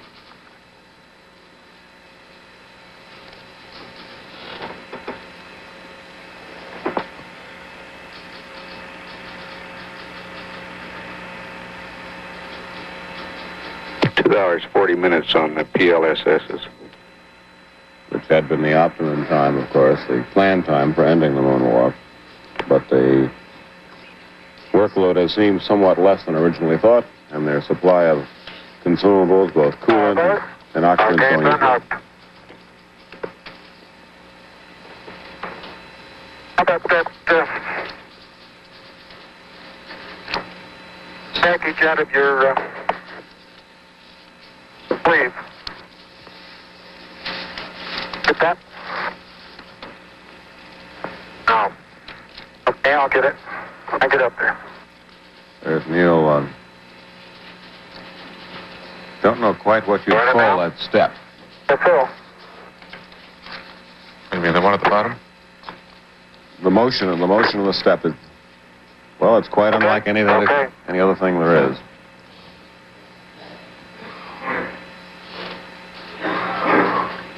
Call it the moon hop. The moon hop. Good, good term. There he is moving up by the. Uh, I'll call it the MH. MH. Neil, this is Houston. Did you get the Hasselblad magazine? How about an, an NAMH? Yes, I did. And we got about, uh, I'd say, 20 pounds of uh, carefully selected, if not documented, samples. Houston, uh, Roger. Well done. Out. The second box. Neil was relaying word he didn't have time to do the to really document the samples, but got 20 pounds of materials into the boxes for them. Carefully selected too. Yes.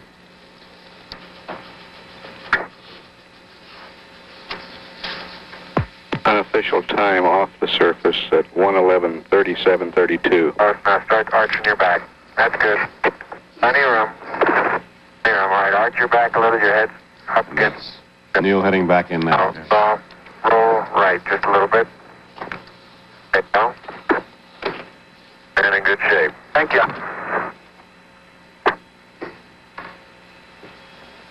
I'm up and now. Now you're clear. You're rubbing up against me a little bit. Okay. Turn right. That's right. Left. Armstrong was out on the okay. surface two hours and eight minutes by our calculation. I'll move your foot and I'll get the hatch.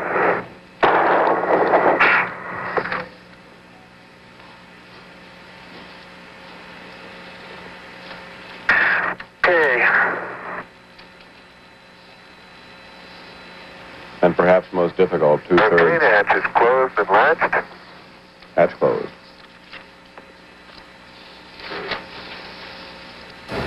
Apollo 11 landed on the moon. Eagle landed on the moon. They have completed their EVA. They have gathered up their rock samples. They have deployed the various scientific experiments. And uh, voice communications have now been reestablished quite clearly between Houston and Eagle. Both uh, Neil Armstrong and Buzz Aldrin are back inside now, uh, closing out their activities and getting ready for what will be certainly some very well deserved rest. Let's uh, go to Bill Brannigan, who is in Los Angeles, and he covered today's moon landing on the beach. But this is no ordinary summer weekend. They're on the moon. We copy you down, Eagle.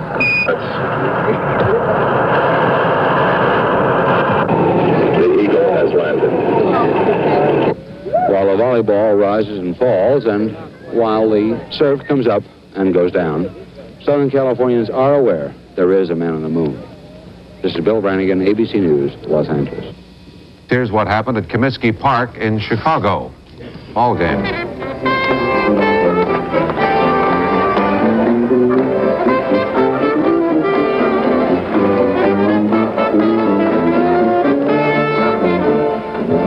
In the seventh inning. Kansas City against Chicago. In Chicago, the time is 3:17. The astronauts are just about to land on the moon, and the 16,000 fans here at the ballpark are preparing to do what nearly every other American will do at this moment: celebrate and applaud the space achievement by Americans. Here's how they're doing it at White Sox Park.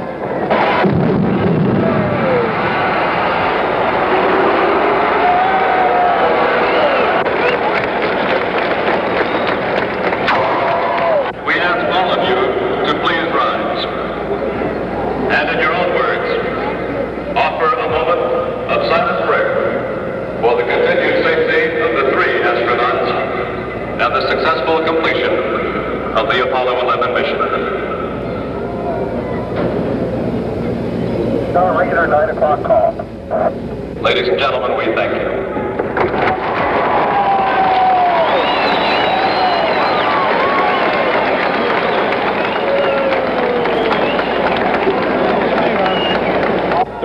By 16,000 fans at the Sunday afternoon ball game. An unusual, but this time very welcome, interruption. This is Hugh Hill reporting from White Sox Park in Chicago. Well, we thought we'd talk a bit about science fiction. The uh, guest we just had on uh, Houston mentioned uh, future flights.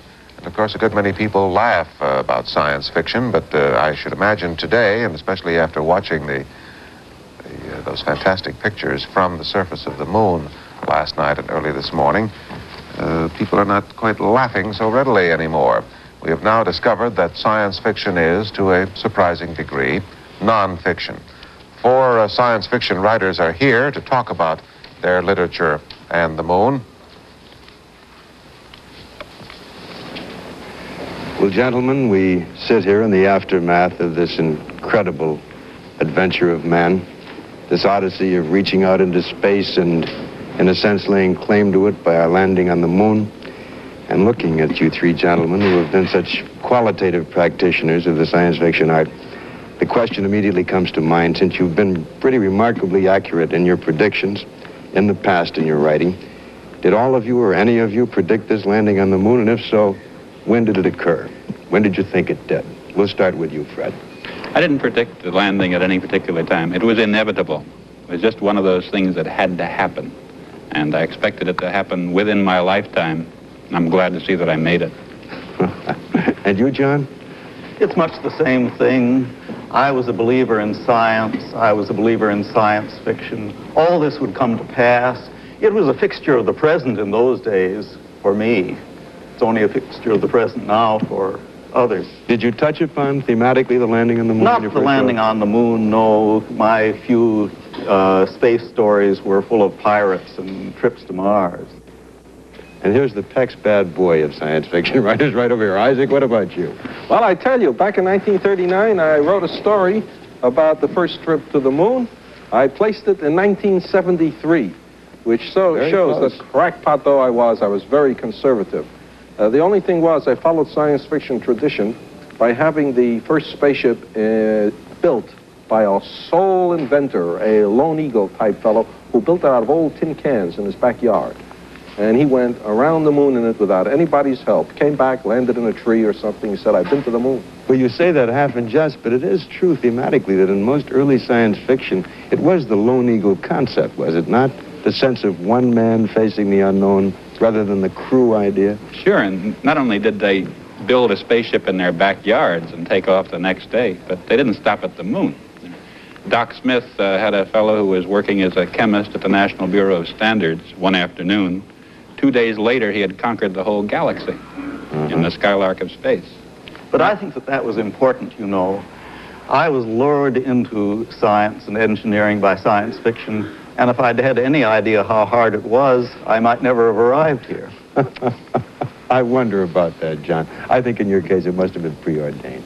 But having reached this plateau, this lunar plateau, immediately it comes to mind, what is the next basic thematic area for the science fiction writer? We have touched upon the moon. We have, in a sense, predicted it as science fiction writers. I, I use the collective, respectful we here, not certainly not me. What do you write about next? Where does man go in his science fiction beyond the moon? Isaac? Well, one of the themes I've made use of a great deal has been the man-like robot with man-like intelligence. Now, this is still in the future, and on the other hand, it's still something we're likely to accomplish. So I, for one, plan to stand pat on this to a great degree. I shall continue writing robot stories. I think that for my lifetime anyway, they'll remain science fiction. There will be no live television now of the uh, liftoff. The television camera that uh, relayed those spectacular pictures last night of the walk on the surface of the moon has been deactivated. Matter of fact, it's going to be left there. And uh, so there will be no live television. Perhaps on future missions, future takeoffs, there may be, but not today. We will, of course, have voice communication, however. And uh, you will be able to hear Houston talking to Eagle, talking to Neil Armstrong and Buzz Aldrin as they take off. After the scientific experiments have been completed, and when the command module comes back overhead within range of their rendezvous radar, Neil Armstrong and Buzz Aldrin prepare to launch off the moon's surface. Mike Collins joins Armstrong and Aldrin in a combined countdown that will end the first part of this historic journey. The ascent engine is fired, lifting the ascent stage into a 10 mile high transfer orbit, the first step to rendezvous with Collins. The descent stage, which serves as a launching pad, remains on the moon together with the lunar surface experiments. These packages will continue to transfer information on moonquakes and lunar coordinates to Earth for as long as a year. The ascent stage is shut down at 60,000 feet over the moon. If problems have occurred and Armstrong and Aldrin can't reach lunar orbit, then Collins and the command module can fly down as low as 35,000 feet to rescue them. Then, after getting into lunar orbit, the astronauts maneuver using their reaction control jets to place the spacecraft in an intercept trajectory with the command module. Rendezvous radar measurements are used to guide the approach from 350 nautical miles down to the last 500 feet. During the docking maneuver, the lunar module is under manual control. This is the last of four critical maneuvers that Apollo 11 will accomplish. Rendezvous after liftoff from another planet, a critical maneuver never before tried by any space crew. The other three critical maneuvers, of course, power descent, touchdown, and then ascent to lunar orbit. The two craft hopefully will be in a continual line of sight relationship with each other during the rendezvous maneuver. Lem is pitched over to bring the command module docking target clearly into view through its upper window. After lining up on the command module's docking target, the commander then maneuvers his vehicle closer. Then Mike Collins in the Apollo command module, who has a far better window view, powers up, moves in, and completes the docking.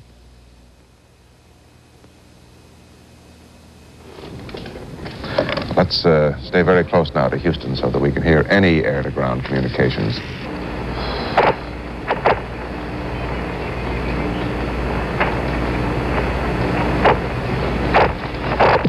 Guidance reports both navigation systems on Eagle are looking good.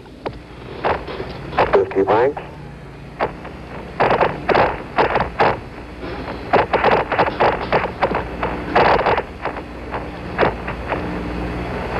Set that access code.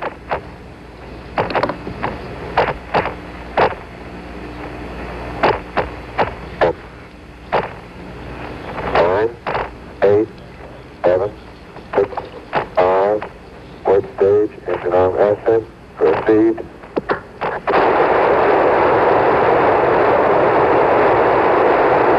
Shadow, beautiful.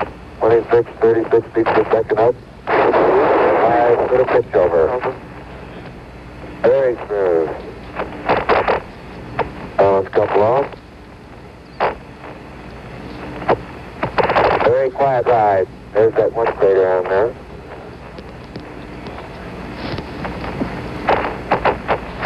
Lifting off 1,000 beautifully. feet high, 80 feet uh, per second vertical rise.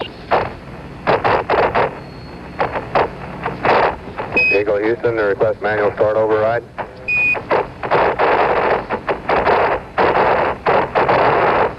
Roger. 2,600 feet altitude.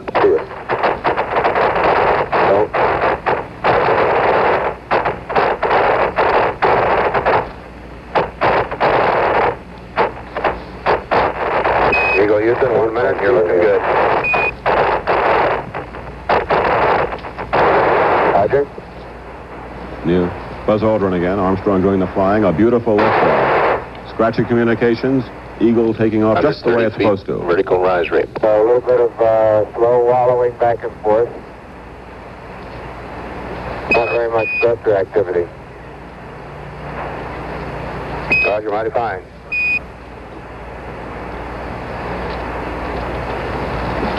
Seven hundred, one fifty up, beautiful. Nine thousand. AGS degrees uh, within a foot per second.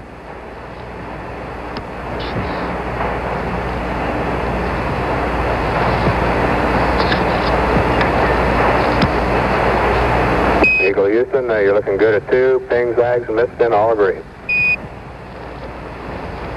That's a thousand. One seventy up, beautiful. Fourteen thousand. Right on the money, exactly where they're supposed to be. The engine burning perfectly. And a foot per second again, AGS to PGNS.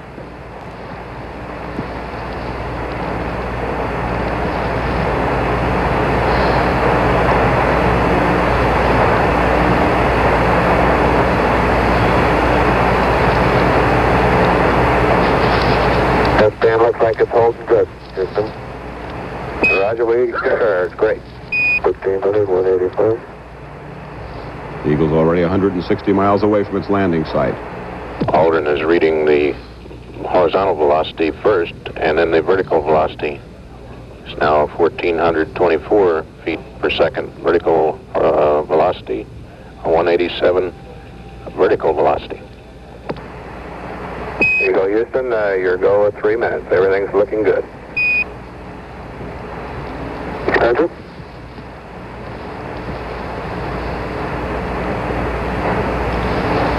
Nearly 200 miles downrange from Tranquility Base. Straight on H dot. Coming up to, this is H dot max now.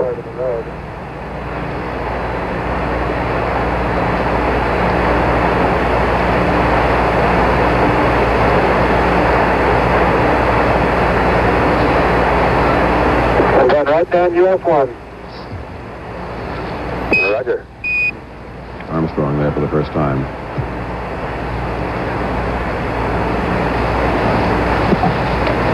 Height's now approaching 32,000 feet.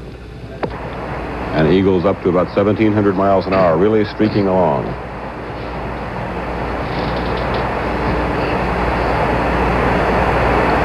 Eagle Houston, uh, four minutes. You're going right down the track. Everything's great.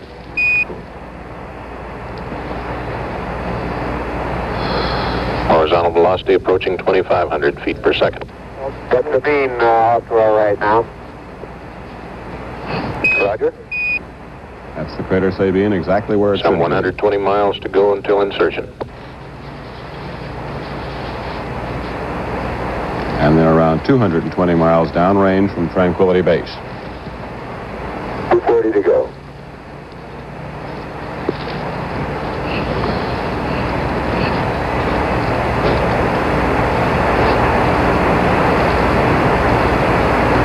Two and a half minutes more of engine burn needed, called for, before they insert. 260 miles downrange. There's Ritter off there. And there it is, right there. Where there's Schmidt. And that's impressive looking, isn't it? The crater Schmidt, they're soaring by Eagle it. Houston, uh, you're great. Three, looking at you, 155. All three data sources are agreeing quite closely here. The three-color plot board on the front of mission control here is almost uh, superimposed as the, each of the three colors are scribed on the scribing plotter.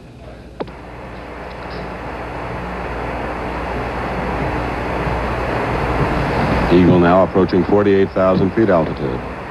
Iron Oscar, something good. It's up to the right.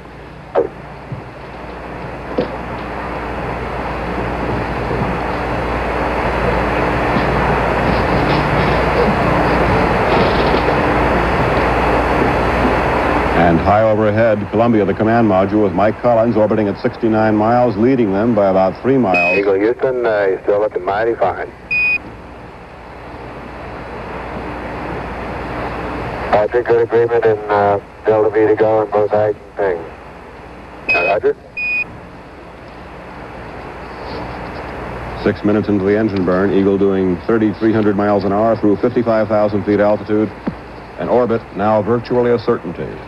One minute to go in the burn. 4,482 feet per second. Horizontal velocity. Command One module, minute to go. command module pilot Collins pointed down. One minute to go.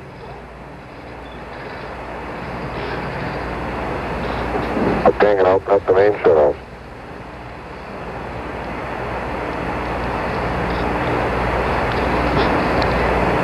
FN goes, pressure's holding good, cross speed off. 250 to go. Almost as fast as they need to. Very close. And on the engine arm. 90, okay, off, 50, step down. Right on schedule. They've got it made. We're in orbit. You got 53373, 32.8 feet per second, 60,666. Eagle Roger, we copy. It's great. Go. And we got got our residuals.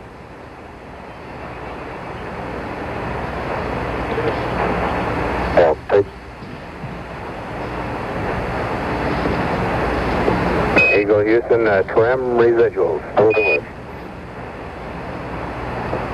west. Showing a par- perilune of 9.1 nautical miles, apolune 47.2 nautical miles on the pings. All three systems are go.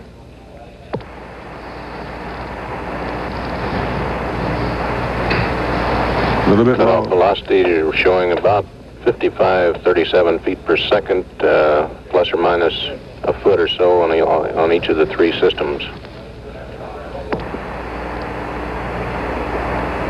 A little bit low on the perilune, but easily taking them into orbit. No problem. Last week, when Apollo 11 was launched on its way from Cape Kennedy, one of the guests there to witness the launching was uh, former Vice President, jo- uh, former President Johnson, who uh, was moved to remark after the launch that uh, he wondered why, if we can harness all this technology and put together all this effort, we can't do the same to bring peace to the world. Well, we have to uh, remind ourselves of the fact that uh, while we have done all these wondrous things in space and with our technology, we still have not been able, some way or another, to eradicate war from the face of the earth, and there is a war underway right now, though hopefully it is in what is called a lull. Perhaps the young men who were actually doing the fighting might quarrel a bit with that uh, description of it. But nevertheless, the flight of Apollo 11 has great meaning, too, for the young men, Americans and South Vietnamese, and for that matter, North Vietnamese and VC in Vietnam. And we thought it would be interesting to see uh, how they feel about it. ABC's Kenneth Gale has this report on the reaction of American troops in the combat zone in Vietnam. It was early in the morning, a full two hours before sunup here in Vietnam, when man reached the moon. Out in Tay Ninh province, troops have been tense for several nights now, waiting for the heavy fighting to begin again. For that reason, most of those who did not have to be awake slept through the moon landing, knowing they will not sleep when the fighting begins. Artillerymen were awake, firing wherever the enemy might be. Because of the clouds, the only moon to be seen over Tay Ninh was an artificial one, flares to keep the enemy from moving in darkness. In a bunker, a night radio watch followed the moon landing with an ear tuned to other radios that might call them to action at any time. Artillery Fire Direction Control Office here at Fire Support Base Buell. Lieutenant, do you think the moonshot was worth it, all this? Well, it depends what you mean by, by worth it. From a technological point of view, it was a wonderful accomplishment. Being a romanticist that I am, I feel that men should more or less try to square away their affairs here in this world before they go exploring the stars and the planets. And this is being the first step into the universe. Well, it, was it was the accomplishment itself was was worth it. But I think that people are putting too much stock into space travel when they should try to square away what's wrong with this world right here. Luckily, the night was relatively quiet at this artillery base in Tay Ninh. The men here actually more concerned with the immediate threat to their own lives to give much thought to the dramatic challenge facing the men on the moon. Kenneth Gale, ABC News, at an artillery base in Tay Ninh, South Vietnam. Back in ABC Space Headquarters in New York, I'm Frank Reynolds with Jules Bergman. We are less than 15 minutes away now from the uh, time when the rendezvous will be accomplished and the docking actually will take place when uh, the command module, Columbia, will be joined together now with the LEM, Eagle, Collins, Aldrin, Armstrong. I'm so tired that I'm having difficulty remembering those names now. You know, sure you are. Just kind of, kind of slip away.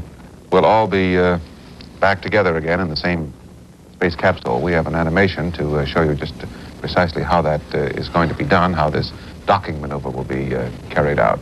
We're 13 Right. minutes away. And they'll be coming out from behind the moon shortly. They should be fairly close together, Frank, when we arrive back in uh, the radio signal area. And this is the way it'll look from inside Eagle, the lunar module. These are the rendezvous maneuvers that led up to the final rendezvous in the docking. The Eagle lunar module's ascent stage with the two astronauts aboard, moving in close as it will be in a few minutes.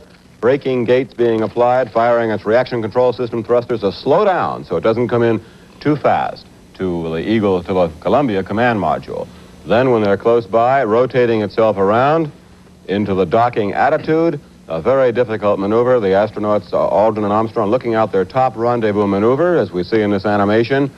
And as they move in with about 30 feet or so, then astronaut Michael Collins, inside the Columbia command module, takes the controls and fires up his reaction control system thrusters and moves in very slowly because he has better view of the target docking uh, adapter. And the probe and drogues lock, meet, and the uh, latches close, and they are docked. Shortly thereafterward, they will transfer from the lunar module back into the Columbia command module. Eagle, the lunar module, will be cast off into lunar orbit. Uh, eventually, it will impact the moon months from now, perhaps. Uh, the three astronauts will eat and rest in, inside the Columbia command module. Not yet clear is whether Neil Armstrong, the spacecraft commander, will elect to extend their time, their lu- lunar orbit stay time, if you will, for an additional eight hours or 12 hours for a rest cycle, or whether he will stick to the original flight plan, which calls for a trans-Earth injection at about 1 a.m.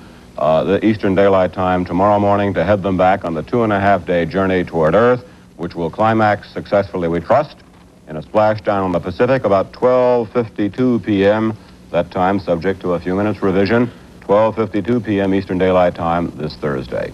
Go to mission control now for air-to-ground signals. This is lunar revolution number 27 for Columbia.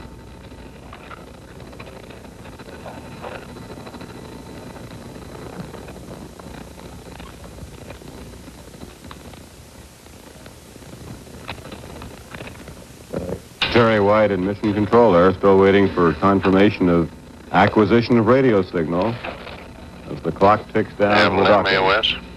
There's the signal LEM has been acquired. Eagle.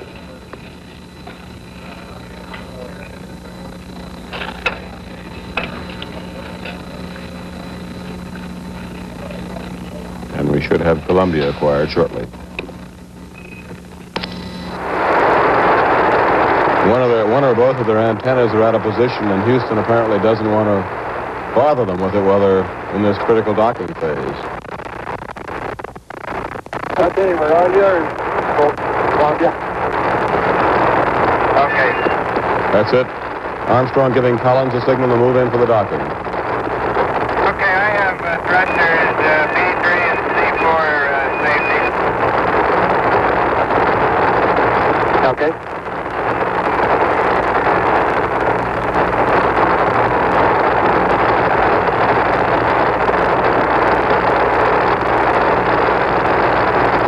I'm pumping up cabin pressure.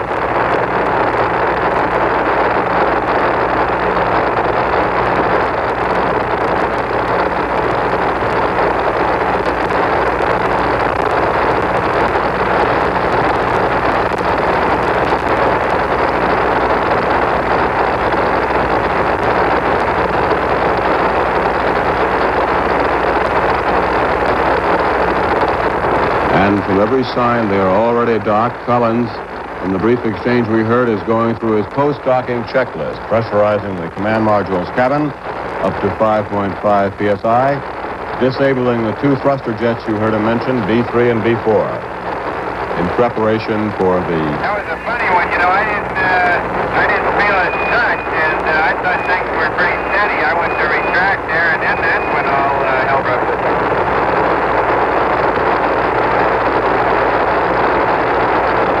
You guys, did it appear to you to be that you were jerking around quite a bit during the retract cycle? Uh, yeah, uh, it uh, seemed to happen at the time I put the, uh, the Vortex thrust to it. Uh, it apparently wasn't finished, but uh, somehow or other, uh, that's when we got off in attitude, and then the attitude uh, hold system started firing. Yeah, that was sure busy there for a couple seconds. And they are docked. Some small problems in attitude control being discussed by Mike Collins and Spacecraft Commander Armstrong. I got a horrible squeal. Yeah, I agree with that, but we hear you okay.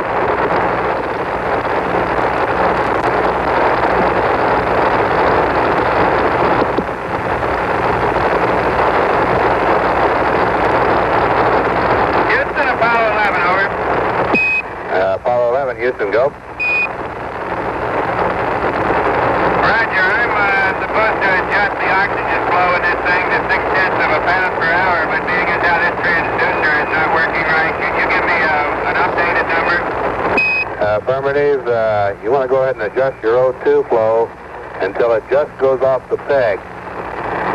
And then uh, crank the direct O2 valve uh, back down about 5 degrees. Over.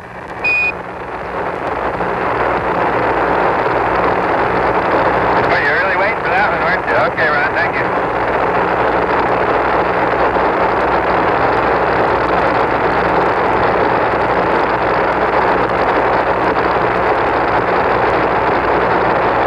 Mike Collins talking to Houston Control, bringing up his oxygen flow to pressurize the CSM to the point where the tunnel joining the two vehicles can be pressurized in preparation for removal of the hatch and stowage of the hatch and then the transfer. In about an hour and 15 minutes, the spacecraft Commander Armstrong and uh, lunar module pilot Aldrin back to the Columbia. The Eagle is back, and Eagle is docked with the command module. They don't really have too many great, big, tremendous earth shaking, moon walking type events to follow through on, do they? You know, Frank, now that we've been through these, all these difficult four days, five days since last Wednesday, launch last Wednesday, and particularly since the lunar landing and the 30 straight hours we've gone here, I am weakened. I am weakened to think of what has been accomplished because by my own checklist, they have accomplished. Armstrong, Aldrin, and Collins have done beautifully, performed beautifully, nine of the 11 major hurdles, nine of the 11 major rocket engine burns on this flight.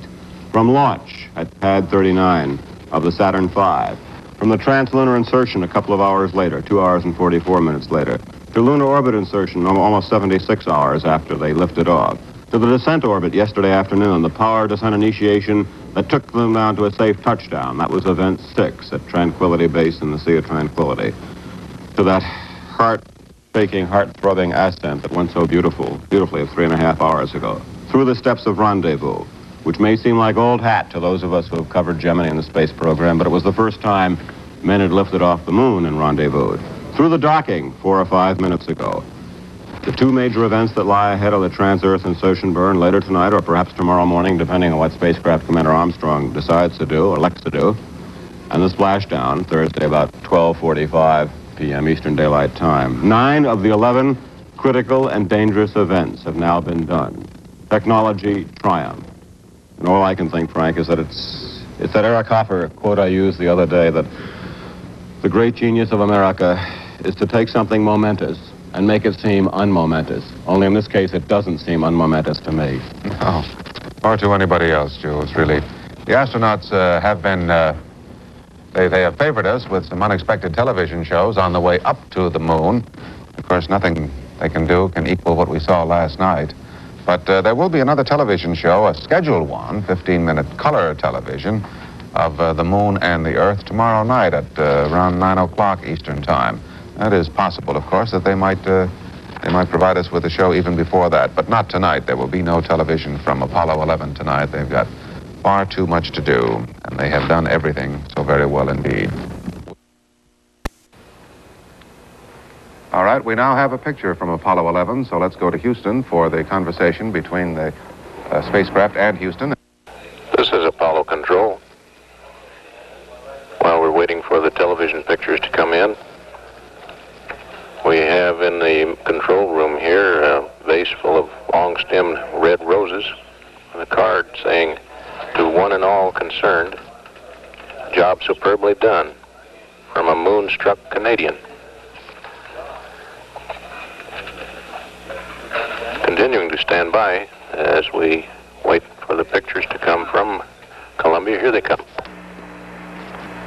Houston, Apollo 11, over. Roger, go ahead, 11, over. Are you picking up our TV signal? That's affirmative. Uh, we have it up on the outer four now. Uh, the uh, focus is a little bit out. Uh, we see the Earth in the center of the screen. Uh, still have a little white dot in the bottom of the camera, apparently. And uh, see some land masses uh, in the center. I, at least I guess that's what it is. Uh, it's uh, very hazy at this time on our outer four, over. Let me uh, change. I believe that's where we just came from. It is, huh? Well, I'm really looking at the bad, uh, at a bad screen here. Stand by one. Hey, you're right.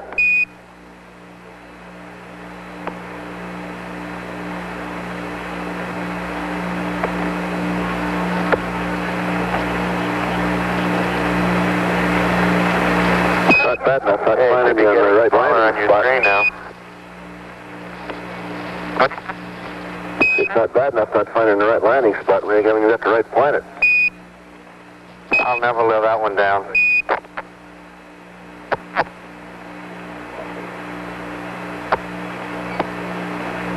Uh, we're making it get smaller and smaller here to make sure that it really is the one we're leaving. Oh, that's enough, you guys.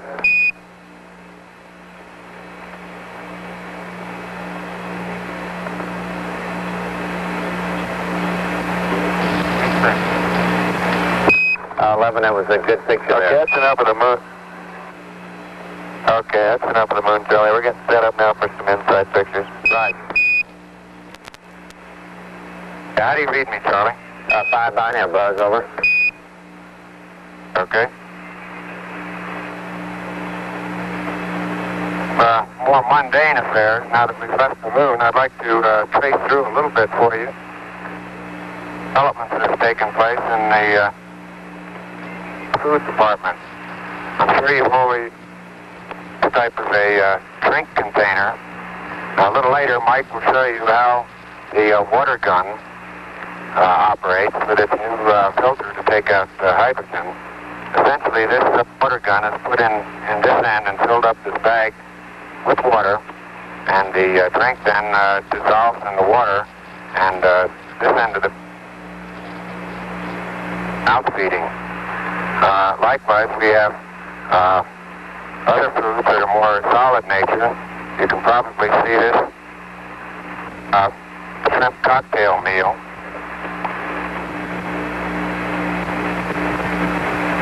This afternoon, while the two of us had uh, salmon salad. Another early development was the uh, use of bite-sized food. 11, Houston, uh, Buzz, you're breaking up badly. Yeah, uh, would, uh, you, would you check your box over?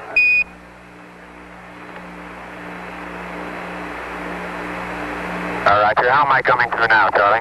All right, you, you're very clear when you come through. It's just that your box is not uh, keying it uh, every word, over. Okay.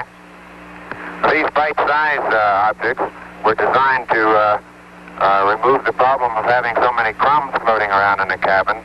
So they designed uh, a particular size that uh, would be able to uh, go into the mouth all at once.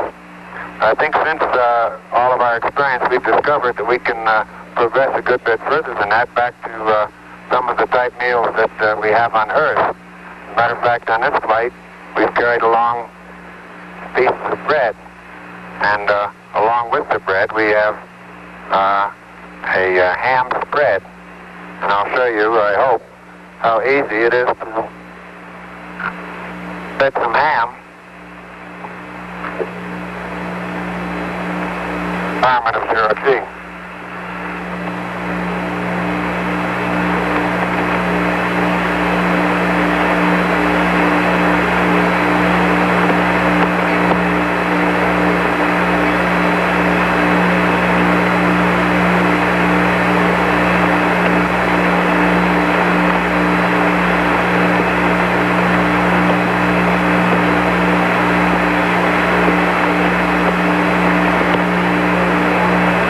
that we've discovered that uh, it is quite easy to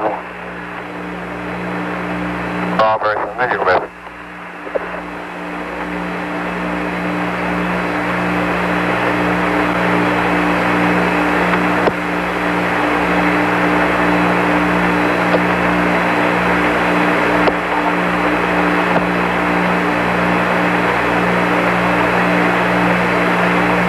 Apollo 11, Houston, we notice your roll rate increasing. Uh, would you please uh, see if you can uh, bring that uh, down to about zero for us, so we'll be losing a high gain shortly, over.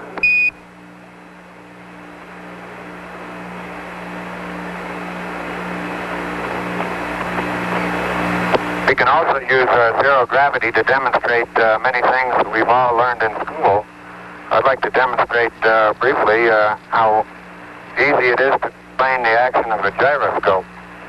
Uh, if I spin this can, we know that uh, according to the uh, equations of uh, uh, motion, that we would expect that if once this is given a spin about and has a spin axis in this direction, if we give it a particular torque, and if I, I'll do this by pushing my hands against it in this fashion once it's spinning, by the equations we can predict that as I put this torque on it, it will in fact rotate this direction.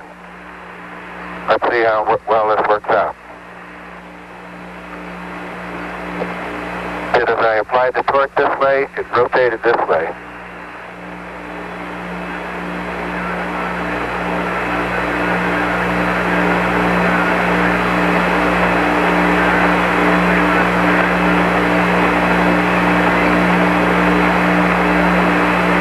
Too close, I think.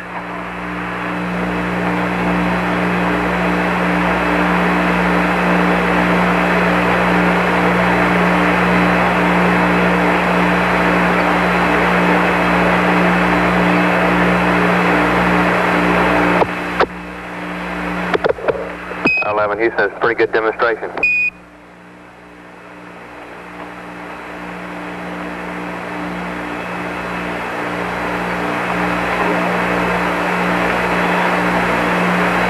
Houston, this next is a little demonstration for the kids at home, all kids everywhere for that matter. Uh, I was going to show you how you drink water out of a spoon, but I'm afraid I filled the spoon too full, and uh, if I'm not careful, I'm going to spill water right over the sides. Can you can you see the water slopping around in the top of this spoon, kids? That's affirmative, 11. Okay, well, I- as I say, I was going to show you, but I'm afraid I filled it too full, and it's going to spill over the side. I tell you what, I'll just I'll just turn this one over and uh, get rid of the water and start all over again. Okay? Okay.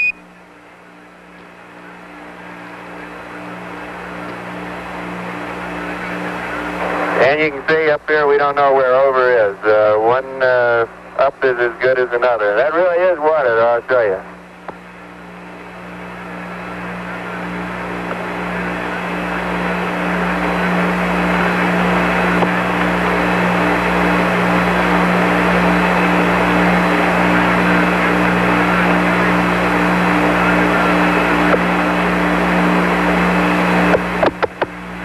That's really not the way we drink. We really have a water gun, I'll show you.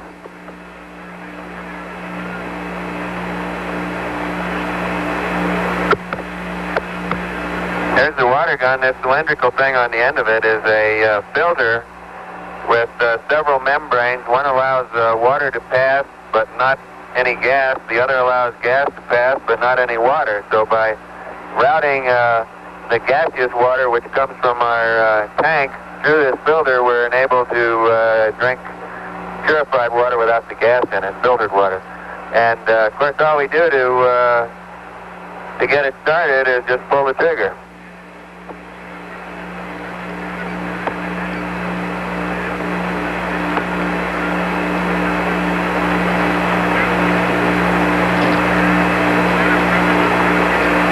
Sort of messy. I haven't been at this very long.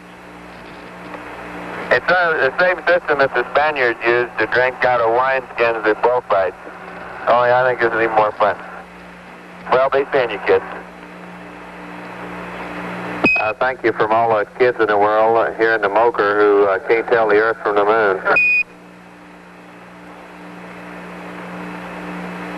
All right, just stand by one and we'll get you that earthquake. Looks like you need a wineskin up there, Mike. Nice.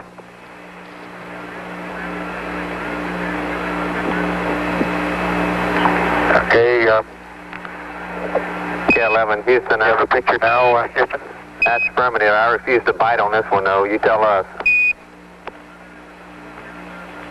Okay, this uh, should uh, be getting larger, and uh, if it is, it's uh, the place we're coming home to. Roger.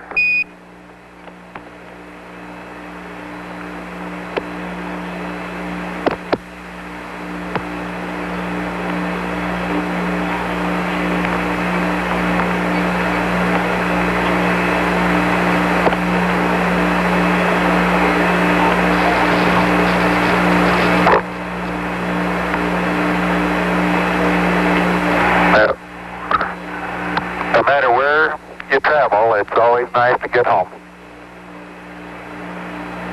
We concur, 11. We'd be happy to have you back.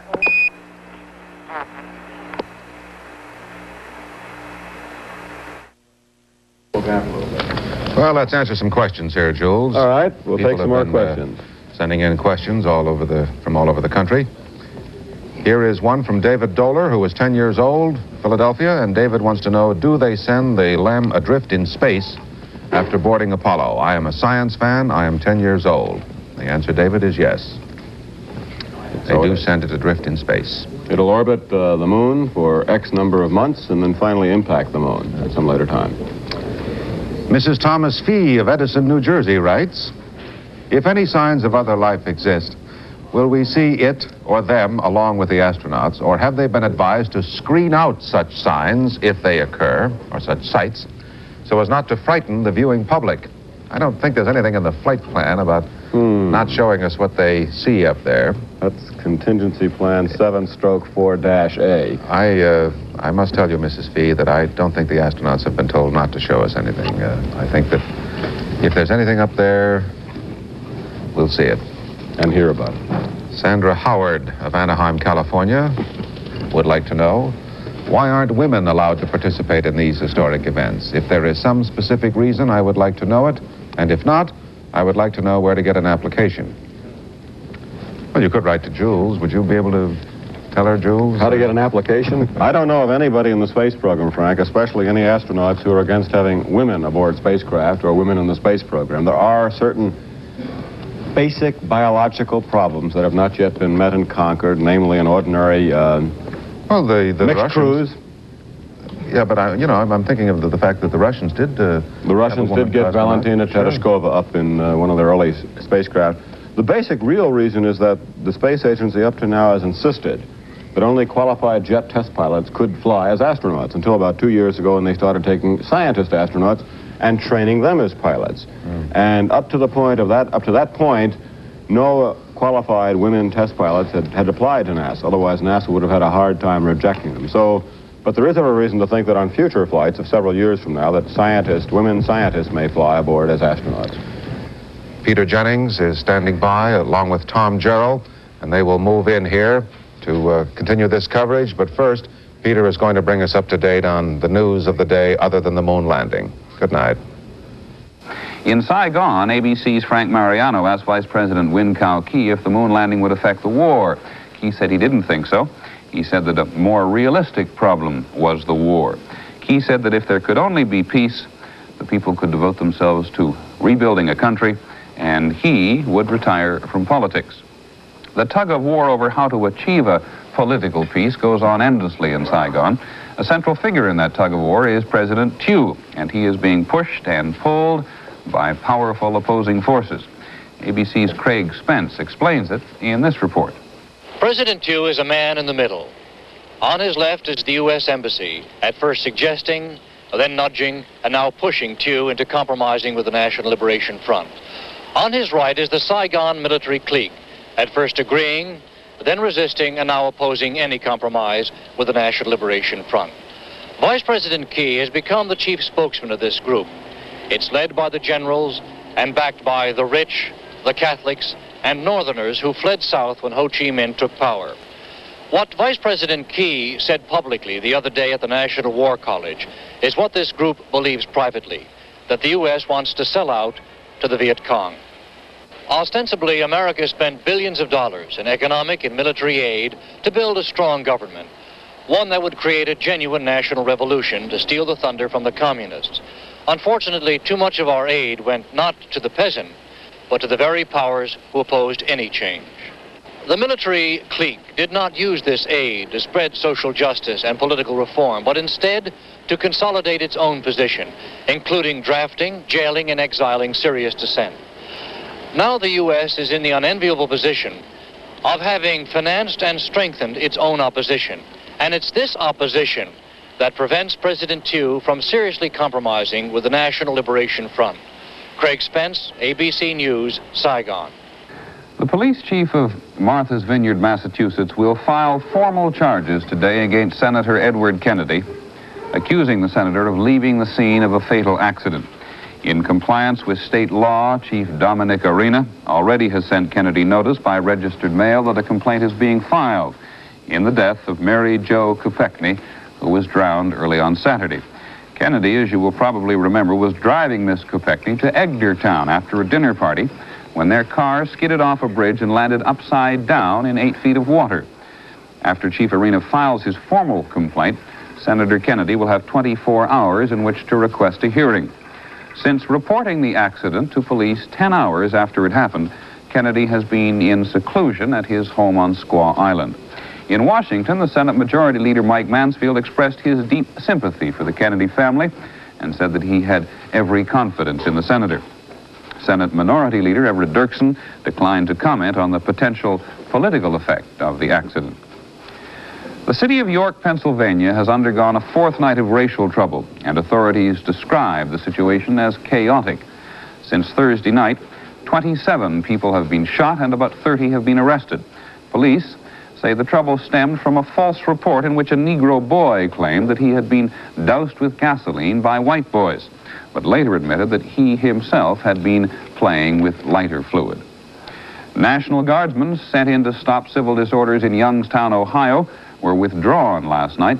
The east side slum area of the steel town erupted into a near riot last Wednesday night when a store owner claimed maltreatment by police. The city was reported quiet as 150 of the National Guardsmen left. The nation's air traffic would come to nearly a complete halt next week if the air traffic controllers carry out their latest threat. A spokesman for their organization says 3,000 controllers, nearly half of the 7,200 working in the nation, will resign after Apollo 11 returns to Earth. Their action would be in response to a government plan to punish controllers who took part in last month's slowdown at major U.S. jet ports. The FAA announced on Friday that it had planned disciplinary action against those controllers who called in sick during the slowdown. Unless the FAA withdraws its threat, all commercial flights could be grounded. One airplane not affected by a U.S. slowdown or even a shutdown is Air Force One. It will be overseas with the president on his coming world tour. And at least one new airport is on the plane's itinerary. ABC's George Watson reports from Bucharest. On this spot at 12:15 on Saturday, August 2nd, President Nixon is going to arrive, the first time an American president has visited a communist country in 25 years. The only problem is the airport hasn't really been built yet. The old Bucharest airport is not big enough for the big jets. So about 3 years ago, construction started here on a modern new jetport. It was due to be finished in 1971. But then President Nixon's trip was announced, and on top of that, the Romanian Communist Party is holding its Congress next month. So work was speeded up, and right now there are 2,000 Romanians working around the clock to finish the job, or at least to make it presentable for the president. Even the troops have been called out. Battalions of Romanian soldiers are attacking the construction chores. They can't possibly finish the whole job by August 2nd, so they are concentrating on completing a VIP lounge. Romania claims to be building a classless communist society, but it's not apparent here. At least some travelers will be more equal than others. After Comrade Ceausescu greets Mr. Nixon, they will go into this room. When it's finished, it will boast marble floors, velvet walls, and crystal chandeliers, fit for a king, even a president. At least that's the plan. The optimistic officials in charge of this project confidently predict that everything will be ready and waiting when President Ceausescu meets President Nixon. That's 12:15 on Saturday, August 2nd. This is George Watson, ABC News, Bucharest. That is the non-space news, as some distinguished writer called it. The Earth news, anyway. Thomas? Peter, uh, generally, of course, everyone is uh, claiming to the heavens this uh, space feat, but naturally you can't please all the people all the time. And at Meriden, Connecticut, a man called the newspaper there, the Morning Record, complained that he had looked all over his uh, radio and his television dial and he couldn't find a single baseball game. All he could find was something about men going to the moon, and he thought it was just a lot of nonsense. Fortunately, not many people think that Must way. have been a Mets fan. It's very tempting, of course, to speculate about going beyond the moon, uh, further into space. The flight of Apollo 11, like earlier experiments, uh, can certainly lead to more important developments very close to home, other than going deeper into space. The supposedly hostile environment of space has certain unexpected uses, which scientists hope to put to work. A whole series of projects on this order is now being worked out, generally referred to as the orbiting space stations. This was the subject of the program in the ABC television series Discovery with Bill Owens reporting. Let's look at that now. Where do we go after the moon?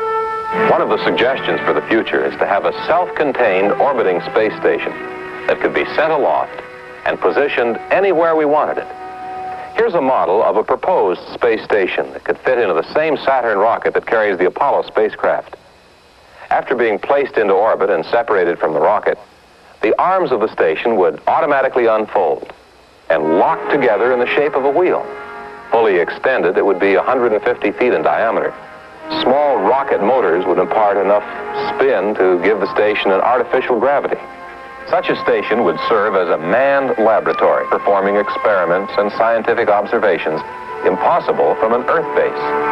It could serve as a docking station for refueling and maintenance of other spacecraft, and a command and control center for more distant voyages, like a trip to Mars or Venus. Cryogenics, I am assured by those in a position to know, is a science which is very vital to the Apollo space program. We have in our studio a couple of gentlemen who are qualified to talk at length about cryogenics. First of all, our commentator is Don Blake, and, uh, or rather, our demonstrator is Don Blake, and this is Edward McChandless, who will be our commentator on the question of. Uh, would you pronounce it for us and tell us what it is to begin for those uh, still struggling for the first cup of coffee this morning, gentlemen? Yes, I would say that uh, cryogenics is the science of cold, and the uh, science of cold has been used to produce these cryogenic fluids, which Don is going to demonstrate in some rather simple experiments. Uh, this particular flask contains liquid nitrogen, which is the principal constituent of the air, as you know. Uh, this material, in its cryogenic form, is very much like water, as you can see. I should say more accurately, it's like boiling water. But it, has, it uh, is at a very low temperature, uh, about 320 degrees Fahrenheit below zero. At these uh, very low temperatures, uh, things really happen to materials. Don has dipped the carnation in liquid nitrogen, and you can see that something very unexpected happened. Uh, this uh, phenomena of the change of physical properties of materials as they are refrigerated to the very low temperatures that exist in space and which uh, exist, of course, in the cryogenic fluids in the Saturn vehicle, uh, presents a great materials problems. And the question of getting materials that will stand up under cold uh, and satisfactorily handle the cryogenic fluids has been a very important one, but has been well solved. Just to give you an idea of what uh, these problems are, Don is forcing liquid nitrogen from the flask through a piece of ordinary rubber tubing. Uh, the tubing dips down into the liquid nitrogen. As it goes through, it freezes the tubing uh, and produces a very brittle material out of what is ordinarily considered to be a very soft, pliable material. Uh, Don will further demonstrate this by dipping a piece of, uh, again, ordinary gum tubing into liquid nitrogen. And Don, if you may be able to break that. Again, it doesn't sound much like uh, uh rubber tubing as we know it. Uh, there, are, uh, there is a second very important cryogenic fluid aboard the Saturn vehicle, and that is liquid hydrogen. Uh, whereas liquid nitrogen is very convenient to demonstrate in the studio, we of course wouldn't do this with liquid hydrogen.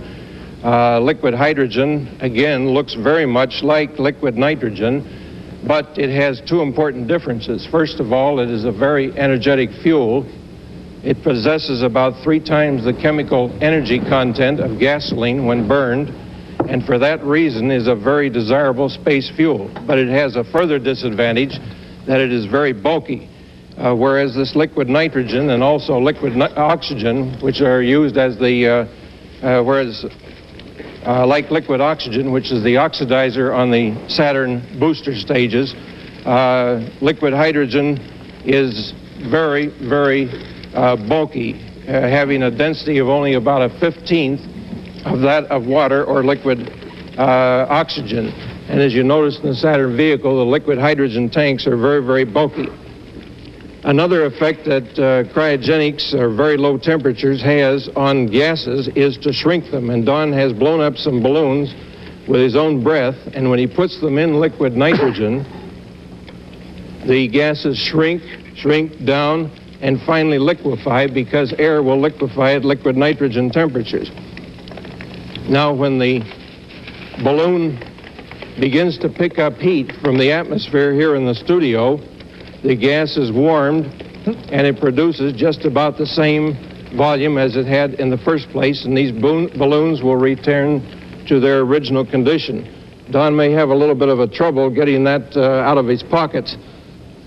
Mr. McChandler. Yes. Uh, main, uh, the main uh, uh, purpose for this then is in, uh, in the development of rocket fuels, as I understand it. Yes, uh, because cryogenic fluids are compact, it turns out that the cryogenic liquid form of oxygen and hydrogen are the, is the only way in which the required quantities of these gases can be put aboard a Saturn vehicle. If we had to take them on the Saturn vehicle in the heavy steel tanks that you see in garages and hospitals, uh, you would find that the Saturn vehicle is thousands of tons overweight and, of course, would never fly. Don is showing here that uh, as the uh, uh, gases boil off, as you see it boiling in this flask, uh, there is a great expansion going on, and uh, the gas will create pressure. This, again, is a problem that has to be handled in the design of the space vehicle. But again, satisfactory techniques have been worked out, and uh, cryogenic fluids have become, uh, you might say, the workhorse of the Saturn program. Peter, the moon, of course, has always delighted and fascinated mankind since almost the first night uh, man saw it and he has coveted it. It has stirred the imagination of many people and all types of speculation about what it is and who lives on it. ABC's correspondent Bill Beutel in London talked to one of Britain's knowledgeable experts on astronomy and on space, the popular commentator Patrick Moore. Beutel asked Moore, why have men always wanted the moon? Well, I think, you know, that as soon as men realized that the moon really is another world, it was logical to talk about going there. But uh, when we go back 2,000 years, this is Lucian of Samosata, the first science fiction writer in history, uh, well, it wasn't really science as we know it. Uh, he had an idea, which he wrote forward in his book called The True History. And he called it The True History because, in his own words, it was made up of nothing but lies from beginning to end. And in this book, he had a party of sailors going through the Pillars of Hercules, uh, the things we now call the Straits of Gibraltar, and their ship was caught up in a waterspout and hurled upwards so violently that it kept on keeping on for seven days and seven nights until it finally landed on the moon. And that was his method of space travel. And uh, when they got there, the sailors found they'd arrived at a fascinating time because the King of the Moon was about to have a war against the King of the Sun with regard to who should have first rights on Venus, uh, the planet, not the goddess. well, now, the very idea, the very conception of, of what the moon was, uh, was interesting in the early days of man's history, wasn't it? Yes, well, Plutarch had the right idea there a very long time ago. And he said that the moon is earthy with mountains and ravines. And of course, he was perfectly right on this. And really, his idea of the moon isn't so very different from our modern idea. Now, he said it was earthy. You mean like the Earth? Well, he thought it Dirt was more like so the Earth than it actually is. The whole point is, surely, that the great difference between the Moon and the Earth is that the Moon has, to all intents and purposes, no atmosphere. And if you have no atmosphere, you can't have life as we know it. And this, of course, is a thing that the old people just didn't realize and had no real means of finding out. This is a fairly modern development, dating back only a few centuries. Now, who was it who said that the Moon seemed to him to be uh, in the diameter of something like a foot? Oh, this goes back to the old Greeks, right in the very early days. Mind you, there are some people who still believe that. There's still an International Flat Earth Society, and they believe that the moon is only a few feet in diameter and shaped rather like a saucepan. Yes. well, uh, th this, was, this was one of the first uh, attempts to understand the moon, wasn't it? At I least suppose, in recorded history. Yes, I suppose it was. But after all, you couldn't really find out a great deal about the moon until telescopes came along, and that was in the very early part of the 17th century. And as soon as you got telescopes, then, of course, you could start to find out something about the moon's actual nature. Mm. And we had science fiction stories then, too. There was one in the early part of the 17th century, written by an English bishop, Godwin. Yes. And this is a fascinating story, because in his, uh, in his novel, uh, the hero, Domingo Gonzalez, is marooned on a desert island, and he makes up his mind to escape. And the only way he can think of doing it is to build a raft and then teach gansers, or wild geese, to tow him through the air. and this was duly going on one day, and he was being towed through the air on this raft, when he suddenly made the entertaining discovery that the gansers hibernated on the moon and were very busy going there, taking him with them. Yes, this was the this was the picture of the, the gansers taking him, wasn't it? The gansers taking Domingo Gonzalez to the moon. A very nice idea, but I don't think it's going to work. Well, who was it who first began to, to uh, talk about the moon in anything like uh, realistic modern terms? Was it Galileo or Copernicus? Uh, not Copernicus, certainly. He was in the pre-telescopic era. No, I think we must say uh, Galileo, although in fact, you know, the very first moon map wasn't drawn by Galileo at all. It was drawn by an Englishman, Harriot, who was tutor to Sir Walter Raleigh at one stage. And he produced a telescopic map of the moon before Galileo did. But certainly, so far as sheer concentrated observation and interpretation goes, in those very early days of telescopic research, Galileo stands alone. Well, I was fascinated by some of the ways that people in their fantasy uh, talked about going to the moon. What was the story of the man who, who was going to, Cyrano de Bergerac it was, wasn't it, who was going to strap dew bottles uh, to his body? This was a lovely idea. He had a very nice means of space travel. He worked it out like this. Uh, if you go out in the early morning and look at the grass, you will see that it's covered with dew. Mm-hmm. Well, if you go out a few hours later when the sun has risen, you will find that the dew has disappeared, and so presumably the sun has sucked it up. So according to Cyrano, if you want to go into space in one easy lesson, all you need do is to collect a lot of bottles, fill them with dew, fasten them round yourself upside down, stand out in the morning, and let the sun do the rest. and up you'd go. Well, I haven't tried this myself. I think I'd need an awful lot of dew. Yes, well, I, what I'm interested in, too, one, of- one of the things that, that fascinates me, because I really am a layman when it, talks, uh, when it comes to talking about going to the moon or, or really when it talks, uh, comes to talking about uh, space or anything of the sort. I'm fascinated by the uh, accuracy, the, the almost uh, primitive accuracy that some of the uh, early scientists, or maybe even just quasi-scientists, uh, uh, came up with in their, their ideas about the moon. Well, of course, the first uh, real scientific novelist of what we can call the modern era was, I suppose, Jules Verne, and his famous book From the Earth to the Moon, which came out in 1865. And he wasn't a scientist himself, but he knew plenty of people who were, and he got his facts right as far as he could. But of course, he did make one fundamental mistake. Uh, his method of propulsion to send a projectile from the Earth to the Moon was by means of a bullet fired out of a space gun. And this, of course, just isn't going to work. I mean, there are two good, very good reasons why it won't. Uh, first of all, uh, air sets up resistance, and resistance causes heat. And if you fire a bullet through the lower atmosphere at a speed of seven miles a second, which is the speed you've got to go if you're going to break free from the Earth, well, you're going to set up so much heat by friction that you're going to turn into a puff of smoke. Mm. So that's one reason why the space gun doesn't work.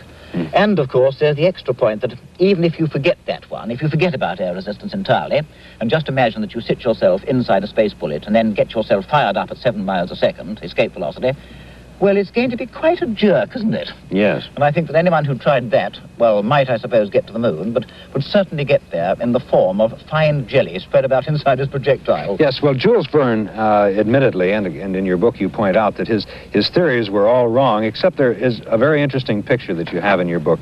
It shows the, the landing uh, in uh, Jules' book, in Jules Verne's book, the landing of the uh, space capsule that he had there, a projectile landing in the middle of the ocean, and here it is with an American flag on it, and uh, uh, some people in a whaleboat are uh, circling around, it looks for all the world very much like the, the, the space capsule that we pick up in the Pacific or the Atlantic Ocean, doesn't Well, there was a great deal that Jules Verne did get right. I think the only thing he really got wrong was his basic method of propulsion. If he'd used rockets instead of the space gun, he would have been uncannily accurate. Mm-hmm. After all, he even got as far as suggesting building a 120-inch telescope on Long Peak, especially to observe this space shot. Mhm. And after all, that's not so very different from the, from the Palomar telescope of today. And he even got his landing site right. Yes. Because his Stones Hill is not so very far from Cape Kennedy. And Yes, his, his launching- area- his launching yes. site, you mean? Yes, his launching site. Yes. And his, um, uh, his splashdown area was right, too. No, I think if you forget the fact that he used the wrong method of propulsion, and he got some facts wrong about weightlessness, if you forget those two, he was uncannily accurate. For any of you living in New York City, um, yesterday, you will probably have had the opportunity to see one of a dozen or so space movies that were run in their entirety, fairly modern space movies uh, made in the 1950s. Um, and every station, I suspect, across the country that has had some kind of old television library that has a space movie in it has had a chance to run it. Um, I had a pretty good opportunity the other day to spend some time with Dick Schickel, who is the film critic from Life magazine, and Dick hied me away to uh, a screening room, and we looked at a great mass of material uh, of films that have been made about space since really around the turn of the century.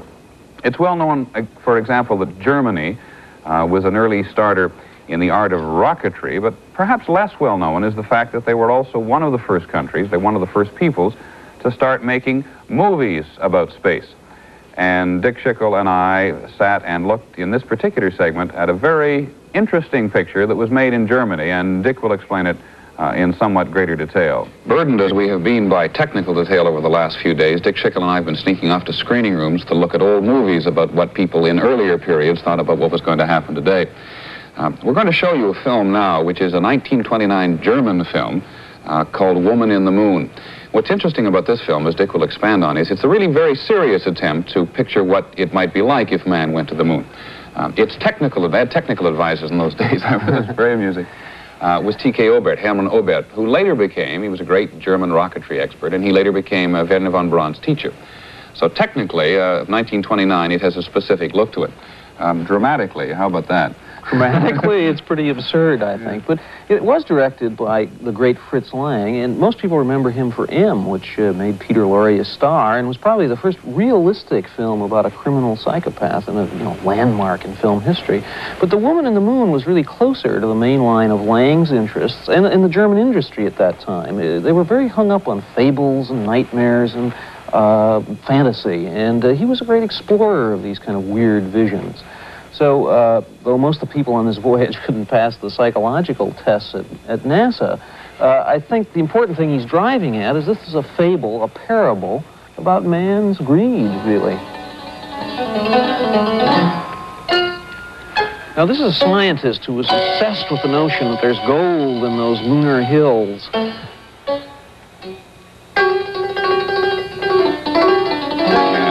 These are what, potential backers? No, these are scientists he's explaining the idea to, and uh, like all great ideas, it's scoffed at and scorned.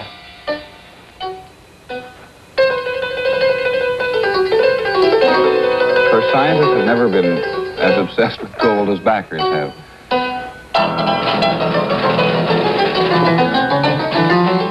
Now this this is a backers audition. It's 30 years later. And the old man's been driven mad, but his uh, cause has been taken up by uh, younger people. And it's a mock-up of their rocket ship.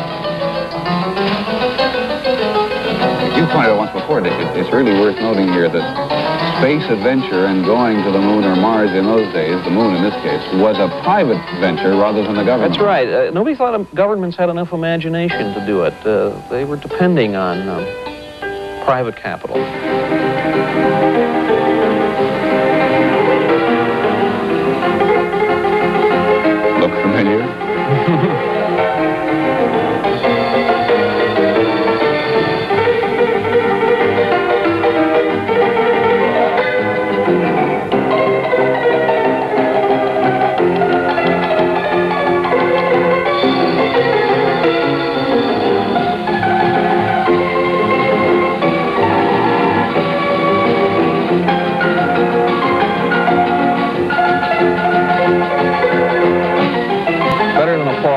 Checkbook.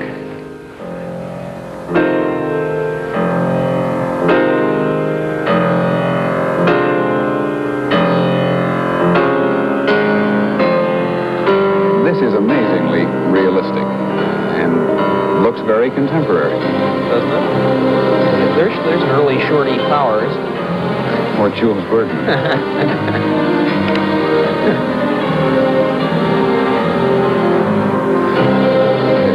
word here, too, about water. You'll probably recall when the Saturn V went up this time, there was enormous water to cool the pad down. And in these days, they saw water as a means by which to launch the rocket out of. Well, to keep it upright until they could get it launched. They drew pretty good crowds for space shoots even then.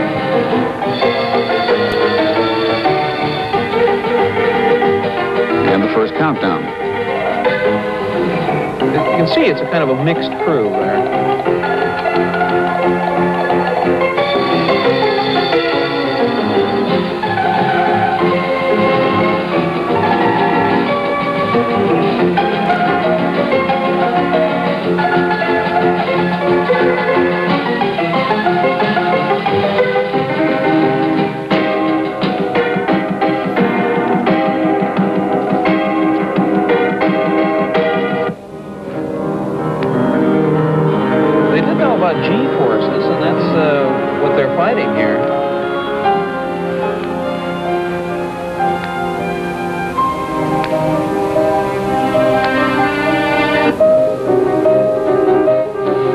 Fascinating here is that they understood that it was going to take two stages at least to get to the moon.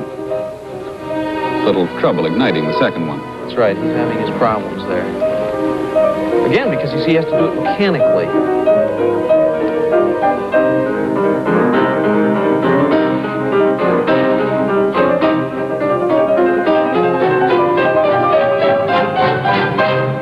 Stage separation. Ah, fantastic. And now here's a kind of a nice uh, solution to the problem of weightlessness, uh, which will be familiar to any subway rider. And uh, apparently on this trip, Woman in the Moon, we had a stowaway. That's right. No good film without a stowaway. He came on carrying science fiction magazines to read on the trip.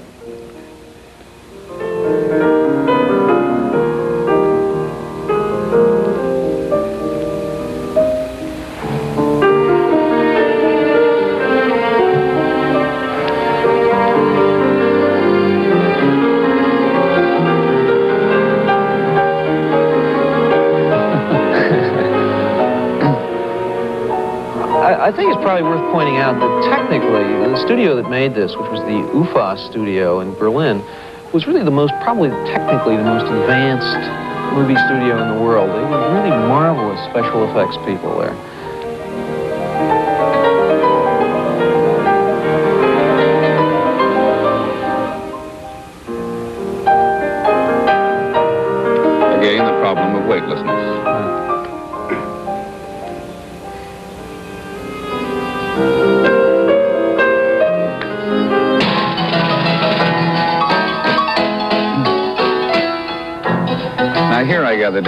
Hermann Oberth's technical advice goes out the window altogether. Pretty much, yeah. Um,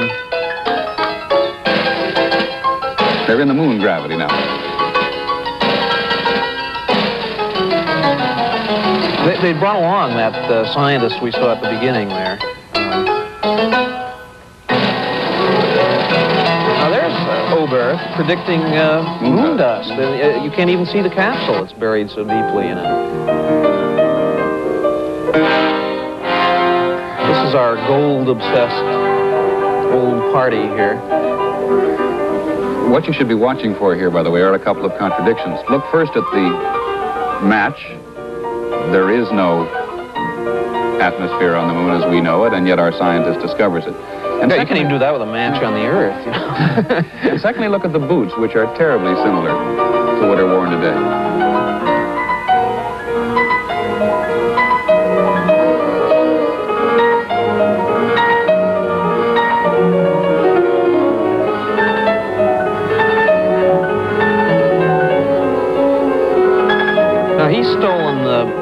Divining rod, which they hope to look for water, but he's going to use it to work out his obsession, which is this gold.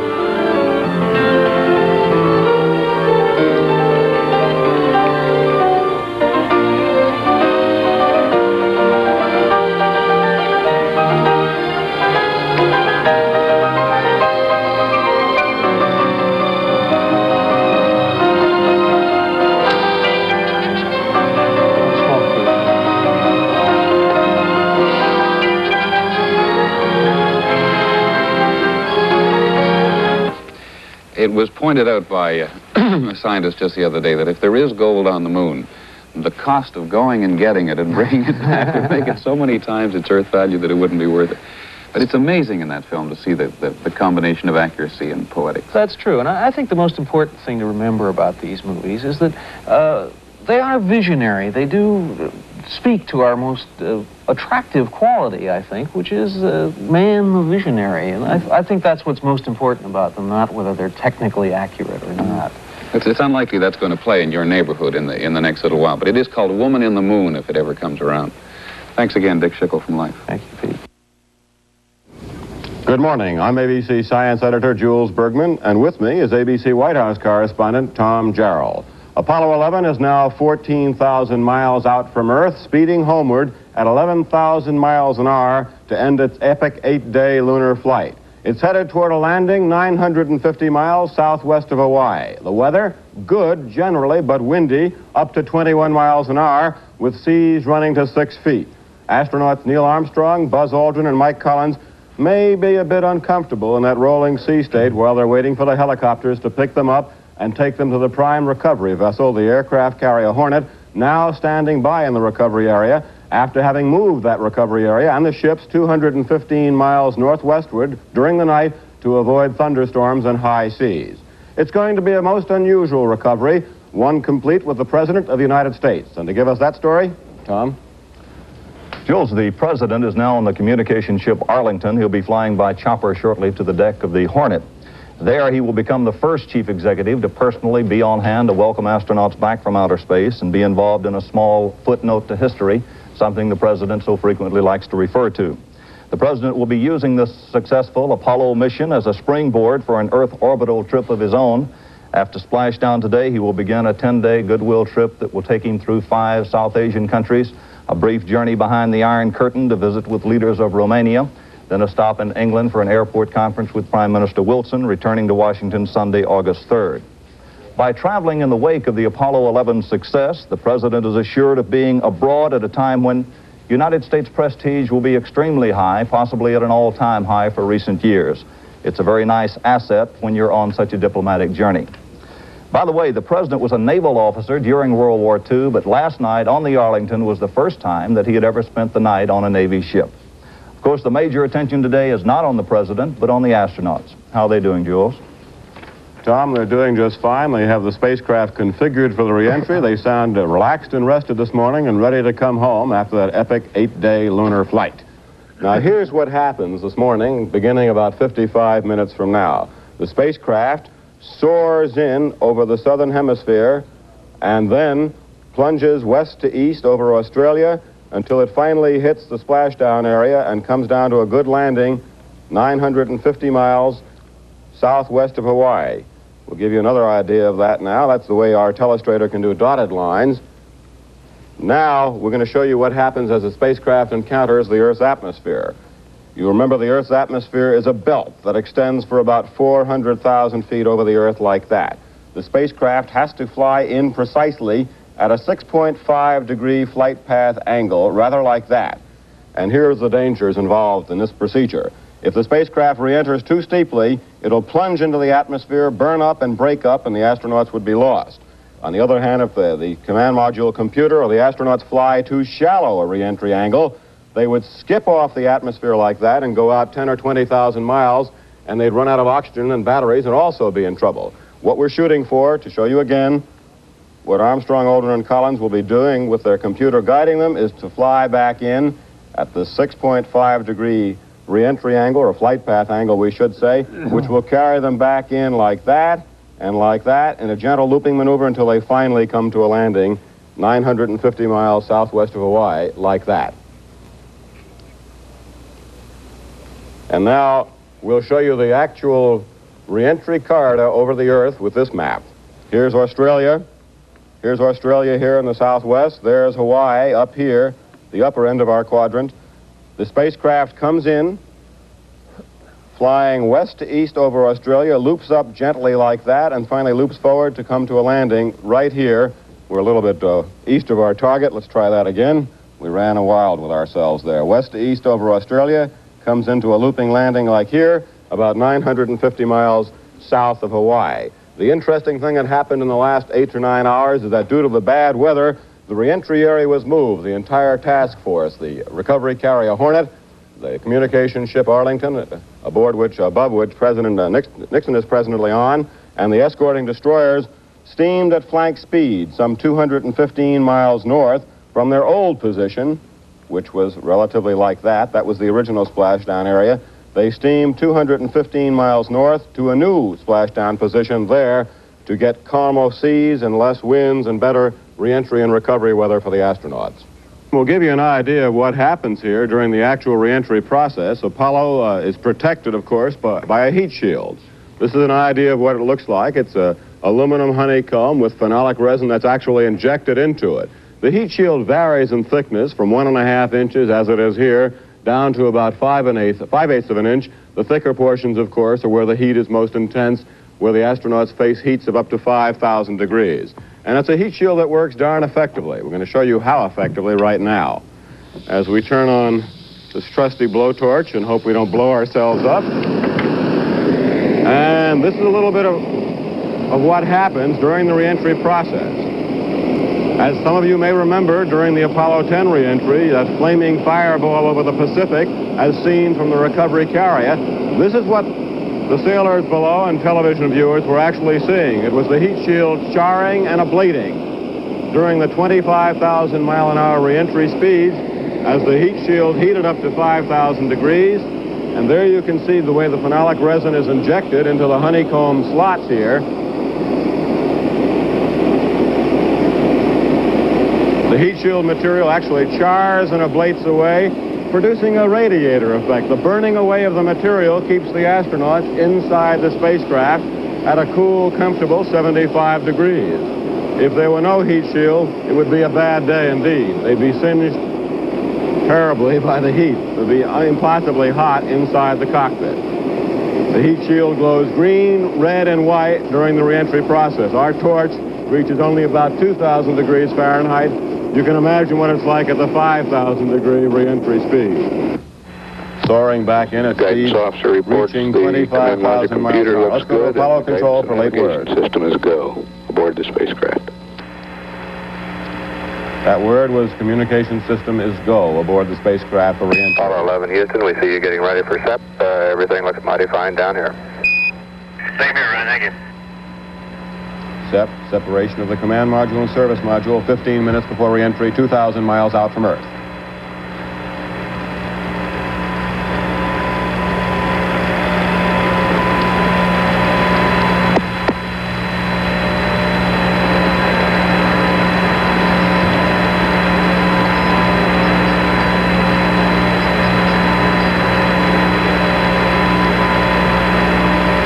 And as separation takes place, the astronauts will uh, cant the spacecraft around a bit so that when they use their little reaction control thrusters to pull away from the service module, uh, it's harmlessly out of their way.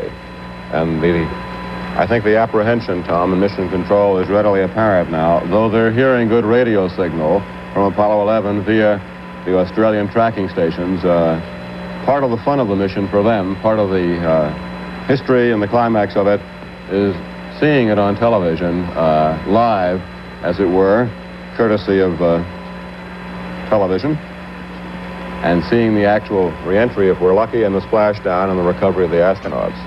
Now, here's here's separation, as we'll see in about uh, a few minutes from now, should take place with the spacecraft. The service module pulls away on its own. Then the command module is tilted down toward the Earth's atmosphere. That actually happens automatically with one of the uh, CMC or the command module computer programs taking over. The astronauts back it up manually. We're awaiting confirmation of separation.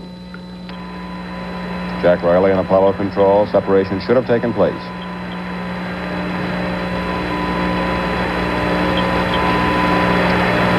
We confirm separation now from uh, on the ground readings from telemetry. We can confirm separation. That's one of the three critical parts of the reentry process. The service module is now safely away from Apollo 11. Now it's tilted down, as we see in our animation, to face the searing reentry heat. Dur- during a conversation this morning earlier between Mission Control and Mike Collins and Apollo 11, Mission Control assured uh, the astronauts that the carrier Hornet is on station just far enough, uh, far enough off the target point to keep from being hit. they feel very confident about this. Well, if um, if Apollo 11 is as accurate in its aiming point as Apollo 10 and 8 were, it should be very close. Uh, they landed almost almost too close. Apollo 11 Houston, uh, you're still looking mighty fine here. Uh, you're cleared for landing. Capcom Ron Yeah, we Evans. appreciate that, Ron. Thank you. Roger, gears down and locked. Roger.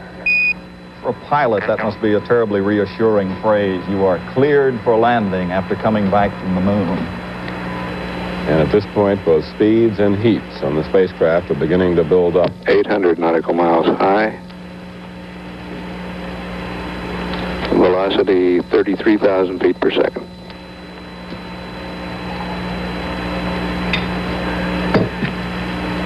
They're around seven minutes away from reaching 400,000 feet above the Earth, the really critical point of this reentry, where they encounter maximum speeds and maximum aerodynamic forces and heating effects. Guidance reports Apollo 11 right down the middle of the corridor.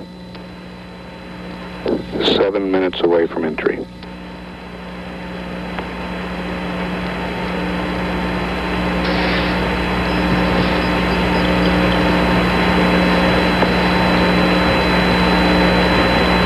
And from all those signs, it looks like Apollo 11 will be a record-setting closeness, have a record-setting closeness to the Hornet.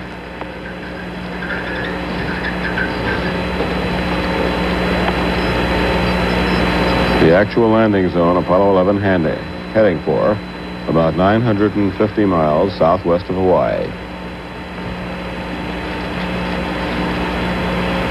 Where the Hornet, a 38,000-ton carrier, a tired veteran of World War II, built in 1942, is standing by on station to pick them up. Our space down here, it, our latitude longitude, 1330, 169, 15. That's, uh, Hornet, right up. This is Neil Armstrong talking directly to the Hornet's flag plot room, telling exactly where he's going to land, a most unusual event. And they are very close to being on the money. We're trying to plot the coordinates Neil was reading off his computer on our one of our charts here. But it looks quite close to the nominal landing area. Hornet Does. reports spacecraft right on target point.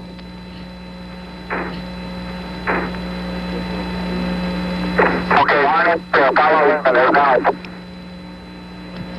All right, Hunter, don't shoot.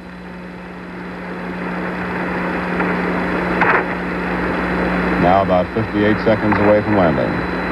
Squib 1 has uh, clear contact bearing 150 holding. Apollo 11 descending through about descending through clouds at about 2,000 feet. roger up.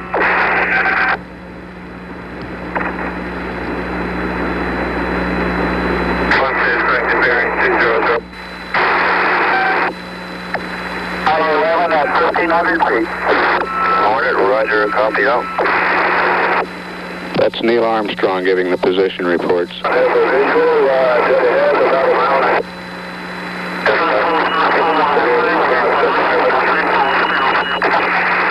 Hornet, roger.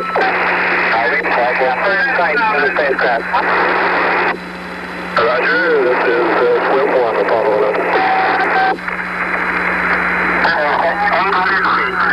Roger. Got it, roger.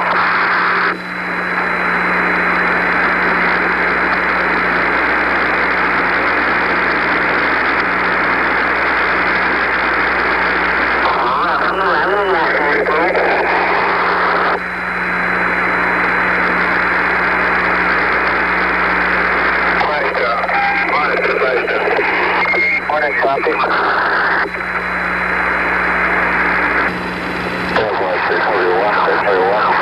Here president, of course, watching from his vantage point, some five decks up on the carrier, standing there with the various VIPs.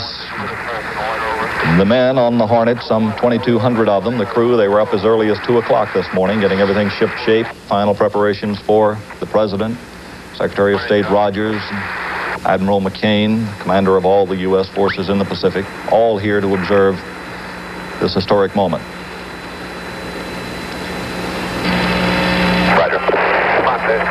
And uh, we're now getting word from the swim helicopters, the rescue helicopters, that the crew is in excellent condition. Let's go to them now and see if we can pick up some direct radio communication. The ship is uh, two and a quarter miles from the spacecraft now, and the spacecraft uh, pretty clear now in the picture.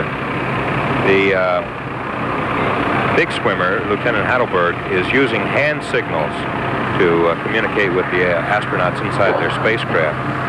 He does have a little plastic board with him and a grease pencil, which he can write on and flash messages to them that way. Actually, Ron, not much communication is needed between the astronauts. The hatch is now open. We have word uh, from the scene from the recovery helicopter. And the first astronaut is coming out. That would be Buzz Aldrin, wouldn't it, uh, Dallas? I believe so, yes hand on the deck strikes up. Let's listen to that band, as they say. President's applauding as they play Columbia, the gem of the ocean. Columbia, of course, is uh, that module out there. There goes the first astronaut. Up in the Billy Pugh net. Up in the Billy Pugh net.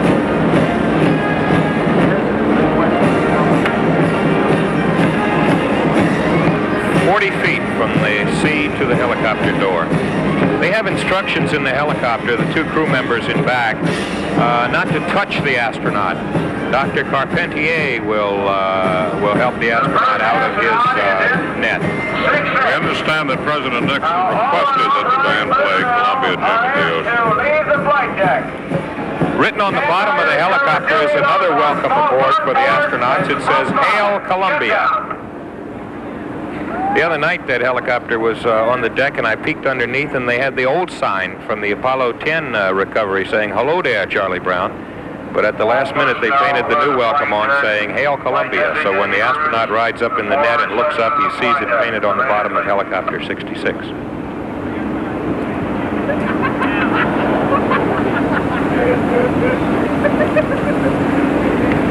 There goes the second astronaut up in the net. Down here on the hangar. Leave the flight deck immediately. We will be landing aircraft in two minutes. John Hirasaki, the NASA project engineer, uh, who had a lot to do with developing the mobile quarantine facility, has been spending most of his time the last five days inside it, along with Dr. Carpentier. And uh, John Hirasaki is a busy man right now. He's making his very, very final preparations uh, in these final minutes before the astronauts come on board the Hornet. It's been about an hour exactly, Dallas, since splashdown, and one more astronaut to go. So uh, it looks like uh, they've uh, beaten the timetable by about uh, 18 or 19 minutes and uh, are just about uh, doing it in exactly the same time it took during the dress rehearsal the other day. And considering that the spacecraft came down fairly far from the ship, the seas are a bit rough today, and they had to go through the decontamination process.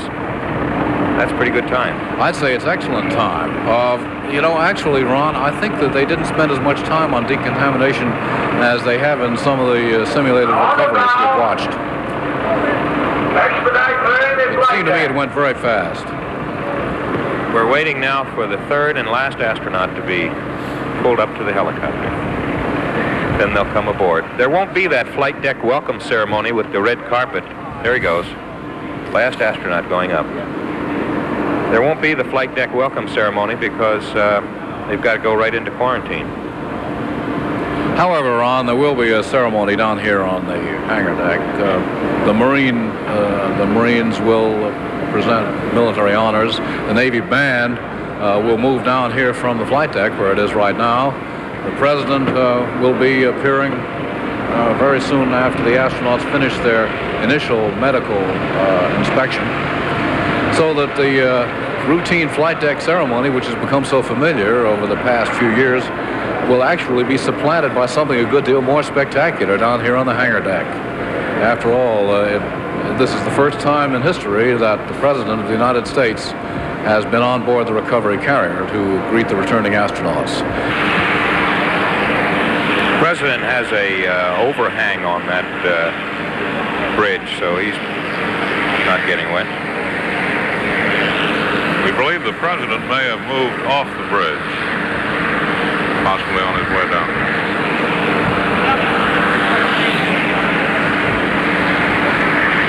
It's only a very short trip. Oh, there he is. He's moved aft. And he's back to the Admiral's Bridge, uh, just outside uh, Flag Plot.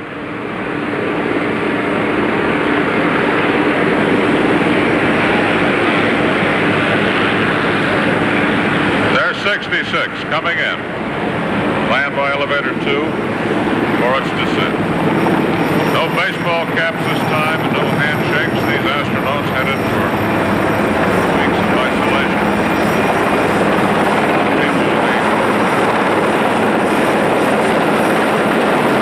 Fantastic event. Lafayette, Ohio. Man from Montclair, New Jersey. Walk on another planet. And their partner. This incredible event. Recovery complete. Shut down. President Nixon seems genuinely moved by this moment. Oh, and here goes helicopter 66 down to the hangar deck. where the mobile quarantine facility awaits astronauts Neil Armstrong, Buzz Aldrin, and Mike Collins. And let's get uh, the report from the hangar deck now. Big moment. Number three elevator on the port side is still in the raised position.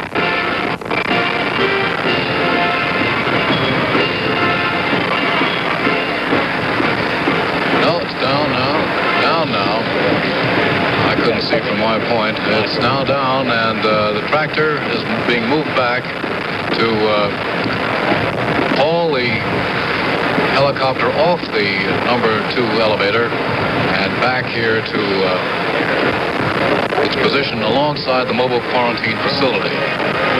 Band still playing joyously up on the flight deck.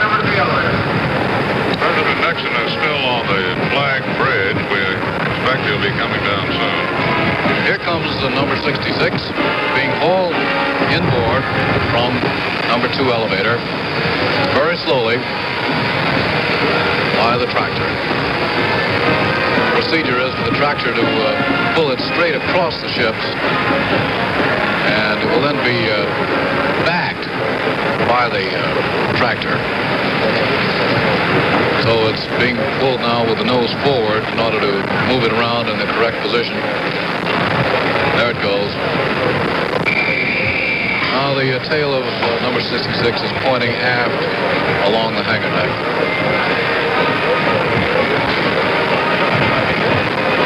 Astronauts still inside, holding the uh, tail. Lavalier microphones around their necks, and uh, anything they say will be uh, carried by loudspeaker.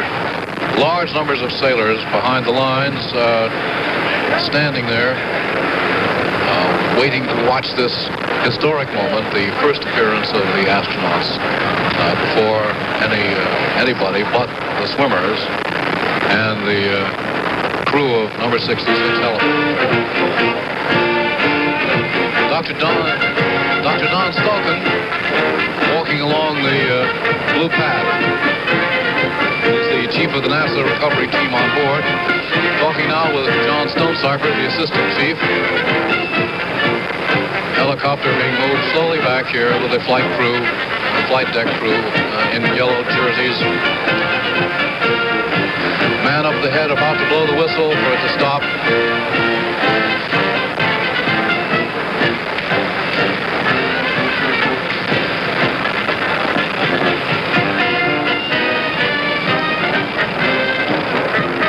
The is just about in position. A few more feet. There it goes. That's it. Dr. Stullken, Dr. Stonesifer personally moved that flight of wooden steps up to the uh, hatch on the uh, starboard side of the uh, helicopter. Dr. Carpentier slides it open, and here they come. Here they come, the three astronauts, Armstrong, Aldrin, and Collins, waving to the uh, crowd of cheering sailors, moving swiftly into the mobile quarantine facility. There's a wild scene of exultation and joy and mission control as the, they saw, even as you did, astronauts Armstrong, Aldrin, and Collins emerge in good shape from helicopter 66 to enter the mobile quarantine facility. The pent-up emotions of eight years of work to achieve this moment uh, overflowing. Couldn't have gone Jules Dallas Townsend is now talking to the helicopter pilot, uh, the man who was flying uh, number 66 when they picked him up. Let's It was hear a it. real team effort, as you know. A lot of people uh, supported us up till the minute of pickup, and uh, it went very, very well. Uh, what was your total time, Don? Gee, I'd have to look at the log sheet, Dallas. I don't know, but I, I feel we're about five or six minutes ahead of our uh, schedule. It just uh, it just couldn't have gone uh, more smoothly. Chief Rob or Chief uh, Wood here did a magnificent job, and Chief Rob Ned, who is still locked up in the airplane, also did well. Chief Wood, uh, did you have a chance to say anything to the astronauts? Did, you, did they say anything to you? No, sir. With the uh, bigs on, uh, you, they they couldn't have heard me, and with the headset we were had on, I couldn't hear anything they said. They their actions indicated they were uh, cheerful uh, all the way through the entire procedure. Was there any sort of message that they conveyed in some way or other to you? No, sir. We didn't. We didn't really have time. We were too busy trying to get our gear together to uh, get back on board. Uh, Lieutenant Johnson, uh, you probably got a look at them. Uh, you were flying co-pilot. Yes, I was. Uh, I looked back as we got out of the helicopter, and one of them gave me a thumbs up. That's the only signal I got from them. They sure looked cheerful, though. Glad to get back. Boy, it's a big thrill for me to pick them up, too. Let's uh, go outside mission control now, where ABC's Jim Kincaid is standing by with lunar module pilot Gene Cernan from Apollo 10. How about it? Pretty great. Just outstandingly beautiful. It's just unbelievable, but real. Now, you're not entirely unfamiliar with moon flights, so I wonder if there's anything you saw on this one that uh, that really, really surprised you. No, uh, I, I think uh, I sort of lived the flight with these uh, with these guys uh, through television. I felt like I was in a spacecraft, and uh, having been there, I knew what they were thinking uh, when they were going through. Except, of course, those last uh, last few minutes. And uh, here's another man who's been there, Bill Anders. Bill Anders. I talked to you just the other day, Bill. Uh, what's your first comment? I think it was mighty uh, beautiful flight. Really you know, impressed. it's it's uh, it's more than just an exciting achievement. I, I think it's a it's a real reward and it's uh, a real accomplishment of the entire 200 million people in this country. Uh, a lot of people dedicated themselves, dedicated their ambitions and efforts, and it's not the people here in Mission Control. It's not the uh, the three guys who flew it. Uh, it's the culmination of, uh, of really the, the sincere efforts of so many, many million Americans, and I think they've got a right to be proud, and I know they all are proud. Now let's go back to the Hornet. And there's uh, Dr. Henry Kissinger, the president's security aide, Tom. Yes, and Secretary of State uh, William Rogers in the foreground. And Frank Borman in the background. And so the president obviously must be expected momentarily. This is a scene we're familiar with, yes. Just before he arrives, usually his aides uh, come first. Bob Haldeman, the man with the uh, brush haircut, uh, standing behind Dr. Kissinger. As Secretary of State Rogers chatting with someone in the foreground, looks like one of the technicians. Here comes the president now, Tom. Uh, through the hatch to the hangar deck. Ruffles and flourishes.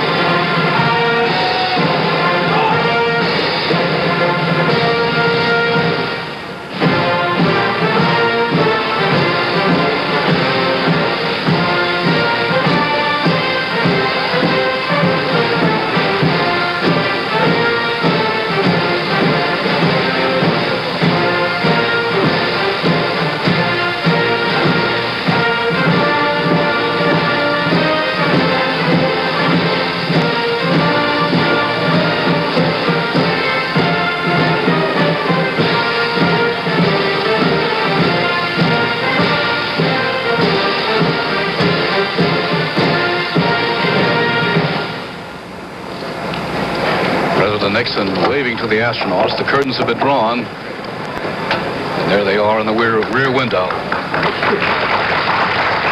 President signaling for applause from the crowd. Astronauts gather in the window.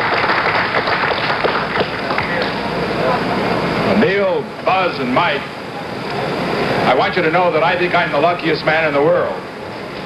And I say this not only because I have the honor to be President of the United States, but particularly because I have the privilege of uh, speaking for so many and welcoming you back to Earth. Uh, I can tell you about all the messages we've received in Washington. Over 100 foreign governments, emperors and presidents and prime ministers and kings have sent the most warm messages that we've ever received. They represent over 2 billion people on this earth, all of them who have had the opportunity through television to see what you have done. And then I also bring you messages from members of the cabinet and members of the Senate and members of the House and the Space Agency, from the streets of San Francisco where people stopped me a few days ago, and you all love that city, I know as I do. But most important, I had a telephone call yesterday. The toll wasn't incidentally as great as the one I made to you fellows on the moon. I made that collect incidentally, in case you didn't know. but I called uh, three, uh, in my view, three of the greatest ladies and most courageous ladies in the whole world today, your wives. and from Jan and Joan and Pat, I bring their love and their congratulations. We think it's just wonderful that they could have participated at least through television in this return. We're only sorry they couldn't be here. And also, I've got to let you in a little secret. I made a date with them. uh, I invited them to dinner on, on the 13th of uh, August, right after you come out of quarantine. It will be a state dinner held in Los Angeles. The governors of all the 50 states will be there, the ambassadors, others from around the world and in America. And uh, they told me that you would come too. And all I want to know, will you come? We want to honor you then. I'll do anything you say, Mr. President. Anytime. Uh, one question I think that uh, all of us would like to ask, uh, uh as we saw you bouncing around in that uh, boat out there, I wonder if that wasn't the hardest part of the journey. Was that the only, did any of you get seasick? No, we didn't, and it, it was uh, one of the harder parts, but it was one of the most pleasant, we can assure you. Yeah. well, I just know that uh, uh, you can sense what we all sense when you get back now. Incidentally, have you been able to follow some of the things that happened when you've gone? Did you know about the All-Star game? Yes, yes, sir. The uh, capsule communicators have been giving us uh, they daily keep you news posted. reports. Yeah. Were you American League or National League? I'm a National League man. National nonpartisan, sir. Yeah, that's right. There's the politician in the group, right. We're sorry you missed that game. Yes. Well, oh, you knew that too? You really? Yeah, we heard that. Uh, yeah, the rain. The rain. Right. Well, we haven't learned to control the weather yet, but that's something we can look forward to as tomorrow's challenge. Right, right. Well, I can only summarize it because I don't want to hold you now. You have so much more to do. And, gee, you look great. You feel as good as oh, you oh, look. feel great. feel just perfect, Mr. Yeah. President. Yeah. Are you? I understand you're. Frank Borman says you're a little younger by reason of having going into space. Is that right? Do you feel that way? A little younger? We're a lot younger than Frank Borman's. there he is over there. Come on over, Frank, so they can see you. And you going to take that lying down? Uh, Are they, it looks like he has aged in the last Yeah. uh, couple of weeks. Come on, Frank. Mr. President, the one thing I wanted, you know, we have a, a poet in Mike Collins, and he really gave me a hard time for describing your words of fantastic and beautiful. And you were, I counted them, in three minutes up there, you used four fantastics and two beautifuls. Well, just let me close off with this one thing. I, I was thinking, as, as, as you know, as you came down, and we knew it was a success, and it had only been eight days, just, just a week, a long week, that this is the greatest week in the history of the world since the creation. Because as a result of what happened in this week, the world is bigger infinitely.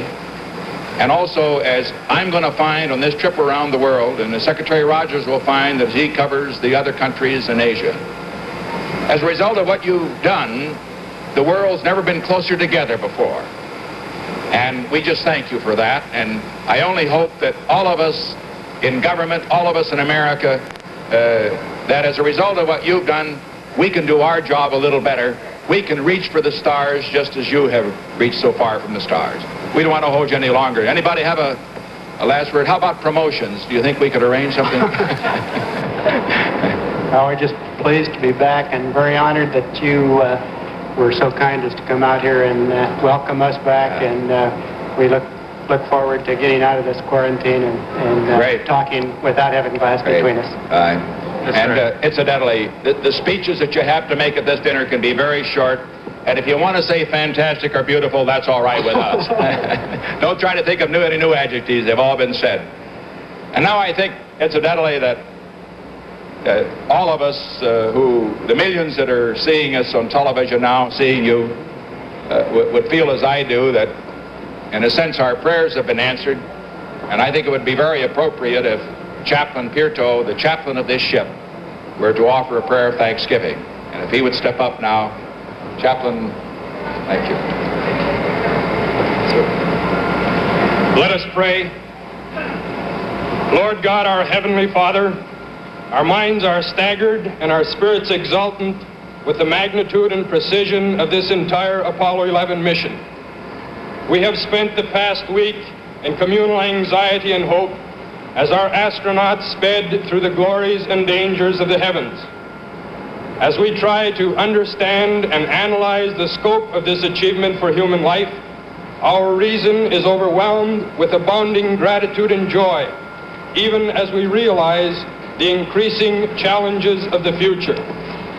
This magnificent event illustrates anew what man can accomplish when purpose is firm and intent corporate. A man on the moon was promised in this decade, and though some were unconvinced, the reality is with us this morning and the persons of astronauts Armstrong, Aldrin, and Collins. We applaud their splendid exploits, and we pour out our thanksgiving for their safe return to us, to their families, to all mankind. Grant us peace, beginning in our own hearts, and a mind attuned with goodwill towards our neighbor. All this we pray as our thanksgiving rings out to thee in the name of our Lord. Amen. Amen.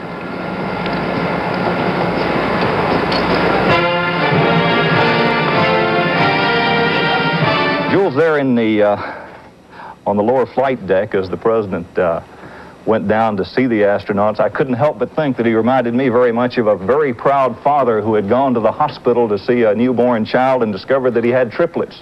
It was the most enthusiastic thing I've seen in some time from him. He's discovered a new thing, Tom. Uh, he discovered it through Frank Borman, who has now become a close aide to the president, who was assigned to him for this entire mission. And he's discovered, I think, that in this torn, tormented time of ours, with a country that's searching for the, to do the things it has to do, that this great thing that's been done here, this, this lunar landing, is, if anything, a unifying factor. It's a moment of national triumph and dedication. And I think he really feels it deeply, as all of us do. Jules, of course, one of the proudest places in the United States at the moment is the little Ohio town of Wapakoneta, population 7,000, and uh, the home of Neil Armstrong, where Neil first began flying. And uh, we have a picture from uh, the home, but it, this is not uh, from Wapakoneta, Ohio. This is from the home of Neil Armstrong. This looks like uh, Jan Armstrong walking up now. Here's Jan Armstrong. Representing the moon. Would you come forward, Mrs. Armstrong, please? How are you today? I'm fine. Have all your prayers been answered? Yes. I would like to say to the President, to the Presidents of the United States, President Nixon, President Johnson, President Kennedy, to all of NASA, to all of the contractors that have helped to make this flight successful, to the astronaut crew, to the men, the three men who made this historic flight, and all the peoples of the world. We thank you for everything, your prayers, your thoughts, just everything. And if anyone were to ask me how I could describe this flight, I can only say that it was absolutely out of this world. Rudy, can you tell us how you... So America has been to the moon and back safely and successfully. And we think perhaps in the process rediscovered itself and discovered that it can do anything it sets out to do. On the moon, to the planets, or in its own cities, in our own cities. Apollo 12 lies ahead in November with a new landing site on the moon, Site 7, a new goal and new dangers as well as new rewards. And Apollo 13, 14, and 15 next year, as well as those cities, slums, and a people who can and will do all that has to be done when they know. The moon then can be seen for what it really is, for what it truly is. And we don't need to look through telescopes, only with our naked eye, to discover that the moon is nothing more than a mirror image of the Earth and what we can do ourselves when we set out to. This is Jules Bergman at ABC Space Headquarters. Tom? Of course, it was Presidents Eisenhower, Kennedy, Johnson, Nixon, all moved us along, uh, supporting the space program, putting the power of the office behind the space program, uh, continuing to keep it alive and vital with the necessary funds and the necessary full commitment. Uh, President Nixon there today uh, was uh, there as the chief executive, of course, but many other presidents, those I just mentioned, of course, have had a great deal uh, to, to uh, contribute uh, toward this final goal of putting a man on the moon. But of course, the firm commitment was that of John Kennedy back in 1961 in an address to Congress when he said, We've got to be there by 1970, and we have. I believe that this nation should commit itself to achieving the goal before this decade is out of landing a man on the moon and returning him safely to the earth. No single space project in this period will be more impressive to mankind or more important for the long range exploration of space, and none will be so difficult or expensive to accomplish. But in a very real sense, it will not be one man going to the moon. If we make this judgment affirmatively, it will be an entire nation. For all of us must work to put him there.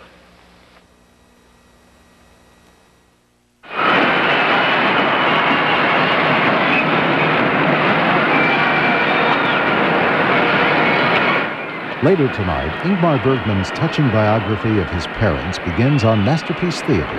Containing scenes not shown in the theatrical version, The Best of Intentions premieres tonight at 9. Now stay tuned for Understanding Whitewater.